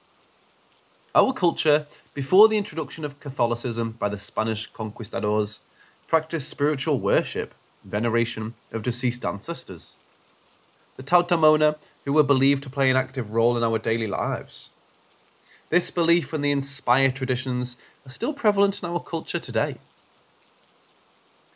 You'd also need to know what a latte stone is. Latte stones are a stone sculpture consisting of a tapering, ascending foundation with a bowl shaped stone placed on top, but not hollowed out.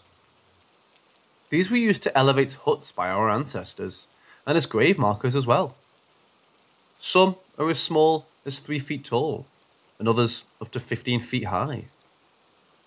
I live in a modern development at the top of a hill called Latte Heights as an adolescent. It's called Latte Heights because there is an authentic ancient latte stone park at one end, with several latte stones carved and placed by our ancestors. These were not disturbed by the developers of the housing track. There's a park on the opposite end of the development, about three quarters of a mile away, and a parkway that connects the two that runs through the entire Latte Heights development. Along the parkway, where it intersects with streets, are the bus stops where we caught the buses to school. When I was in my teens, the bus stops were made of wood and were essentially an 8 foot square wooden box lined with benches on the inside and an opening facing the street. One night, my friend and I were smoking a cigarette in a bus stop from which the backside had been kicked out. We were just chilling, talking shit as teens do, when the bushes and tall grasses across the street started rustling, quite violently, much as if a bear were in them. And of course, there were no bears in Guam. So we were just laughing and saying it was the Taotaomona, but were only mildly spooked by it. We continued to smoke and kind of joke about the Taotaomona in the bushes. Suddenly, then, the bushes behind us started rustling violently in the same fashion.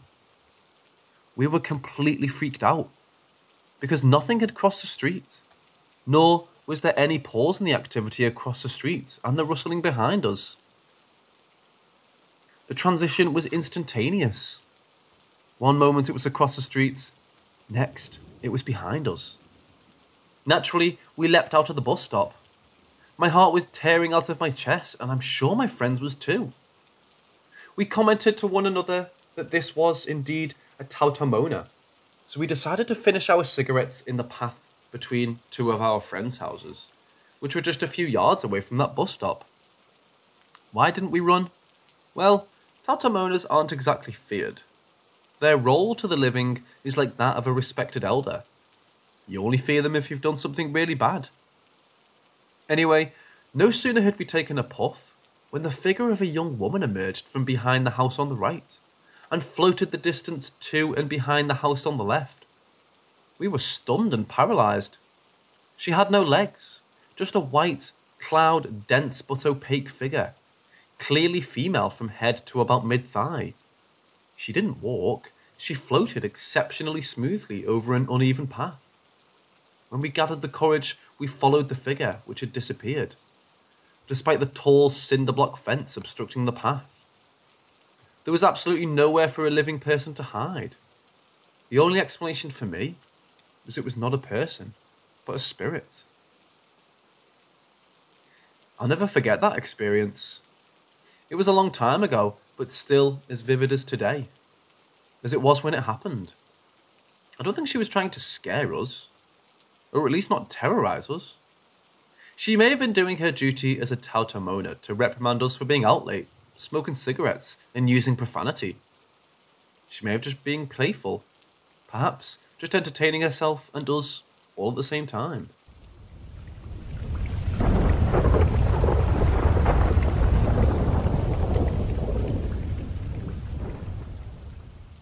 This is how my parents have always told this story to me. I was three at the time, so I really don't remember it at all personally. But this is the story they say I told them. My mom says one night in the middle of the night, I came bursting into her room, hysterically telling them to get the lady with the hole in her stomach out of my room. My parents, obviously perplexed, went into my room and checked it out. They found nothing, except my dad said my room was freezing. It was the middle of the summer, and we didn't have air conditioning, so it was weird. My parents, assuming it was a nightmare, asked me to describe the woman to them. They said my description was incredibly vivid, that I described her hair and her face, what she was wearing, and very specific birthmarks she had. My mom said my dad's face after the explanation went pale, and he just walked outside. My mom, once she got me to calm down, put me to sleep, and went outside to talk to my dad. My dad broke down once she went outside and told her the story of his first girlfriend, the only other girl he had dated seriously besides my mom. My dad's first girlfriend killed herself by shooting herself in the stomach. He was so freaked out because I had described her to a T, even mentioning her very specific birthmarks. My mum had never heard about her before this point, as my dad didn't like to talk about it. She, his ex girlfriend, called him the morning before she killed herself, and he didn't catch her call because he was out surfing with his friends. My mum has speculation on why she chose to haunt me. She thinks she had to tell my dad something. There are speculations on what that something is. Also, it's highly speculated among her friends, and my dad believes it too, that she didn't commit suicide but was murdered by her current boyfriend at the time. My dad and her were already broken up by the time she committed suicide.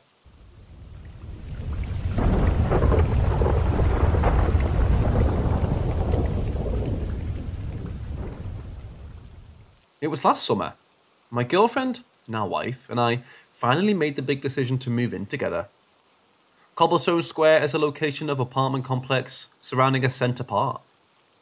After living in another apartment for two years, I learned a bigger apartment was opening up on the other side of the complex. We needed a bigger space because my wife had two children from a previous marriage. After a rushed inspection, we were happy to move in as June started. The months passed by and the days grew shorter and colder. Autumn was drawing close, and with it, that's when the trouble began. In all the stories and movies, it starts out small. Things moving from place to place, lights being left on, etc. All chalked up to forgetfulness.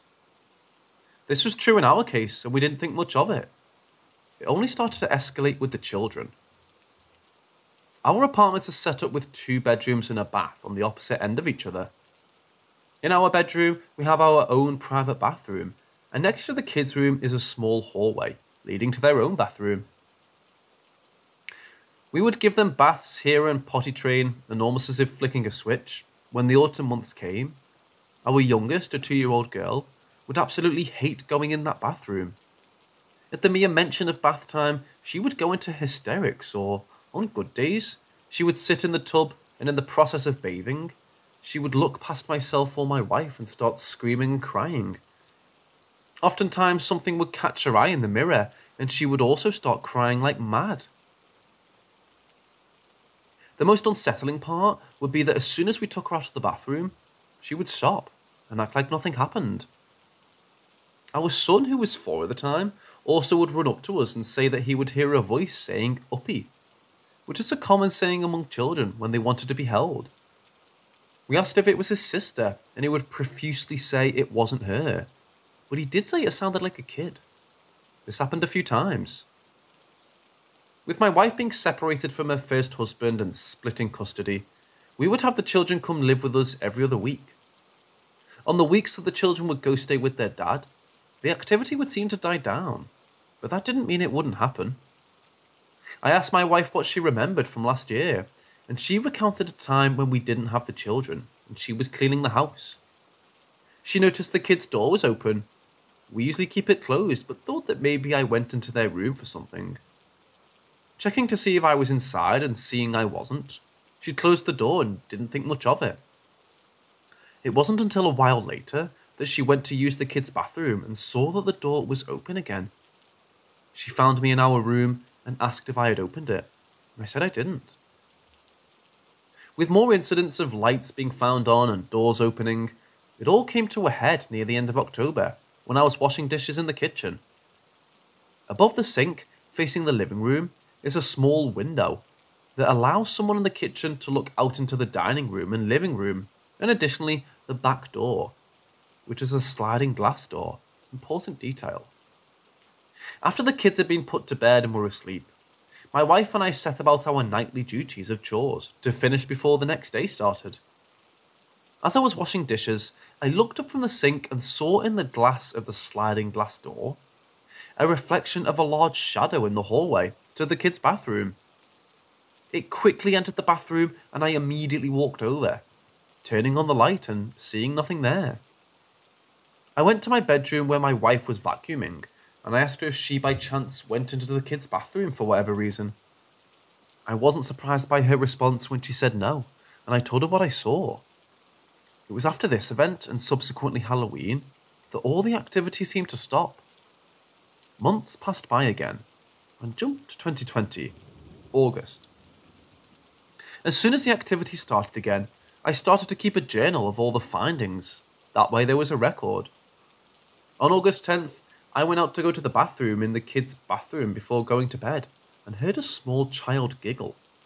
Both children were fast asleep. August 11th, my wife was bathing our daughter, and for the first time in a year, our little girl started to shriek in fear unless she was out of the bathroom. August 13th, while getting ready for bed, our son knocked on our door. I'm always the one to answer, and he told me that he was afraid. He wouldn't elaborate on what, but when I laid him down in his bed, he begged for the closet door to be closed. The closet was never been a problem, and a few nights after this, we returned to it being open and haven't experienced something like this again. August 15th, my wife and I had an argument, and I went out to the couch to sleep for the night. As I was tossing and turning, I heard a child's voice in the night say, uh huh, as if answering a question. I forced myself to go to sleep. Both myself and my wife have caught our son speaking to himself as well.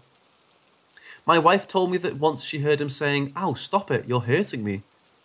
And when she went to go check on him, he was in the hallway by the kid's bathroom, holding his arm. During the daytime, the kids were playing, and both me and my wife were doing our own thing. As I was sitting on the couch, our son ran behind the couch, stopped, and then said, And how would you do that? Out of the blue.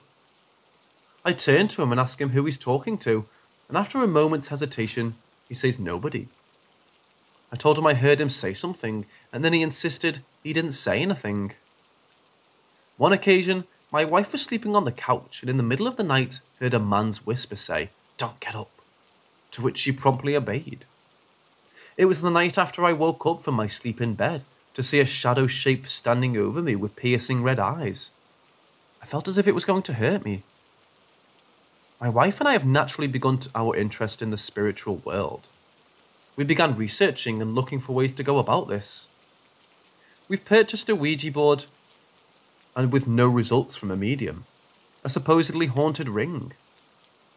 If our apartment was going to be haunted, we wanted to know by who and with what intentions. It seems as if our mail order ghost has already made their home as one morning our front door was unlocked and slightly ajar. Nothing stolen. Tonight, as I write this, my wife and I were watching TV on the couch and decided to call it a night. But as we went to our bedroom, I noticed a low scratching sound coming from the record player. I opened it up and saw the turntable was moving as the needle was off its holder, turning the record player on. I replaced the needle and tried knocking the player a few times to see if it could have been easily bumped and knocked off. But no. The only way to move that needle was to pick it up with your fingers and set it down. I was reminded of one other time that this happened long before we bought any haunted items. I'm thoroughly convinced my apartment is haunted. People die in them way too often to think about it not a possibility. And if nobody died here, the cemetery across the road definitely doesn't bring me any comfort. As I write this, I can say that two distinct entities can be somewhat accounted for a small child ghost and something else. Or maybe something that wants to be viewed as a child, but let's think happy thoughts. We still live here to this day, and if any new events happen, I can be sure to update you. Autumn is just beginning, and that's when things seem to really get interesting around here.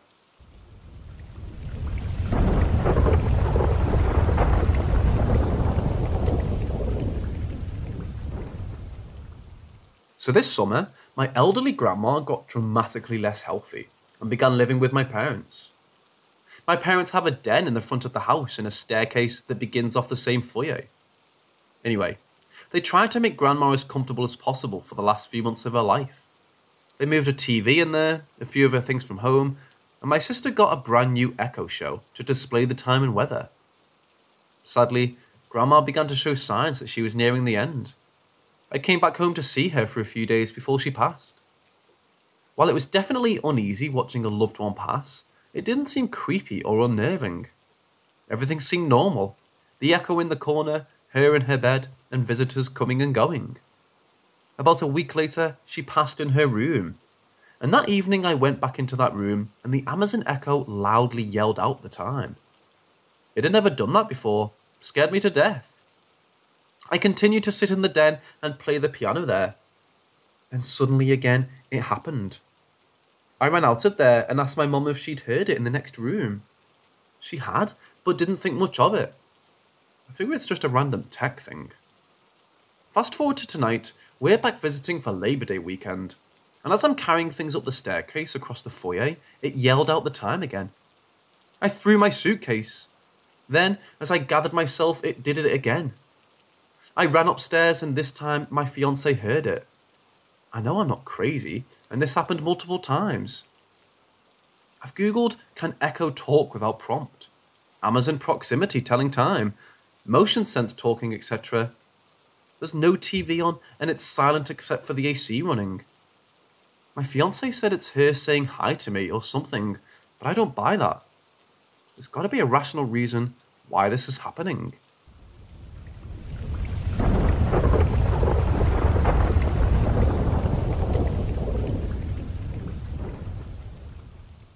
This happened to me in June 2019.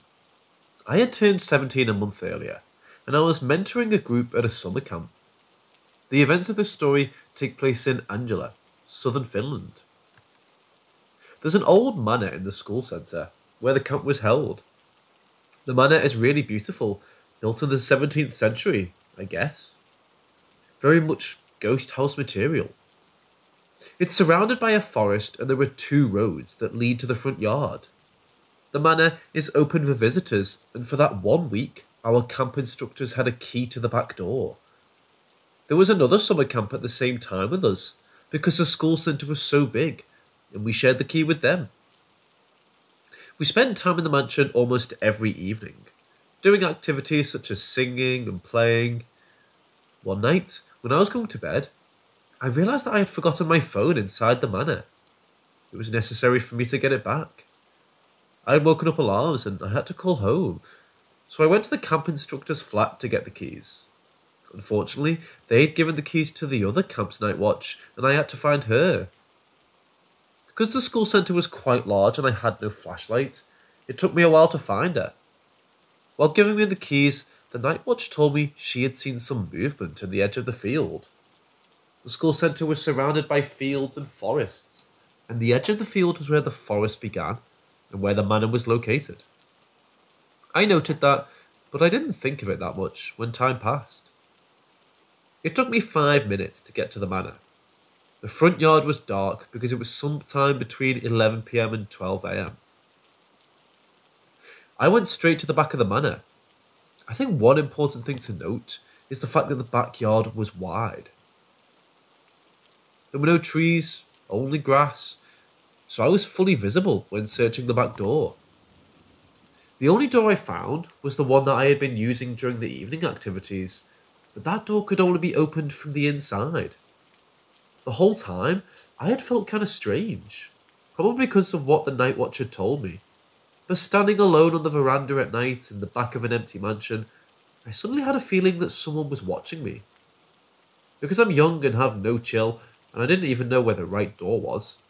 I decided to go to the building where I stayed with other mentors and then have my friend go back to the manor with me.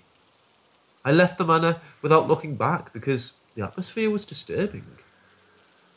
My friend was still awake, so I asked her to come with me to get my phone. On our way to the manor, she told me that the right back door was actually a side door and it was located in the edge of the forest. We hadn't even arrived at the front yard of the manor when we saw it. Three figures moving fast from the back of the manor all the way across the front yard and then disappearing to the forest.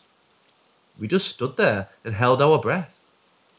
Those guys obviously hadn't seen us because they just vanished. Me and my friend waited for them to come back, but because they didn't show up, we continued our way to the manor.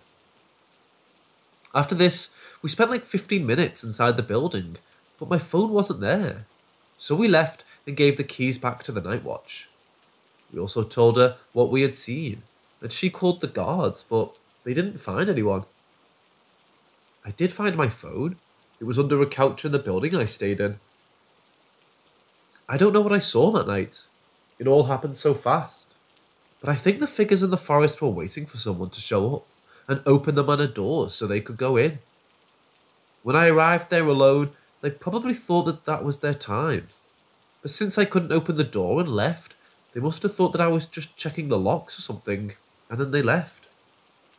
All I can think about now is what could have happened if I had managed to open the doors at first try. The manor is huge, and it's far from any other building on that site.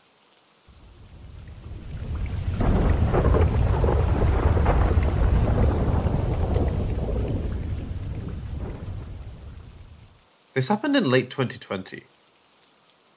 I live in a two bedroom, a hall, and a kitchen apartment in a group of apartment buildings arranged in a rectangle, with all buildings connected to each other by a common terrace. Our apartment is on the fifth floor, the top floor of one of those buildings. Both the bedrooms have a balcony attached to it, separated by a door. Balconies of all apartments face inside the rectangle formed by the buildings. It remains surprisingly quiet, even though the buildings are in a pretty busy part of the city. Both balconies have a clothesline running on its outer side. We keep a small bucket full of cloth pegs and clips. We keep this bucket in one of the balconies. It's usually left in one where we last dried some clothes. We have installed wire nets in both balconies to stop pigeons from entering, as there are many pigeons in the area. They usually destroy plants and sometimes hurt themselves with stuff lying around on balconies. Note that after installing those nets, we never had an incident of a pigeon entering the balcony again, as those nets were tightly fitted with no gaps large enough for any pigeon to enter. Until that day. I live with my parents.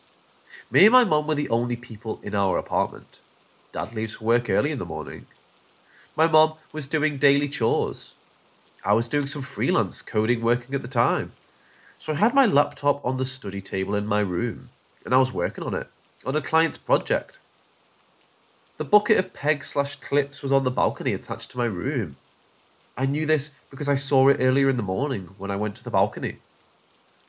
Early in the morning, Mom had hung some clothes to dry on my balcony, so the bucket had some pegs left in it. Sometime before noon, I suddenly started hearing the sound of clothes pegs being dropped on the floor, one by one on the balcony, at a weirdly constant tempo. At first, I thought that it was my mom taking dried clothes off the clothesline. She had the habit of just throwing the pegs on the floor instead of aiming for the bucket when in a hurry. But when she came to my room after she heard the sounds as well, I realised it was something else. Maybe a pigeon might have managed to get through the net. So we both headed towards the balcony door, and as soon as we turned the doorknob, the sound stopped. We very much expected to see a pigeon flapping around, trying to find the gap again. But as we opened the door, we saw there was nothing in the balcony. Just pegs scattered on the floor, and a few left inside the bucket. No pigeon or anything else. Not even the sound of a pigeon flapping and flying away. Just complete silence. My mom said it must be a pigeon, but honestly, I don't know if it was. Firstly, there's no way a pigeon can get past the nets. Also, the level at which the pegs were in the bucket was very low. It would be very hard for a pigeon to reach that deep in a bucket while sitting on the edge. And if it was inside the bucket, it would be impossible for it to fly away silently without us noticing it in the time it did. It should have made at least some noise from flapping its wings or from its paws against the plastic bucket and pegs. If we consider that it was indeed a pigeon, then from the moment we installed the nets in balconies till now, that was the only time a pigeon managed to get past the net, and also managed to leave without us seeing it.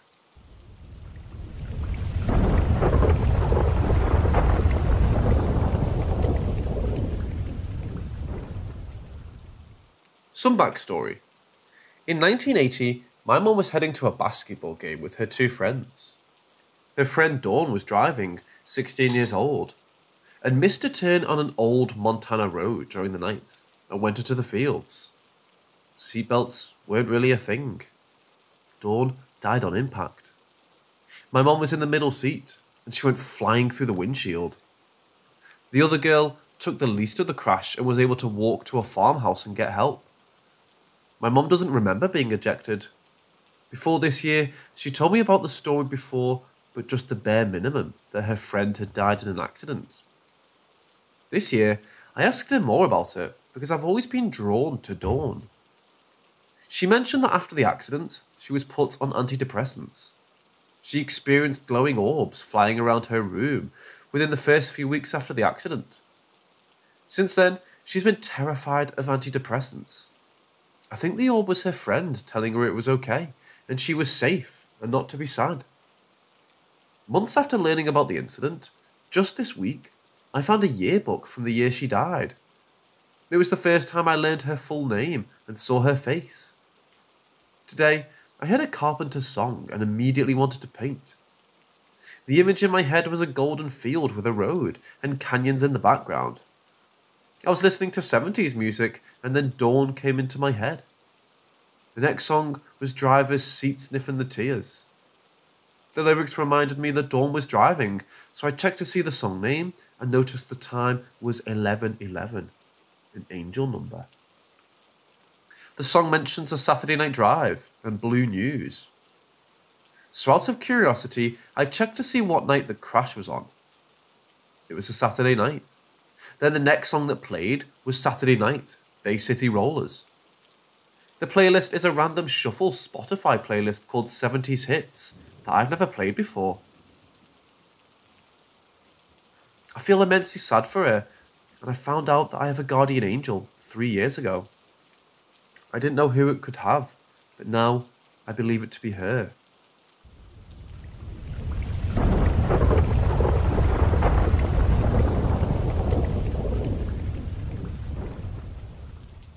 When I was in my early 20s, my parents bought a new house two hours away from where I lived.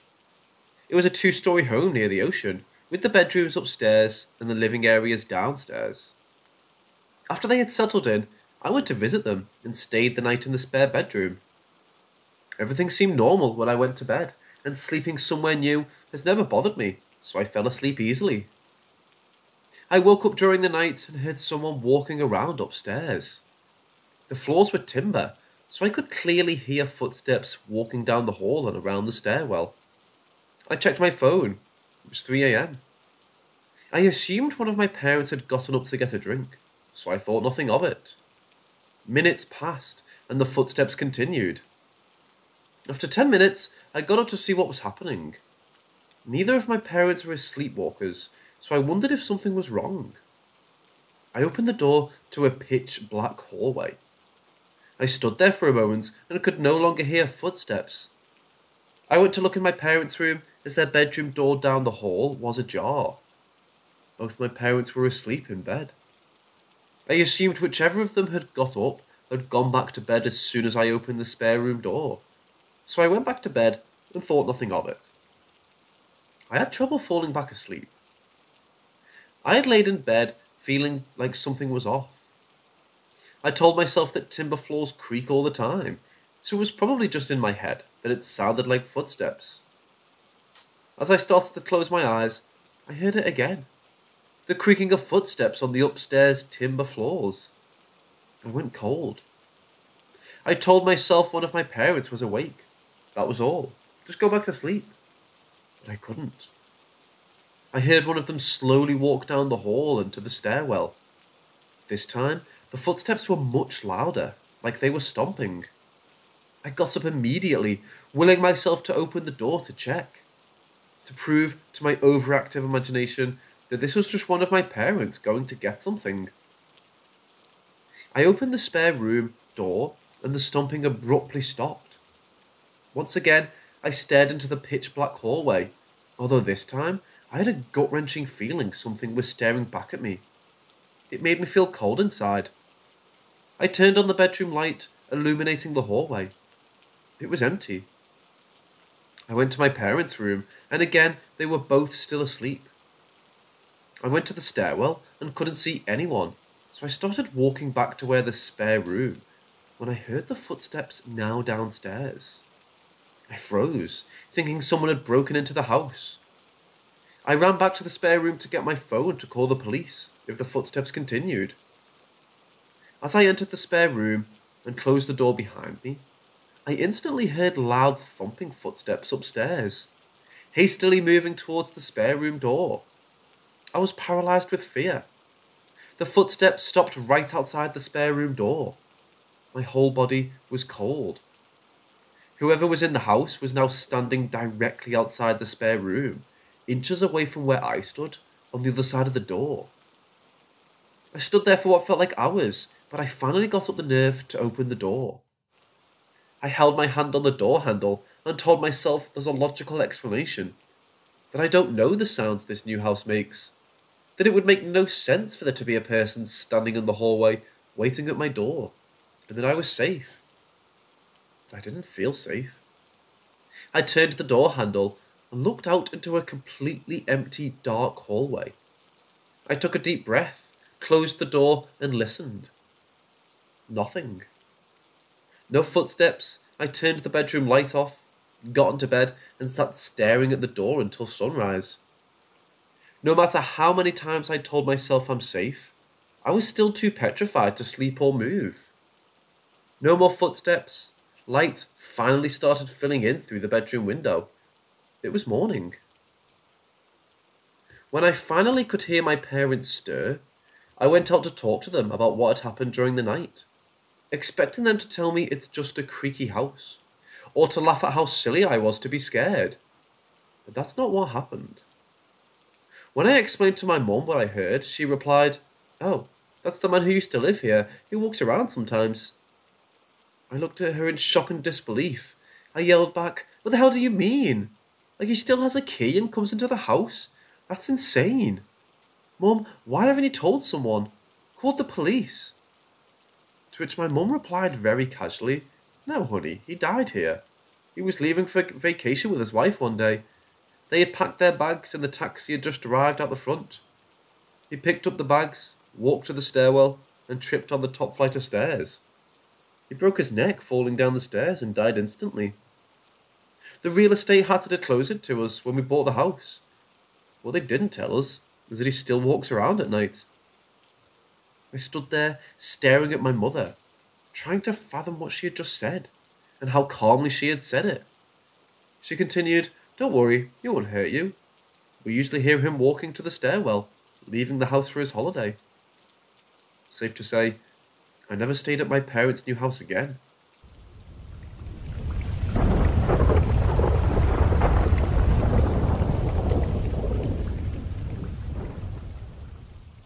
Let's kick it back to around six years ago, and I'm around 11 years old.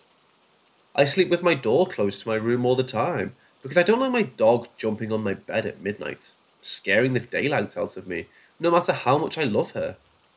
But that month, my door would begin rattling as I laid in bed. Like something was trying to grab onto the knob or push the door open, but just wasn't strong enough or able to get a good enough grip on it, and it would make my door just kind of rattle back and forth. It would go on for a short bit, but it would eventually subside after a max of probably two minutes of rattling, leaving me sitting there thinking, what the hell? I'm trying to force myself back to sleep. This was going on for several nights in a row. I bet there were more happenings that I'd managed to sleep through, but I always remembered waking up to the noise and just staring at the door as it did its thing. So, I eventually got sick of all this nonsense and suspect it's my dog leaning and pressing against my door, trying to get in. I decided it was better to know it's her than be in fear, wondering, and that I was losing sleep. I still get chills just thinking about this, and this story is the biggest reason I still sleep with a nightlight and believe in ghosts. So that night, it's pretty standard bedtime procedure. Brush teeth, make bed, crawl in, nighty night, and I sleep for a few good hours before I suddenly wake up to a voice whispering in the night. Some real cryptic horror movie bullshit. Kind of like the whispering at the end of the Gravity Falls theme song. I just kind of sit there listening to it and start to look around the room and then towards my open door. There he is, standing there in the doorway. A shadow. A silhouette of a very tall man standing there in the doorway that was darker than the darkness around him. Very easy to distinguish just standing outside my room. I, having no idea what's going on, just ask, Dad? And it stops. Dead fucking silence for a good three seconds as me and it are staring each other down. Then it leaves, it slides out of the doorway to the left in a fluidness that isn't natural in any way, shape, or form. And like that, it's gone. It's 3 a.m. Dead silence. Just me, my bed, and the night. Still scares the shit out of me to this day.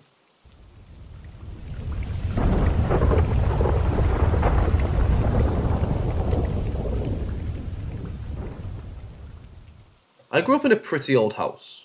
It was about 115 years old at the time. It was a two story Victorian in Minnesota, with a dirt basement that my parents had renovated before I was born. My dad was always a skeptic when it came to ghosts, but while he would stay late renovating it, he would get the overwhelming feeling of being watched. One night while installing new kitchen cabinets, he felt eyes on him again, decided he'd had enough, and said loudly, You're to like it when it's finished. Immediately, he felt calm and didn't have that terrible feeling after that. Once my parents moved into the house, whatever it was seemed to stick around, sometimes causing unexplained noises and such. My mum, being the curious person she is, looked into the history of the house and found a lady named Corin had died in the house. Also, according to rumours, Karen, had been known in the neighbourhood Cat Lady and took in all of the stray cats, and her cause of death was cat scratch fever. I've since done my own research and have found no proof of this. After learning this information, my mum and dad started to, somewhat jokingly, call this ghost Corin, assuming she was the one haunting it. One day, my dad was watching football and had the TV on very loud. My mom yelled jokingly, Turn that TV down or Corin will get you. My dad laughed and said, She can't do anything. And at that moment, the TV turned off and there was a knock at the door. My dad was stunned and jumped up to open the door, but nobody was there. Keep in mind, the front door is right next to the TV in the living room, and the huge wraparound porch is also a good six feet off the ground. Whoever knocked would have had to go down steps and down the driveway, all of which you can see from the door, basically making it impossible. Right as my dad, confused, shut the door, the TV came back on. My mom said he silently walked over to the couch, sat down, and lowered the volume. When I was a little bit older, my grandparents moved into the downstairs bedroom. One night, my grandmother woke up to someone touching her foot. She looked up to see a woman dressed in a white nightgown walking away from the bed, going out the door and up the stairs, while the rest of the family was still sleeping. My whole family thinks this was Corin. Another experience happened to me when I was five, but it wasn't the cat lady. Instead, I woke up to a man standing in my doorway. I stared at him for a second and I was so terrified I couldn't speak. He looked like he had a bell in his hand, but I still don't know for sure. It was really weird. I called for my dad finally, and I watched him run into my room and go right through the intruder. I never saw that ghost again, and there wasn't a whole lot of notable activity from the cat lady other than knocks, footsteps, and other boring stuff. We moved out of that house when I was about six, so I don't have any recent stories. However, in 2011, my family moved to Maryland, where my parents' families are. One night, we spent the night at my uncle's house. His house is pretty old, but he also collects antiques, so there's always a creepy feeling to it. Not bad, not good, just creepy. My parents were sleeping in the guest bedroom upstairs while my sister, who was 11 at the time, and I had to sleep in the living room downstairs. From the living room, we could see the bottom of the stairs and across to the library, which always had a creepy vibe. and right around the corner was the kitchen. It was around midnight, and my sister and I were half awake, when suddenly we heard noises in the kitchen. This person was moving pots around, opening cabinets and drawers, walking around as if they were making a three course dinner. But there was one problem the lights were off everywhere in the house. We would have seen the lights in the kitchen if they were on. We would have heard someone coming down the stairs, but it was completely dark. I whispered to my sister, Do you hear that? And she just said softly, Yes. And that was it. We both just kind of tried to sleep as if nothing happened. I really don't know why we both did that. Thinking back on it is really terrifying. It went on for a good 20 minutes of cabinets opening and closing, pots and pans rattling, and footsteps moving around. It stopped eventually, and we slept through the night without any more events. In the morning, I woke my sister up and asked her if she remembered anything. She said she did, and relayed the events. I had to make sure it wasn't a dream. And we still both remember this happening. My grandmother lived with my uncle for a bit after my grandfather died, and she would constantly hear footsteps going up and down the stairs and noises in the kitchen. So it's a pretty active house. Jump to 2013, my parents got divorced, so I lived with my mom most of the time. She rented a townhouse that was fairly new, nothing creepy about it. But I could feel an energy in my bedroom. It wasn't evil, I could just tell something was there. One morning, around 5am, I woke up and saw a shadow of a man standing over me. He had a top hat on, and I could tell he was staring at me. I blinked a couple of times and he was still there. I covered my face with a blanket and waited a while. When I peeked out again, he wasn't there. I got out of bed and ran to my mom's room. I told her what I had seen, and she didn't even look surprised. She said that the owner of the house's sick husband had died in my room. She hadn't told me because she didn't want to freak me or my sister out, who I shared the room with. My sister never saw anything in that room, and that was the only time I saw him. I still don't know what the top hat was about. So, yeah, those are the most exciting stories in my family. Others include my other uncle's house being haunted by the KIA US soldier that grew up there, and my other uncle I have three, and they all have haunted houses, whose ghost liked to sing to my cousin when she was a baby and drag furniture across the floor.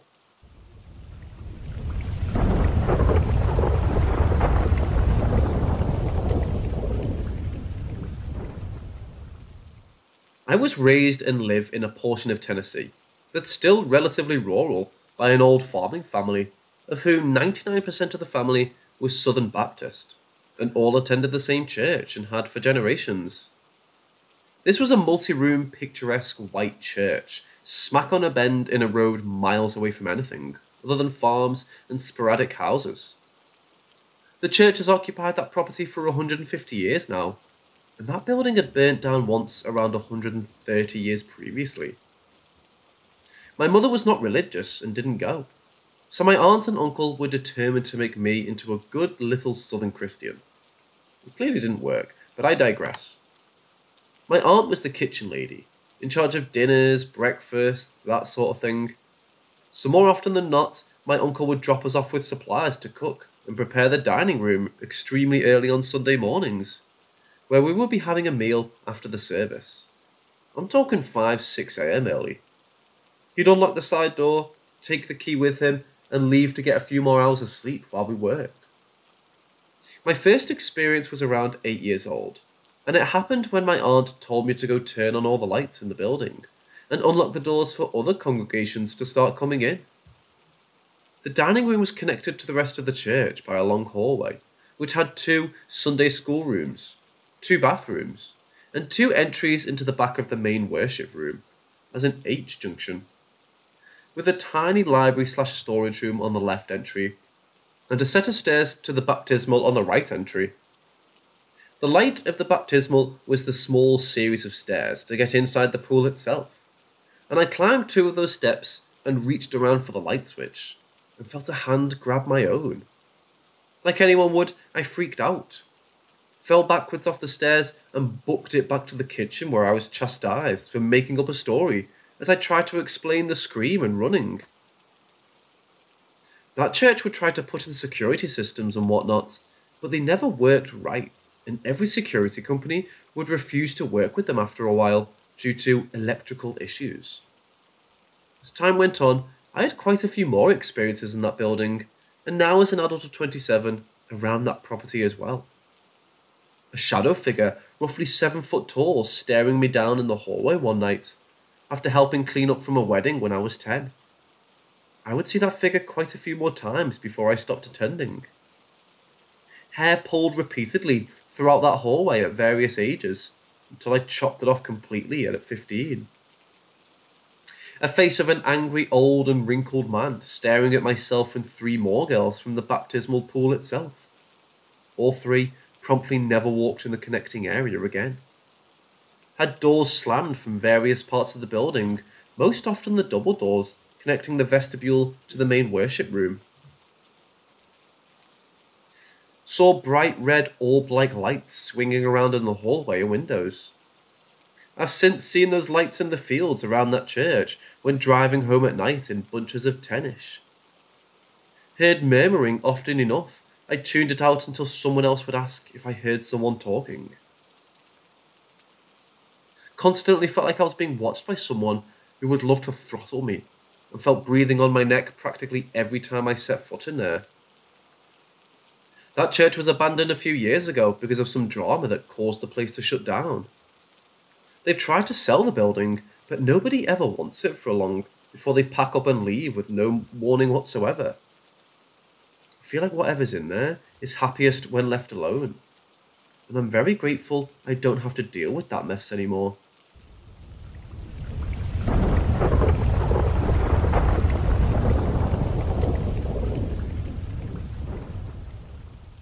In the fall of 98, I started college.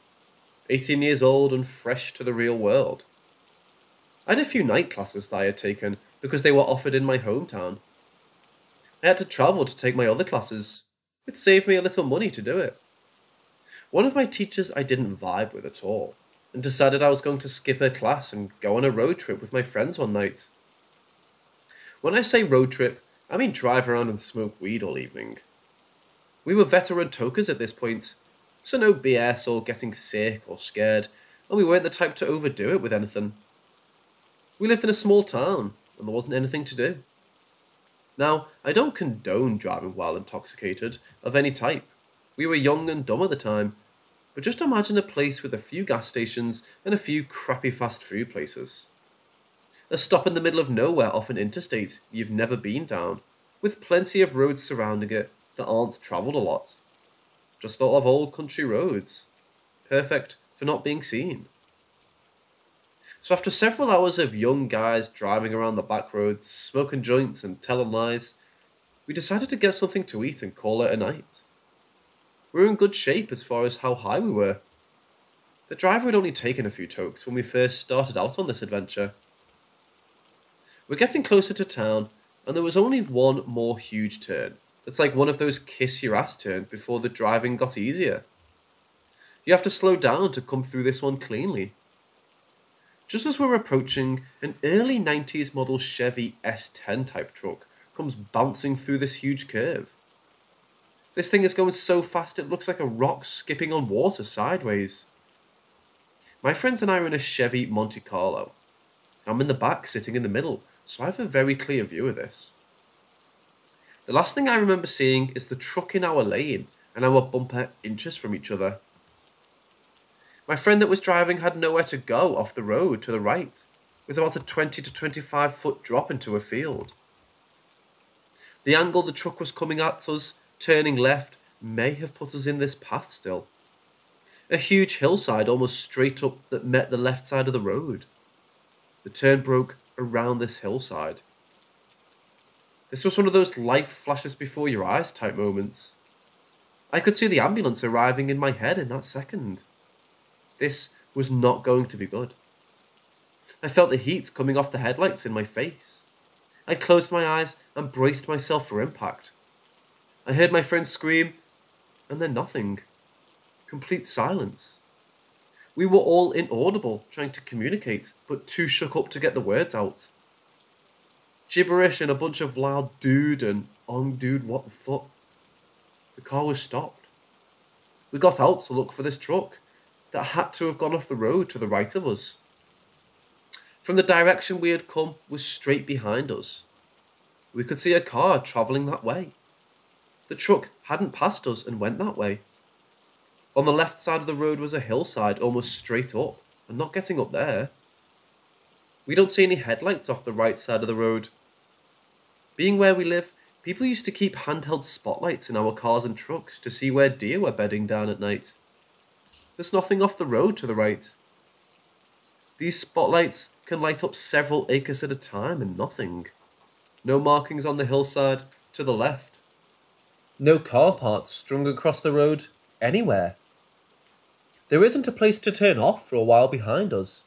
Just a straight road for about half a mile before it starts winding again. It's several minutes before you could turn off into the next holler. So we get back in the car and go as fast as we can, driving to catch up with this truck. At this point, it's for our own sanity to find where it went. We travelled to the end of that road and never saw another vehicle. No one passed us or us catching up to the truck. There were several small houses we passed and no truck in the driveway. We turned up the only holler on the road, two small houses, and no truck in the driveway. We came to the conclusion that, as crazy as it sounds, it was either a ghost truck or some sort of divine intervention. Because this truck went through us and disappeared. There's no way that it missed us. My friend in the passenger seat claims to this day his eyes were open the whole time and says it disappeared right after we should have felt the impact.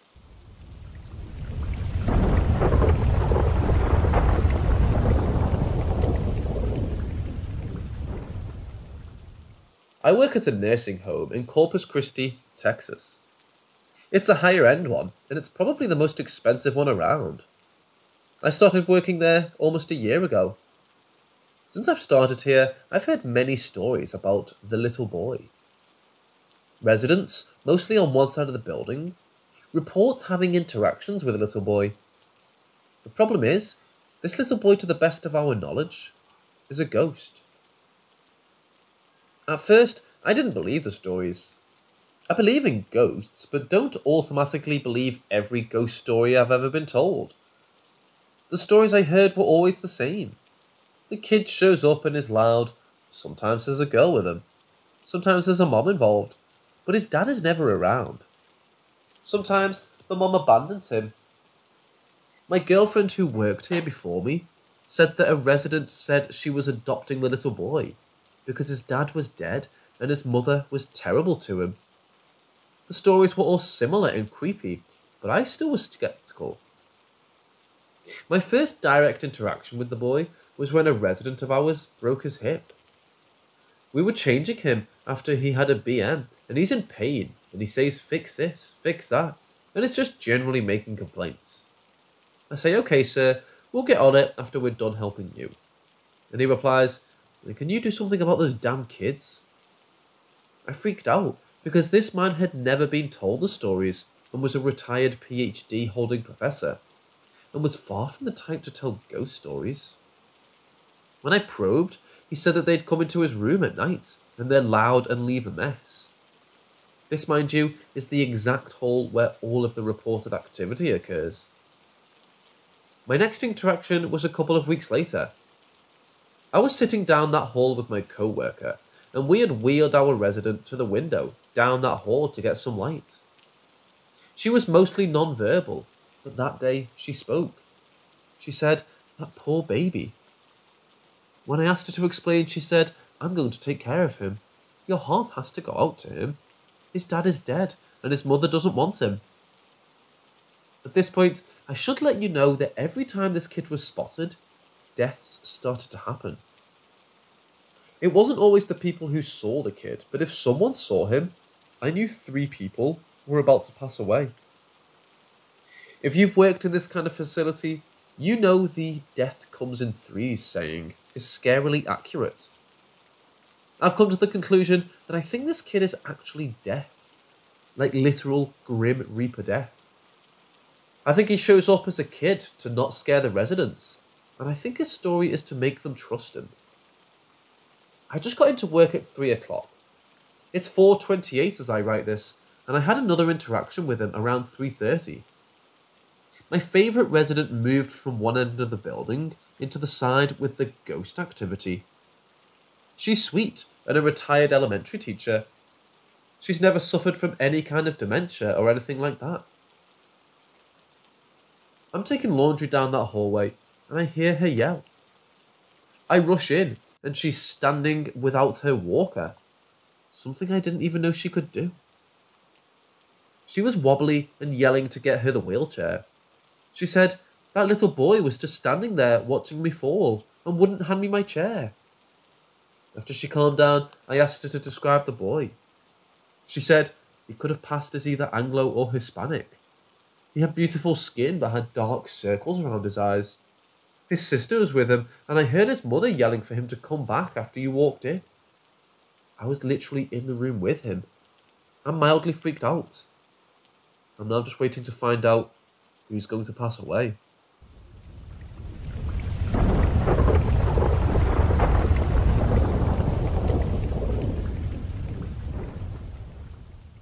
When I was younger, I'm talking from the ages of 0 to 6, my family and I lived in this house in Creston, Iowa. I'll never forget that place. It was two stories, the attic was technically three bedrooms, and mine was the one up the stairs. Go up the stairs through my brother's bedroom, hang a left through the parents' room, and to the back. Picture a bedroom with slanted walls and two windows in the back. That was my room. A bedroom through a bedroom to a bedroom. The layout of this place made zero sense. It also had a basement that, from my very vague memory, never stopped flooding. Not sure what that has to do with the story, but I'd like to know what happened to this place. I remember a little road that, if you followed it around the back, you'd go under this tunnel bridge that supported trains. If you'd look out the side window from the kitchen, you can see the public baseball fields. I'm 32 now, and my brother is 29. And we still have dreams about this nightmare for children. Every night when I would go to sleep, I would see these glowing eyes in my windows. Two sets of them on occasion, like it brought its friggin' buddy to come peep on this five year old in the second story window. I would tell Mom all the time. To this day, she thinks I made it up. She gave me the typical mom response and told me to stand up to my fears. I did. Once. That night I yelled, Go away! And the body that the eyes were attached to started to frantically try to open the window. I had them locked, of course. Wouldn't go to bed without me locked. As soon as the growling and rattling started, I gunned it to my brother's room, and the little guy was floating out of his crib. I go to my mom's bed while having one of those throat dry, can't scream moments, trying to push her awake. My father comes walking up the stairs, and my brother falls back in his crib. Dad hears him screaming, and me standing there crying and reaching for him, and he puts us both back to sleep. I didn't sleep. About a week went by that I didn't sleep, and Mom invited my grandparents to stay the night.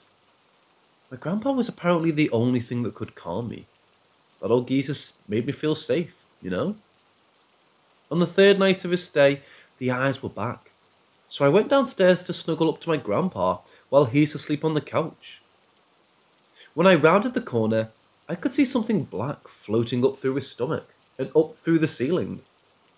He's gasping for air and begging something above his head to make it stop. I was so freaked I froze. The next morning, I asked him about it. He said an angel was patting his head, telling him it was going to be okay. It's almost over. My brother was three and I was five. My grandparents are all past now. There's no way we should still be seeing this shit in our sleep by the time we're 30. I want to know if that place is still standing, and if anything happened to anyone else who stayed there. I'd just like to know if it wasn't just us.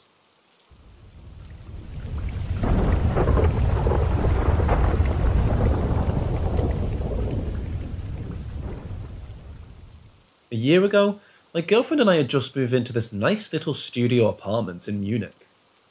The building had a twin right in front, separated by a garden about 15 metres wide. Our apartment's balcony looked down into this garden. On one end of the garden was a street through which a team went by, and on the other end was a third apartment building. At the corner of the building in front and the building to the side, there was a small entranceway from a second street and into the garden.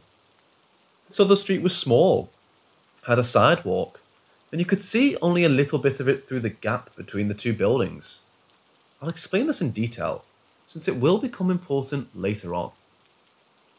A couple of nights after moving in, I was awoken at up around 3 am by a sound that can only be described as a stack of metallic plates banging against one another, or as if someone had put a bunch of cutlery in a bag and shaked it in a very rhythmic fashion. I thought, that's odd, and went back to sleep. During the next couple of weeks, this kept happening almost every night, at the exact same hour. I noticed also that the sound seemed to cross the garden from one end to the other. It faded in, became intense, almost as if it was right in front of my apartment, and then faded out the other end. Eventually, my girlfriend heard it one night as she was getting some water and became scared shitless too. After some time, my curiosity became bigger than my patience. At this point, I was even waking up on my own around that hour, sometimes even a few seconds before the sound went by. One night, I get up, go into the balcony, and wait. A minute later or so, I hear it. I look down into the garden right as it's going by, and I see nothing. Now, I've never believed in the paranormal before. I'm your run of the mill rational dude, but this got me baffled. I couldn't even come up with one single logical explanation. The sound seemed to come out of nowhere. I then jump over into the supernatural, and the only possible explanation I could come up with is that this had to be a ghost of some medieval knight or soldier or some shit. Full clad in armour and all. I mean, what the hell else could produce a sound like that? The next night, I wake up again and wait on the balcony, ready to see the best ghost story unfold before my eyes. Again, I see nothing. I decided to let it rest and just get used to it. But it kept happening until my patience was again gone. I go out onto the balcony another night, but this time I pay attention to the whole area as the sound is going by. All the balconies, the roof of the buildings, and then I see it. Through the gap between the buildings in the corner of the garden, I see, for a split second, this dude in a black winter jacket pulling a small cart behind him. I smile to myself and think, son of a bitch, and go back to sleep like a baby.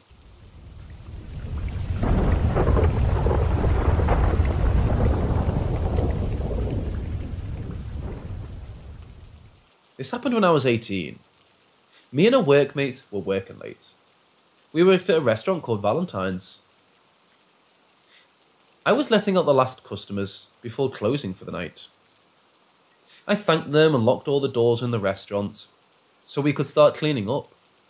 It was raining heavily and it was stormy weather, which isn't out of the ordinary for New Zealand, but it was crazy and creeped us workers out because the power and lights kept flicking on and off. Me and my mate were the last workers to finish up. My mate, being the manager, had told everyone to finish up since we didn't have a lot to do, but asked if one of us could stay. I offered to stay. We were having a good old laugh and chat, and I would say we'd been cleaning for about an hour until we heard a massive bang in the reception area. It sounded like the door. A guy came running in, asking if he could use the bathroom, and he looked desperate, soaked to the bone and sad looking like he'd been crying. So me and my mate said, okay, sure. I thought to myself, I'm sure I locked the door. Maybe the crazy wind blew it open. I went and shut the door, but didn't lock it, so the guy who ran in could get out. Me and my mate decided to have a break, so we sat down, started eating, and talked for a good 30 minutes. And then we both noticed that the guy that wanted to use the bathroom hadn't come out yet. My mate went to check on him and said he wasn't in the toilet. So we kind of assumed he ducked out without us knowing. So I went back to the door, left unlocked, and locked it. Within those few minutes I was walking back to the table to finish my meal, the door smashed open again and the same guy came in asking the same thing. I was kind of creeped out. I turned to my mate who was freaked out more than I was, and my friend was signaling me to look into the tinted windows that were in front of me. The lights started flickering, on and off again, which made it hard for me to figure out what my friend was trying to signal me to do. I looked behind me and the guy was still standing there.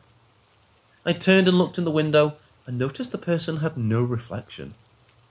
My heart was racing and I kept my eyes on my friend. We both said he could use the toilet. My friend is psychic or has some gift. Said the third time around isn't a good sign, so he told me to leave everything and we locked the restaurant immediately. Nothing ever happened after that, but it was creepy. It's probably the only intense experience I've had. Later on, we discovered that the theme park that it's built across the road from, the restaurants also experienced things as well. They've had more bad ones where workers would end up sick. Some say it's because it's built on an old cemetery. I'm 30 right now, and I still remember it as if it happened yesterday.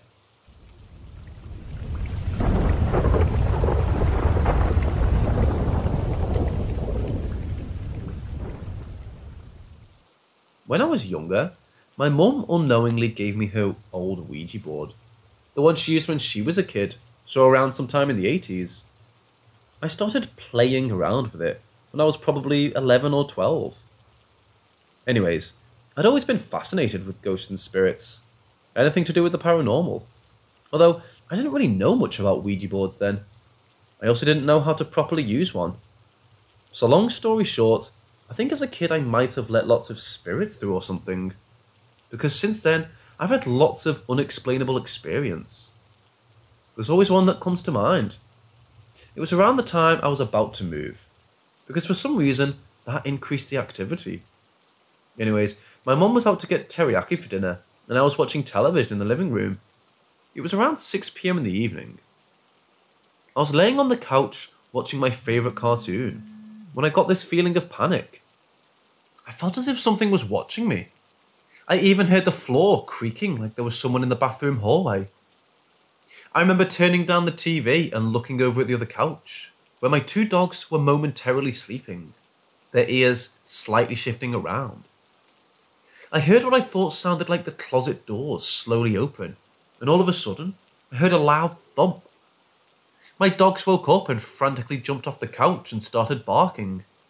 They started running from the front door like someone was there. I quickly sat up and turned around. I was expecting to be met with something or someone, and all I see is my Ouija board, laying right beside the rug in the walkway of the living room, which was about 12 to 15 feet away from the closet, by the bathroom. I remember picking up the board shortly after and putting it back in the closet. Overall, it was pretty fucking scary and left me visibly shaken to my mother. After that experience, which I believe was in 2015 or 16, I learned how to properly use a Ouija board.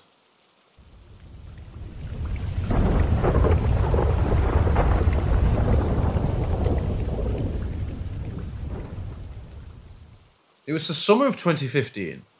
I was about to move out of the city and into the mountains with my mom. It was late at night, and I was getting ready for bed. The condo we lived in would make me feel very unsafe at night, specifically the downstairs, which is where the two bedrooms were. I'd almost always have these vivid night terrors. In my night terrors, I'd be visited by a shadow man, dressed in all black, who would slowly chase me around the woods of my house, and he'd eventually kill me in these very unpleasant and painful ways. He would almost always come out of the small room behind the washer and dryer in the hallway. The room scared me shitless. It was a small, dark cement room under the stairs. I had no idea what it was there for or why. It was sad we were moving, but I was glad to be getting the fuck out. I decided to sleep on the couch on my last night in my old house. mainly because my bed was already in a moving truck. I remember putting my pajamas on and heading upstairs with the worst feeling that someone was right behind me. I ran up the stairs. I flopped onto the couch and wrapped the semi see through sheet over my body. It almost felt like my heart was about to beat out of my chest. I was petrified. I heard soft and slow footsteps make their way to me. I remember crying and trying to convince myself it was my dog. Shortly after, I saw a hand print push into the sheet cocoon I had wrapped myself in. I remember telling it to go away and closing my eyes and continuing to cry until I passed out. Still to this day, weird things happen in my home. I've seen the same shadow apparition of a tall man, about six foot seven, in what looks to be a Western style hat, with what kind of looks like a duster. He'd stand or walk outside my room in the hallway and whistle eerily and off key. I've even once had two friends who I was FaceTiming hear the apparition slash shadow man walking around my hallway whistling. Sometimes he would even mess with my electricity or electronics. Hell, I had two perfectly working iPhones suddenly start acting crazy and eventually end up breaking. One of which I had a 15 second video where I caught the whistling outside my window. I even remember frantically sending it to one of my friends who I had previously told about the haunting slash weird experiences. Sometimes I'd also hear scratching in my walls, yet there's no room for anyone. There's no rodents either. Recently I've gotten wicker, so I've been burning protective herbs, incense and such. Thankfully, the activity has since significantly died down but every so often, I still hear whistling in the woods, in my front yard or right outside my window. Even my mom and my animals hear it. I'm not quite sure what this is. A spirit? A demon? If I'm being completely transparent, I got into the occult when I was young, around 12 to be specific.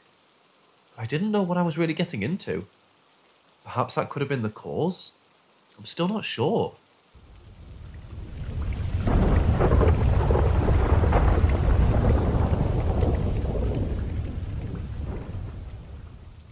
Couple of years ago, I had my first paranormal encounter, and the only one I remember that I'm not that skeptical about. Again, I don't remember the exact details because I was very young at the time. All I remember is me going out of my room in the middle of the night, or in the very early morning. It was very dark, so it's one of the two, and standing in our hallway. I live in a three story building, counting the basement and all our rooms, my parents' and brother's rooms, are upstairs. So we have this little space like hallway in the middle of our doors to our rooms. So no matter what room you're in, you can open the doors and look down the stairs. I was standing in that hallway like space, and I looked down the stairs and I saw what I remember looking like my dad at the top of the stairs. The position he was in was a crawling like position, and I only remember seeing the top of his torso and his head, of course. Now, the weird thing about it was that he was glowing white. He was white like a piece of paper, and the lines on his body that made out the nose, eyes, and hair was a blue like colour. I just stared at him and he stared back. Nobody said anything, not even me. I just stared. I think I stared for 15 to 20 seconds before going on with my business. I don't remember what I was doing. Maybe I was going to the toilet or waking up my brother. I don't remember. But I do remember checking the stairs while going back and he was gone.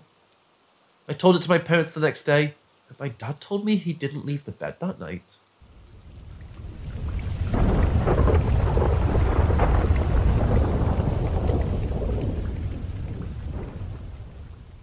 I swear I've been a paranormal magnet since I exited the womb. Let me tell you, I have an entire note section in my phone of experiences that I can remember, and because I have so many, it's difficult to really scare me anymore. Part of this story freaks me out a lot. It started in 2017. The activity in the house started to pick up more than usual that year, so seeing and hearing things just became a part of my day, and I never thought twice about any of it. One night in September, I went to bed early because I felt sick and had plans the next day. Now, I'm not someone who was blessed with the ability to fall asleep instantly. So after about 20 minutes of laying with my eyes closed, I felt the corner of my bed dip down. I felt the dip move along the edge of my bed, up to the, my utter back, where it stopped for a second. Then it went back to the door. I was a teenager with a horrendously messy room, so I just thought it was one of my parents coming in to get something I borrowed. And they were using the bed to not trip over anything. I turned my focus back to sleeping and felt the movement again. Still convinced it was a parent struggling to find something, I laid there. But after the third time, I realised. I never heard my door open. I immediately sat up to find myself alone in my room, with the door obviously still closed. I was freaked out but felt like shit, so I laid back down and tried to ignore it when it started moving again. Eventually, I finally fell asleep. For the next year or so, at least once a week, I would feel something jump onto the end of my bed and walk around a little before laying across my legs. I could even feel the heartbeat of whatever it was. It would only happen while I was trying to fall asleep, but later it started walking around even if I was wide awake. It would only stop if I turned to look at it. With the earlier behaviour and my mom telling me she once heard scratching from the inside of my door at 6am one morning, we assumed it was a dog. My childhood dog passed away long ago, so I didn't know who it could be. But it became an almost nightly routine that I soon found comfort in. However, one night, I woke up to the feeling of a full human laying next to me. The whole side of my bed was dipped down as if someone was there. My bed is only a twin bed, so trust me, you feel anything and everything. But I wasn't scared at all, and just went back to sleep. A year later, we moved to a new house. And this is where my comfort of a ghost dog was replaced with confusion. It became a nightly thing. What used to be a bit of walking, then laying down and sleeping with me, turned into constant moving. It was no longer the feeling of a larger dog laying across my calves. It was the feeling of my entire legs and lower back being pushed into the bed. Some nights I feel the one dog walking, but more often than not, I now feel multiple smaller things walking around at the same time. Or I feel a, let's say human for the sake of my sanity. Just imagine someone standing at the end of your bed, putting their hands on either side of your body, and climbing onto the bed on top of you. Yeah, don't know what the fuck that's about, but okay. My mom told me I should try recording it one night to see if I could see the bed moving. Since I'm the only one who experiences this, so about a year and a half ago, while I was watching YouTube on my iPad before bed, I felt it come up. I was laying on my stomach. Without turning around, I grabbed my phone next to me and it was still walking. As soon as I opened the camera, it stopped. So I waited again, and when I felt it, I hit record and pointed the camera at the end of my bed. It walked for a little bit and stopped again. So I tried to watch the video, but I had so many blankets you couldn't see anything. I was going to try again, but it stopped for the night. I didn't sleep for three days starting that night. I was waking up every 45 minutes, panicked. And I mean like heavy breathing, almost crying panicked. I feared falling asleep. Every time I woke up, I would turn on my flashlight and stare at my closet. Yeah, closets are creepy, but I was terrified of it and had no idea why. So the next two nights I stayed up as late as I could so the little bit of sleep I did get would be during the lighter hours of the early morning. The fourth night I was completely fine. Slept perfectly fine and had no worries about the closet. I was alone in my bed those three nights. I've slept with the lights on almost every night since then. Aside from the dog turning into a human and the multiple smaller things, this was what really made me think okay, so maybe the dog assumption was correct. Two weeks later, I woke up in the middle of the night. When I was a kid, I had a weird thing where at least once every couple of weeks, I'd wake up in the middle of the night, hallucinate bugs everywhere around me, and throw myself out of bed. This was my first time doing it again in years. That morning, I woke up with a giant bruise on my inner leg. I know I didn't hit anything that night because there was literally nothing for me to hit besides the door. This bruise was immediately bright purple and blue Hurt so bad to even lightly touch and took a good two plus weeks to go away. Like there's no way I wouldn't have felt it. Sometime after that, I can't remember exactly when, I was trying to sleep, and whatever it was would not sit still, and I was getting annoyed. So I said something like, Yeah, alright, buddy, I'm gonna need you to sit down or fuck off. I wanna sleep. And it stopped for a second. Then there was a loud growl directly into my ear. For some reason, I wasn't scared, so I just laughed at it and went to sleep. Other than the aggressive nightly walking around my bed, the most recent thing was a couple months ago, where I was sleeping, but I woke up and couldn't open my eyes or move. I felt like whatever it was in its human form pinning me down. After a few seconds of trying to violently move my body, I finally moved and could open my eyes, so that was fun. I have so many other stories, but they're all just like, haha, today this happened. While this is an ongoing, more interesting thing, I guess. But maybe I'll share more in the future.